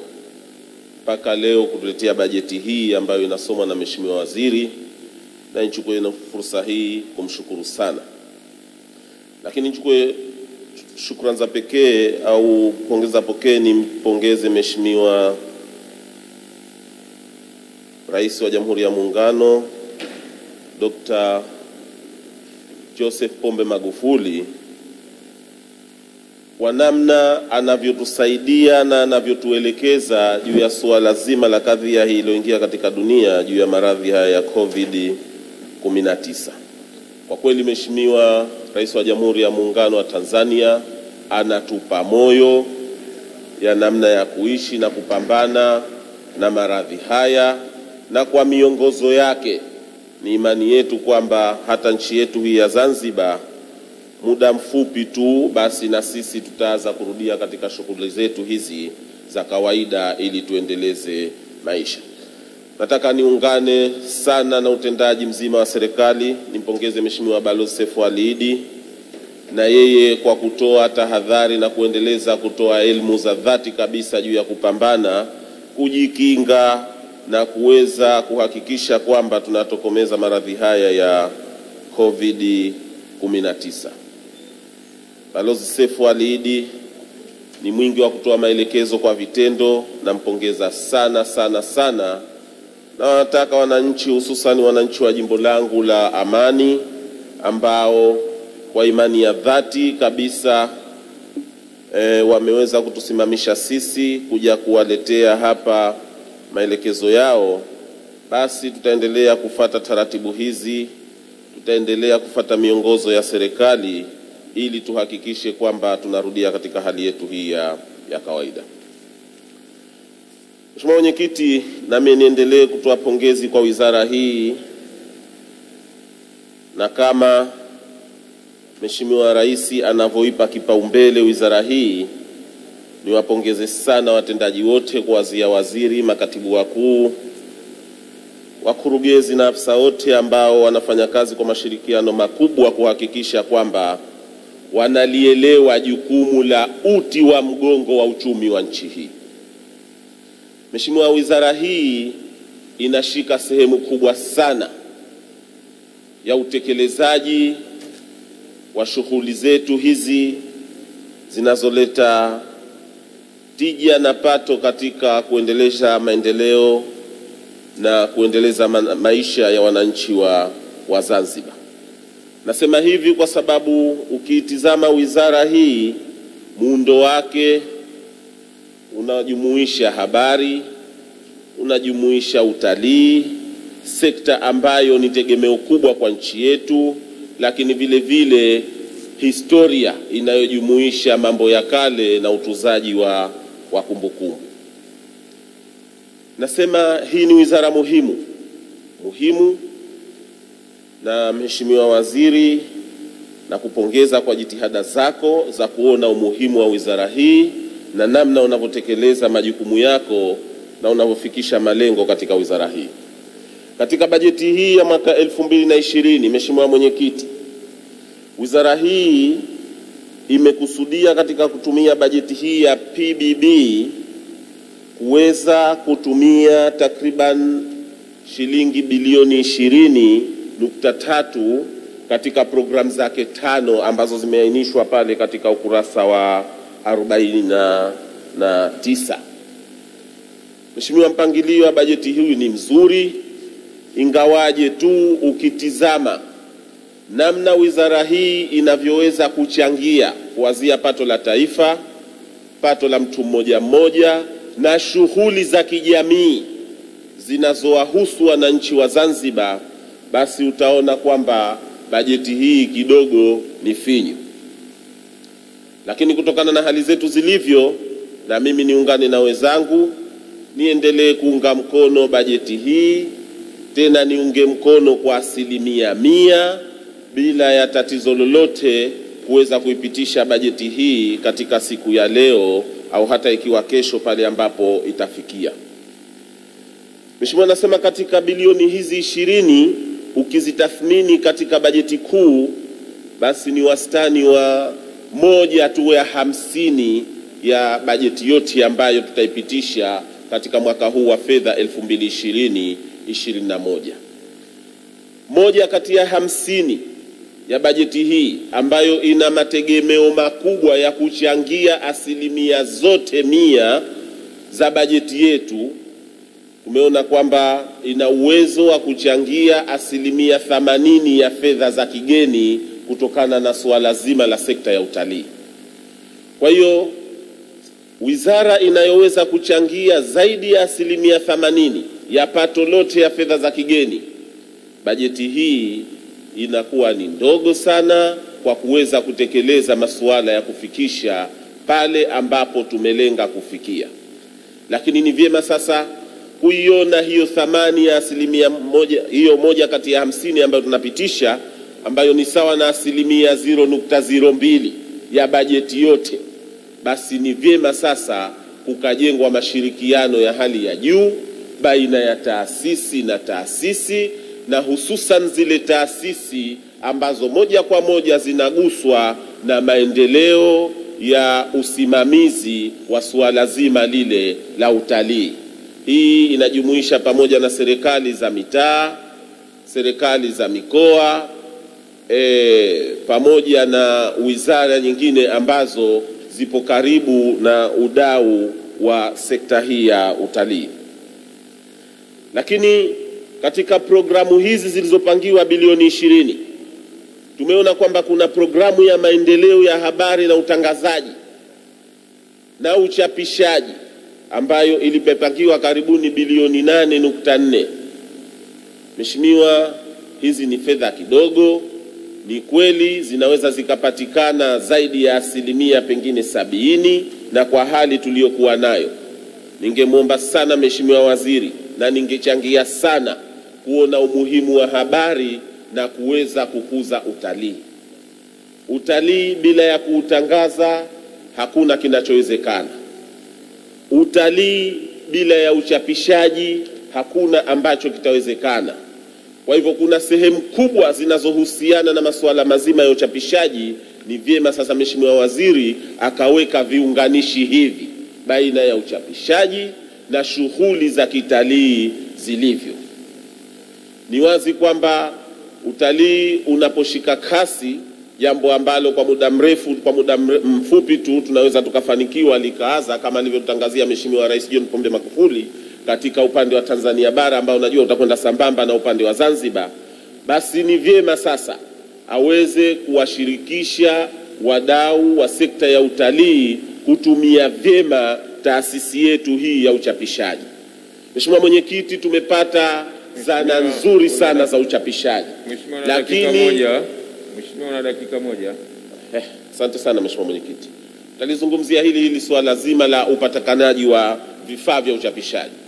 Mheshimiwa Rais wetu amekuwa na jitihada kubwa sana za kuhakikisha kwamba zana za kufanyia kazi resources zinazopeleka katika matumaini ya kuweza kuleta mafanikio yetu zinapatikana, na katika uwezo aliofanya wa kuweza kuleta zana nzito za uchapishaji, ningemwomba sana Mheshimiwa Waziri akaweza kuzishirikisha taasisi za binafsi, taasisi za serikali zikaweza kutumia vyema hizi zana tulizokuwa nazo katika suala zima la kuweka ile sakali ya mzunguko wa fedha katika kuzitumia zana hizi. Lakini vile vile ningemwomba sana Mheshimiwa Waziri akatazama utalii tunaoutangaza mwaka elfu mbili na ishirini na ishirini na moja. Tumeachana na utalii ule wa miaka ya tisini, utalii wa makundi clubs. Tumeachana na utalii ule wa kuonesha vivutio vyetu. Tayari vivutio vyetu vinajulikana, fukwe zetu zinajulikana, ukarimu wetu unajulikana. Umefika wakati sasa kuutangaza utalii wa juu. Watu wenye klasi maalumu ni utalii ambao unatakiwa kupewa kipaumbele katika kutangaza ndani ya nchi yetu ya Zanzibar, kwa sababu utalii wetu huu unaweza ukaleta tija ya haraka, na pale tunapokuja kupata matatizo kama haya tuliyokuwa nayo, basi tutaona kwamba reserve zetu zinazotokana na utalii zinaweza zikatusaidia. Mheshimiwa, mimi nakushukuru sana ilikuwa nataka nisisitize hayo tu katika kipaumbele cha mwaka huu wa 2020-2021 bajeti yake. Mheshimiwa Waziri aweke sana mashirikiano na taasisi, wadau ambao wako karibu sana na shughuli zile za utalii, ili kuhakikisha kwamba tegemeo letu la utalii tunakuwa sustainable na tunalipa kipaumbele, linaendelezwa katika kuleta uchumi wetu huu wa Zanzibar. Nakushukuru sana Mheshimiwa, naendelea kuunga mkono kwa asilimia mia ndani ya bajeti hii. Asante sana. Mheshimiwa, nakushukuru. Sasa naomba kwa heshima nimwite Mheshimiwa Juma Al Hatib na akifuatia Mheshimiwa Mohamed Abud. Ajitayarishe. Asante sana Mheshimiwa Mwenyekiti, nashukuru na mimi kwa kunipa nafasi hii kuweza kuchangia wizara hii muhimu sana. Mheshimiwa Mwenyekiti, awali ya yote nataka kuchukua nafasi hii kwanza kuzungumzia idara ya mambo ya kale. Mheshimiwa Mwenyekiti, idara hii ilikuwa kama mtoto yatima hapo mwanzo, kwa sababu iliwahi kupelekwa wizara ya elimu, ilikuwa kule kwenye mambo ya michezo na sanaa huko lakini chini ya uongozi wa Dr. Ali Mohamed Shein, rais wa Zanzibar na mwenyekiti wa Baraza la Mapinduzi, akafanya juhudi kubwa sana, Mheshimiwa Mwenyekiti, kuitoa wizara kuitoa idara hii huko ilikokuwa, akaipeleka sasa, akaunda wizara ya habari, utalii na mambo ya kale, na leo tumeona mafanikio makubwa sana yaliyopatikana. Hapo zamani kuwa haya, ma- haya magofu yalikuwa kama yamesahauliwa, tunaita magofu magofu, tunadharau. Lakini leo haya yamekuwa ndo chanzo cha utalii wetu. Cha, cha, ni sehemu ya, ni sehemu ya kukusanya mapato katika utalii wetu. Kwa hivyo nachukua nafasi hii kumpongeza Mheshimiwa Rais kwa ajili ya kuunda wizara hii na kuiweka idara hii katika hii mambo ya kale, na bahati mzuri tumebahatika tumempata waziri alokuwa mweledi na alokuwa mtundu, manake mtundu ule wa, wa, wa ubunifu na kutafuta historia ya mambo ya kale, na nataka kumpongeza Mheshimiwa Rais pia kwa kutupatia huyu mshauri Mheshimiwa Ali Mzee, mshauri wa, wa mambo ya kale. Kwa kweli naye ni, ni bingwa katika mambo haya. Kwa hiyo tunaposema utalii umekuwa, Mheshimiwa Mwenyekiti, umekuwa kutokana na juhudi kubwa ya Mheshimiwa Dr. Ali rais wa, ra, ra, rais wa Zanzibar na mwenyekiti wa Baraza la Mapinduzi. Mheshimiwa Mwenyekiti, pia nataka kuzungumzia kama katika hili swala la, swala la kiwanda cha uchapaji, watu walizungumzia hapa. Hapo zamani ilikuwa serikali inanunua madaftari kutoka China, tunatumia zaidi ya shilingi bilioni sita, lakini chini ya utawala wa Dr. Ali katika kukiboresha kile kiwanda, kukijenga na kuweka mitambo mikubwa na pesa nyingi, leo tunapata tija, tunatumia shilingi bilioni mbili tu, madaftari yote ya wanafunzi wetu yanachapwa ya- yanatengenezwa pale na kazi za serikali. Mheshimiwa Mwenyekiti, hata mimi chama changu cha Ada Tadea tunachapa pale kazi zetu pale tunachapisha katiba za chama changu na, na, hata uchaguzi mdogo uliotokezea wa Jang'ombe tulikwenda kuchapisha mabango yetu pale kwenye kile kiwanda, na hivi sasa hivi mimi kama, kama kaimu mwenyekiti wa chama cha Ada Tadea Tanzania nataka kukitumia kiwanda hichi cha serikali kuchapisha picha zote za wagombea wa Ada Tadea ili kiwanda chetu kipate kazi, na nawaomba na heshima wengine tupeleke kazi pale kwenye kiwanda chetu. Mheshimiwa Mwenyekiti, nataka nizungumzie kwamba haya magofu kwa kweli sasa hivi serikali ilifanya juhudi kubwa sana, kwa mfano kuyaimarisha, kuya, kuya, kuyajenga upya. Tumeshuhudia gofu la Bihole si kipindi kirefu, wakati wa sherehe za mapinduzi hapa, waziri wa nchi ofisi ya, ya, ya, rais Mheshimiwa Haji Omar Heri alikwenda kufungua pale. Hizi ni juhudi za Mheshimiwa Rais Dr. Ali Mohamed Shein. Yale magofu yalikuwa shatupu, alikuwa yako nyang'a nyang'a, lakini sasa hivi yanavutia, yanang'ara, mazuri. Ni juhudi za serikali, Mheshimiwa Mwenyekiti.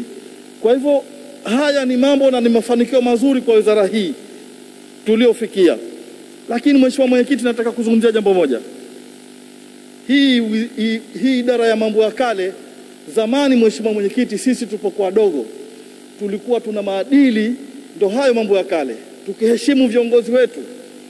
Unapokuwa skuli, hata paunia tulipokuwa tukienda, tunafundishwa kuwa, kuwa, fundi tunafundishwa kuwaheshimu viongozi wetu, kuiheshimu serikali yetu iliyokuwa kwa madarakani, kuwaheshimu wazee wetu. Leo Mheshimiwa Mwenyekiti, ni jambo la kusikitisha. Siku za hivi karibuni kuna makala moja imeanzishwa kuanzia tarehe 19 Februari 2020. Haipendezi. Sisi kama viongozi wa serikali, serikali ya mapinduzi ya Zanzibar na serikali ya Jamhuri ya Muungano wa Tanzania ina utaratibu wake wa kuwapata viongozi. Na, na utaratibu huo unatangazwa na tume ya uchaguzi. Na sisi tuko katika mfumo wa vyama vya siasa. Wakati ukifika, kila chama cha siasa kinapeleka barua tume ya uchaguzi kupeleka jina la mgombea urais na majina ya wawakilishi na wabunge. Hapo mchakato unaanza, lakini leo kuna mambo haya yamejitokeza katika mitandao, yanatisha kwa sababu inaonekana kwamba kuna kampeni dhidi ya chama chengine kwamba kuwafanya wale wagombea wao wote si wazuri. Kuna kampeni zinafanywa kwamba labda wagombea wa Chama cha Mapinduzi watakuwa si wazuri. Si jambo zuri hili, hatujafikia wakati wa kampeni, kwamba leo kuna majina ya viongozi wa serikali hivi sasa mengi, Mheshimiwa Mwenyekiti, yanachafuliwa. Si sahihi, si jambo la kulikalia kimya hili ni jambo baya na ni jambo la hatari, hatujawahi kuliona. Katika hawa hawa mmoja wapo anaweza kuja kuwa rais. Kwa hivyo ni vizuri tukarudi kwenye mambo yetu ya kale na mambo ya maadili. Mheshimiwa Mwenyekiti, hatujaona sisi kama vyama kutoka nje ya CCM tuko kwenye serikali, mimi sijaona kwamba kuna wagombea labda au wanaofikiriwa kwamba watagombea kutoka vyama vingine wakichafuliwa mle lakini leo kuna listi ya watu kutoka Chama cha Mapinduzi tu. Kwa nini iwe Chama cha Mapinduzi tu? Mheshimiwa Mwenyekiti, sasa hivi Tanzania tuna vyama tuna vyama kumi na tisa vya siasa vyenye usajili wa kudumu, na katika hivyo vyama vya siasa, Mheshimiwa Mwenyekiti, vipo vyama vina nia ya kuweka wagombea urais wa Zanzibar na wagombea urais wa Jamhuri ya Muungano wa Tanzania lakini leo mbona hawa wa vyama vingine hawachafuliwi? Kwa nini wa, wanachafuliwa Chama cha Mapinduzi tu? Haileti afya mzuri, haileti afya mzuri katika nchi yetu na katika taifa letu, hasa kwamba sasa hivi huu ni mwaka wa uchaguzi. Kwa mimi nataka kuwaomba wale ambao kwa wahusika, ili jambo tuliache. Kuendeleza jambo hili ni kubaka siasa ni kuwanyang'anya watu mamlaka yao wananchi, ni kuwachagulia wananchi. Tusubiri wakati ufike, tume ya uchaguzi ya Zanzibar ndiyo yenye mamlaka ya kutangaza tarehe ya uchaguzi na utaratibu nzima wa kupiga kura.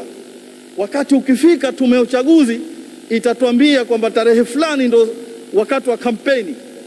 Tuache wagombea wajilabu, wajinadi, wanadi sera zao halafu mwananchi atapima mgombea gani ananifaa, chama gani kinanifaa.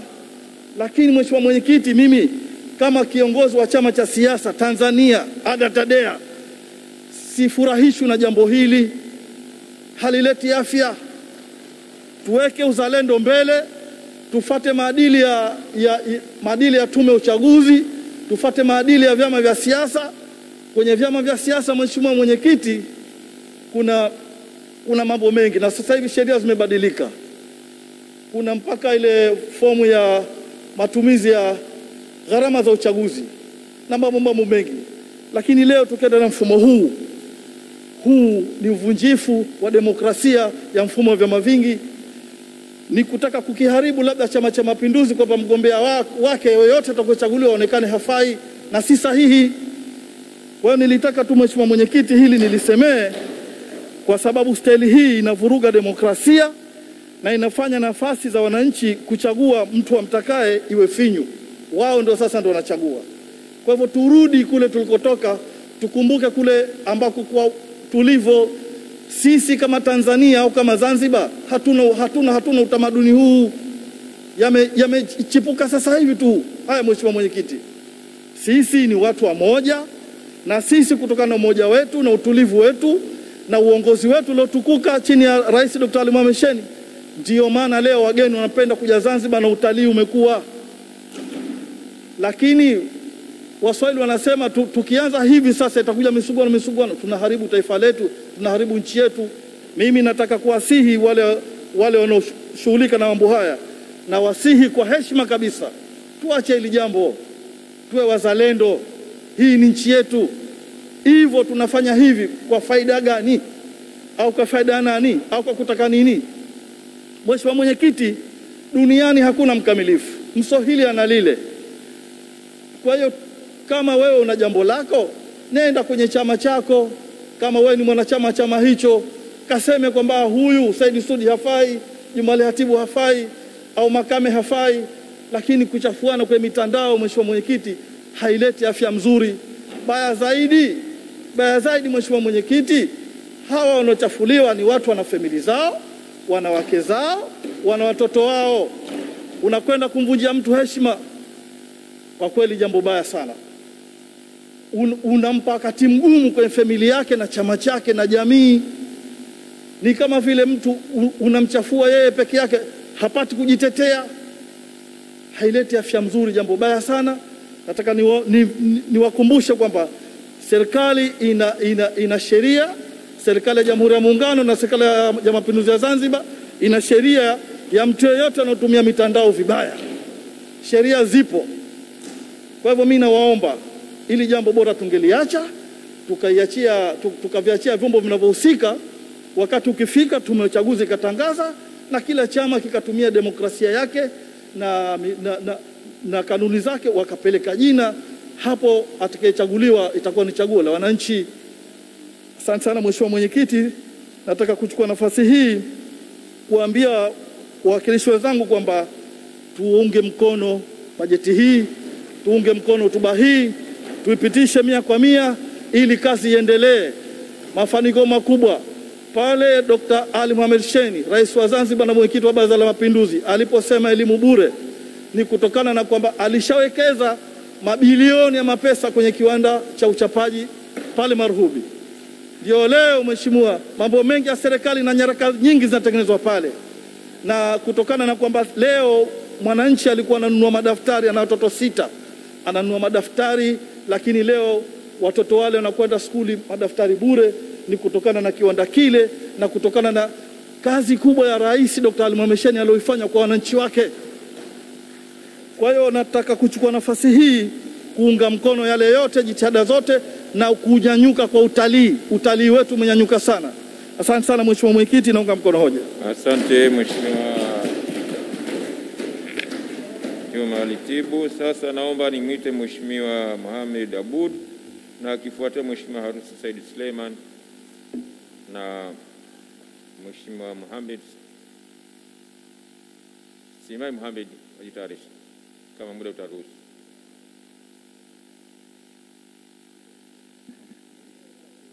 Mheshimiwa Mwenyekiti, nami nikushukuru kwa kunipa fursa hii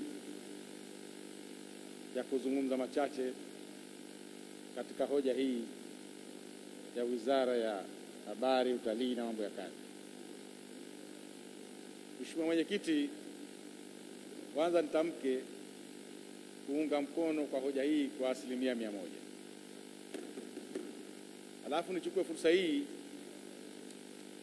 kuipongeza sana wizara, waziri, naibu waziri na watendaji wake kwa kazi kubwa na nzuri wanayoifanya katika sekta zote ambazo ziko chini ya wizara hii. Tumeona mabadiliko makubwa, na mimi nataka niungane na ndugu yangu Mheshimiwa Hamza kwa kusema kazi nzuri wanazozifanya kwa asilimia mia moja. Mheshimiwa Hamza akaongeza mpaka asilimia mia moja na kumi. Hongera sana waziri. Ni kweli mabadiliko yapo, na kwenye sekta ya utalii tumepiga hatua kubwa, yapo yaliyojitokeza mazuri sana na kuvuka hata lengo letu la ilani katika uingiaji wa watalii nchini. Ni huu mtihani ambao umetokea wa maradhi ya korona kidogo yamerudisha nyuma jitihada zetu, lakini mimi nataka niungane sana sana na wale wanaosema tuanze basi na jitihada za kujitayarisha kufungua milango ili shughuli zetu za kiutalii na za kibiashara ziweze kuendelea. Hilo litategemea sana na mashauri ambayo tutapewa na wizara yetu ya afya na wataalamu wetu wa afya, lakini nimemsikia rais wetu wa Jamhuri ya Muungano wa Tanzania akitilia mkazo namna ya kuanza kwa shughuli zetu za kujiimarisha katika shughuli za kiuchumi wakati huu ambapo tunakabiliwa na maradhi haya ya korona. Naamini kwa juhudi zetu tunazochukua, Mheshimiwa Mwenyekiti, na kwa uwezo wa Mwenyezi Mungu maradhi haya nchini kwetu yataondoka na tutaweza kufanya shughuli zetu kama kawaida kama tulivyokuwa, ili tuendelee na jitihada zetu za kuimarisha uchumi wetu na kutoa huduma kwa wananchi wetu. Kwa kwanza, nataka niwapongeze wananchi wenzangu wote kwa namna wanavyosikiliza maelekezo ya serikali yetu na maelekezo ya Wizara ya Afya kwa namna ya kukabiliana na ugonjwa huu maarufu wa korona. Inshallah, Mwenyezi Mungu atatuondolea janga hili na turudi katika hali yetu ya kawaida na mambo yaendelee vizuri. Na kwa sababu nia yetu ni njema na jambo hili tumemwachia Mwenyezi Mungu, sina shaka yote, muda usio mrefu janga hili litatuondokea. Mheshimiwa Mwenyekiti, ningependa kusisitiza umuhimu wa kuheshimu taratibu za kidiplomasia ili kuendeleza mashirikiano mema kati ya nchi yetu na nchi nyingine duniani. Tumekuwa na ushirikiano mzuri na nchi zote duniani kutokana na tabia yetu, mwenendo wetu, hulka zetu, kuwa hatuna dhamira yote ya kutofautiana na nchi yote. Kwa hiyo dhamira yetu ni njema. Ningependa nitoe wito wajumbe wenzangu, tuendelee kuimarisha mahusiano mema na nchi mbalimbali duniani ambayo imekuwa kioo Tanzania cha mashirikiano na nchi zote duniani. Hivyo tuendelee kufanya hivyo. Kuhusu mashirikiano yetu na nchi ya Oman, nataka niseme tuna mashirikiano mazuri sana na tutaendelea kushirikiana nao kwa muda wa miaka nenda miaka rudi, kwa sababu ni ndugu zetu wa damu. Tumetoka mbali, tunajuana nao, tunaelewana nao na tunafanya mambo yetu kwa pamoja. Panapojitokeza jambo lolote linalohusu nchi zetu mbili, tuna utaratibu wa kukutana, wa kuondoa lile ambalo linahitaji liondolewe na kuimarisha lile ambalo linahitaji kuimarishwa. Kwa hiyo nataka niwahakikishie wajumbe wa baraza hili, mashirikiano yetu ni mazuri, mazungumzo yetu kwa kila nyanja yanaendelea vizuri, na inshallah Mwenyezi Mungu atazidi kudumisha na kuimarisha uhusiano wetu. Historia ni historia, Mheshimiwa Mwenyekiti, huwezi kubadili historia. Historia ni matokeo yaliyotokea, kwa hivyo yapo na ataendelea kuwepo. Historia ni kioo cha kuelewa mambo. Unajua ulikotoka, ulipo sasa, na nini ufanye katika kufanya mazuri zaidi. Kwa hiyo hatuwezi kuwa watumwa wa historia yetu, bali historia yetu ituelekeze katika kufanya mambo mazuri na kwenda mbele na kujenga nchi yetu, na hivyo wanavyofanya wenzetu wa Wizara ya Habari, Utalii na mambo ya kale ya kuimarisha magofu yetu, kuweka taswira nzuri ya nchi yetu, ni sehemu kubwa ya kivutio cha utalii ambacho kinajenga namna nzuri ya kuimarisha uchumi wetu. Kwa hiyo nataka nichukue fursa hii kuwapongeza sana wenzetu hao kwa juhudi wanazochukua na wanazoendelea kuifanya katika kuimarisha mambo yote ya kale ili yazidi kuimarisha sekta yetu ya utalii, yazidi kuimarisha historia yetu, yazidi kuimarisha uchumi wetu. Wanafanya kazi nzuri, hongereni sana.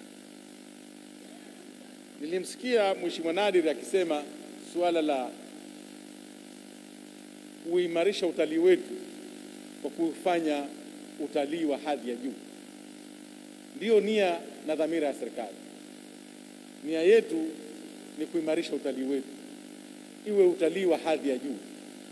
Safari ni hatua, Mheshimiwa Mwenyekiti, tumeanza vizuri, na katika safari kama binadamu kukosea inatokea, lakini tunachokifanya ni kurekebisha makosa yetu na kwenda kufanya vizuri zaidi. Napenda Mheshimiwa Nadir na wajumbe wote wa baraza hili waelewe kwa dhamira ni njema sana. Na mwanzo wetu ni mzuri sana, na nataka kusema katika ukanda huu wa Afrika Mashariki, Zanzibar inaongoza kwa sifa zote za utalii na dunia inaelewa hivyo pia. Kwa hiyo dhamira yetu ni kwenda kwenye utalii wa hadhi ya juu. Hatua kwa hatua tutafikia huko. La msingi ni mashirikiano yetu ya pamoja, ili tujenge zaidi nguvu zetu za kuimarisha utalii wetu. Sina shaka yote, tukimpa nafasi nzuri Mheshimiwa Waziri atakuja kueleza hoja vizuri, na tutaona dhamira ambayo ni kukuza utalii wetu ili uwe utalii wenye hadhi, wenye kipato, utakaosaidia wananchi wetu, wenye kuheshimu mila na desturi za nchi yetu. Tumeanza vizuri na naamini tutafikia mahala pazuri. Kuhusu usafi wa bichi zetu, ni kweli kasoro ndogo ndogo zinajitokeza, lakini nia na dhamira ni kuweka bichi zetu katika mazingira ya usafi kwa ajili ya kuimarisha mazingira yetu na kwa ajili ya kuimarisha usafi wa nchi yetu. Tunajua moja katika jambo muhimu sana linalovutia utalii na afya zetu ni suala la usafi. Kwa hivyo jitihada kubwa inachukuliwa na serikali kuhakikisha tunafanya usafi, kuweka nchi yetu katika mazingira mazuri, ili sisi wenyewe tuwe na afya bora, tuimarishe mazingira yetu na hali zetu za maisha ziwe nzuri zaidi, na iwe ni sehemu ya kivutio cha watalii kuja nchini kwetu. Kwa hiyo nataka nipokee ushauri huu waliotoa wajumbe wa kututaka tuzidi kuimarisha kufanya usafi katika bichi zetu, na mimi niwaambie, sio bichi zetu tu, na nchi kwa jumla, ili nchi yetu iwe katika mazingira mazuri ya usafi. Juhudi hizo tunaendelea kuzifanya, tutazifanya ili kusudi nchi yetu iwe katika mazingira mazuri zaidi ya kuimarisha mazingira yetu na usafi wa nchi yetu. Kuhusu jengo la zamani la Magomeni, ushauri wa Mheshimiwa shams tunaupokea. Lile ni jengo la mtu binafsi, kwa hivyo tuna kila haki ya kukaa na mwenzetu, kuzungumza naye, tushauriane naye ili jengo lile liimarishwe, lisilete athari yote kwa wanaoishi pale na wanaopita katika sehemu ile, ili liwe katika hali nzuri. Tuzungumze naye, tutafute namna gani nzuri zaidi ya kuweza kulihuisha na lisitumike vinginevyo, lisitumike kwa shughuli zisizo sahihi, zitumike kwa mambo ya msingi ya maendeleo ya nchi yetu. Kwa hivyo ushauri wako Mheshimiwa Rashid Makame Shamsi tunalipokea na tutaufanyia kazi ili kuondosha hayo mapungufu ambayo yamejitokeza katika eneo lile. Kuhusu kufungua shughuli za utalii katika kipindi hiki tunachokabiliwa na majanga hili la maradhi ya korona, wazo hili ni zuri, tunalipokea, tutakwenda kulifanyia kazi, kwa sababu sote tunahitaji uchumi wetu ukua, uende mbele, ili tuweze kutoa huduma bora kwa wananchi wetu. Na sisi chanzo kikubwa cha mapato ya nchi yetu ni utalii, na utalii ni wageni kuja nchini.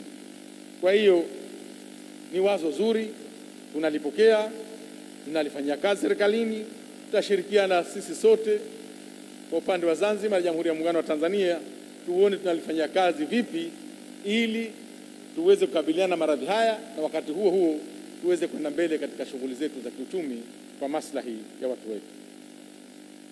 Mwisho nimalizie, Mheshimiwa, ni kweli hili alilosema ndugu yangu Mheshimiwa Juma Al-Hatibu, hizi habari ya, za uzushi uzushi kwenye mitandao, kuharibu majina ya watu, kugombanisha serikali na wananchi wake, sio tabia nzuri, wala sio utamaduni wetu, sio silka zetu, sio taratibu zetu. Watu wa namna hii wanakuwa woga wa kupambana wenzao katika uwanja wa ushindani wa kisiasa. Kama wewe ni mwanasiasa mzuri, unajijua, unataka kushindana, karibu karibuni tu mheshimiwa, karibuni tu. Mungu akitujalia uhai, atupe uzima, mambo yatafunguka hapa. utakuwa na ushindani wa kushindanisha vyama. Kama ni kidume unataka kuja kwenye ulingo huo, karibu. CCM ipo, tuko tayari kushindana na yoyote, na mimi naamini CCM marai tutashinda vizuri sana. Tunawapelekea salamu zao wapinzani wetu, watasema kwenye mitandao, lakini matokeo utasikia CCM inatawala. Asante sana mheshimiwa nakushukuru. Asante Mheshimiwa Mohamed Abud. Sasa naomba nimite Mheshimiwa Harusi Said Suleiman. Hayupo. Sasa naomba upo? Sijakuona, asante.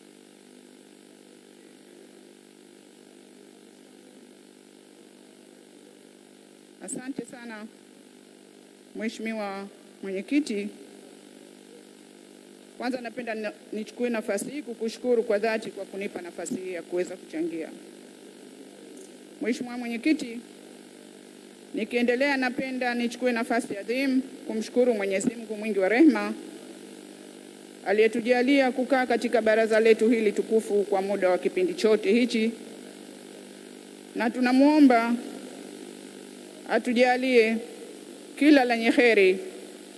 Sisi na wananchi ambao walitupa kura kuweza kuhudhuria katika baraza hili, tuweze kuwa na maisha mazuri na afya njema, insha Allah, Mwenyezi Mungu atujalie.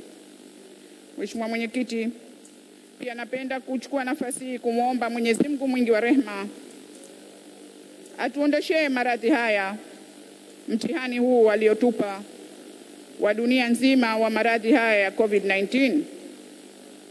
Inshallah maradhi haya yawe ni, ni dira na njia ya kufanikisha mambo yote katika nchi yetu kuendelea kwa njia ya salama. Mheshimiwa Mwenyekiti, naomba sasa nichukue nafasi adhimu pia kumshukuru sana na kumpongeza Mheshimiwa Dr. Ali Mohamed Shein, Rais wa Zanzibar na mwenyekiti wa Baraza la Mapinduzi kwa uongozi wake makini, mahiri na wa kujiamini aliyoongoza aliyowaongoza wananchi wa Zanzibar. Mheshimiwa, wananchi wa Zanzibar tumefarijika na uongozi wake. Mheshimiwa Mwenyekiti, uongozi wa Dr. Ali Mohamed Shein kutokana na juhudi zake mbalimbali mbali kwa wananchi wa Zanzibar umeweza kuimarisha na kuboresha vitengo mbalimbali mbali vya wizara hii ya habari, utalii na mambo ya kale, ikiwemo kupata vifaa mbalimbali vya utangazaji, uchapishaji na vyote vile vinavyohusiana na wizara hii, na hivyo kuifanya sekta ya habari na vitengo vyake kuweza kuwa imara na kwenda na wakati kulingana na tulikotoka. Mheshimiwa Mwenyekiti, Wizara ya Habari katika kipindi hichi cha uongozi wa Dr. Ali Mohamed Shein imeweza kupiga hatua kubwa kimaendeleo ikiwemo ya kuzima mitambo ya analojia iliyotumika kwa muda mrefu na kuruhusu kutumia mitambo ya digital ambayo ndiyo tunayofaidika nayo sasa, sambamba na kununua mitambo ya kuchapishia madaftari pamoja na Indigo ambayo inafanya baada ya kukamilika, ambayo itafungwa baada ya kukamilika kwa ujenzi wa jengo la kuwekea mitambo hiyo. Mheshimiwa Mwenyekiti, yote haya ni jumla ya maendeleo aliyoyaahidi Mheshimiwa Dr. Ali Mohamed Shein, Rais wa Zanzibar na mwenyekiti wa Baraza la Mapinduzi, kupitia kutekeleza ilani ya uchaguzi ya Chama cha Mapinduzi. Kwa kweli tunampongeza sana kwa kutekeleza ilani hii kwa asilimia mia moja. Mheshimiwa Mwenyekiti, Wizara ya Habari sote tunajua kwamba ni jicho ambalo linawajuvya wananchi habari na taarifa mbalimbali za ndani na nje ya nchi yetu. Wizara ina mashirikiano mazuri sana na vyombo vya habari vya kijamii na vya binafsi Unguja na Pemba. Jambo hili linawafariji sana wananchi kwani wana, wana uhakika wa kupata habari ambazo ni za ukweli.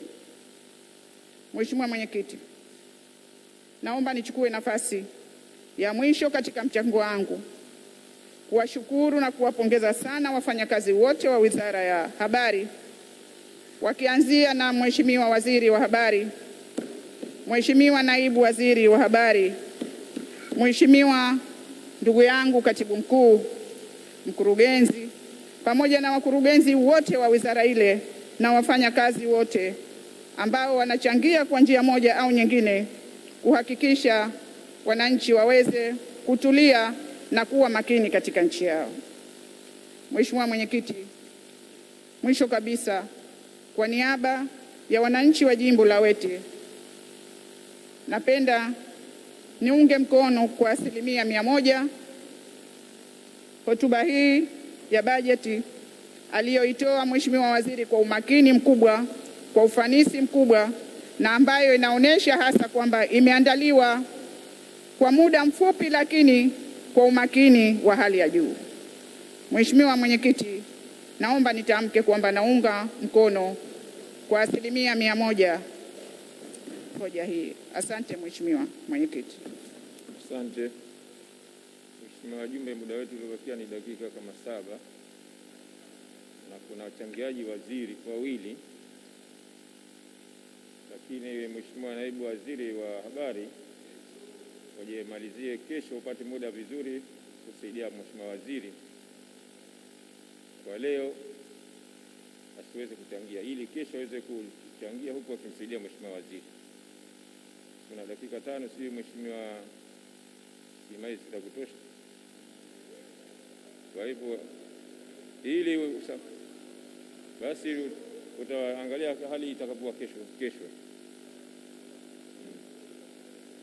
Kwa vile leo muda wetu uliobakia ni mdogo, naomba tuishie hapo kwa kuendelea wachangiaji wako.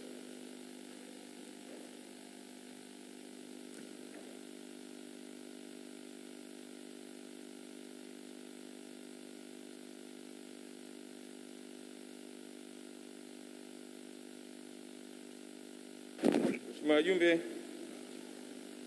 niwashukuru sana kwa kuendelea kuichangia wizara hii kwa vizuri sana, na wachangiaji walikuwa ni wengi, lakini kesho itakuwa ni nizamu zamu ya Mheshimiwa naibu waziri na Mheshimiwa waziri kujibu hoja, na baadaye tuendelee na wizara nyingine ambako zinafuata kwa kesho.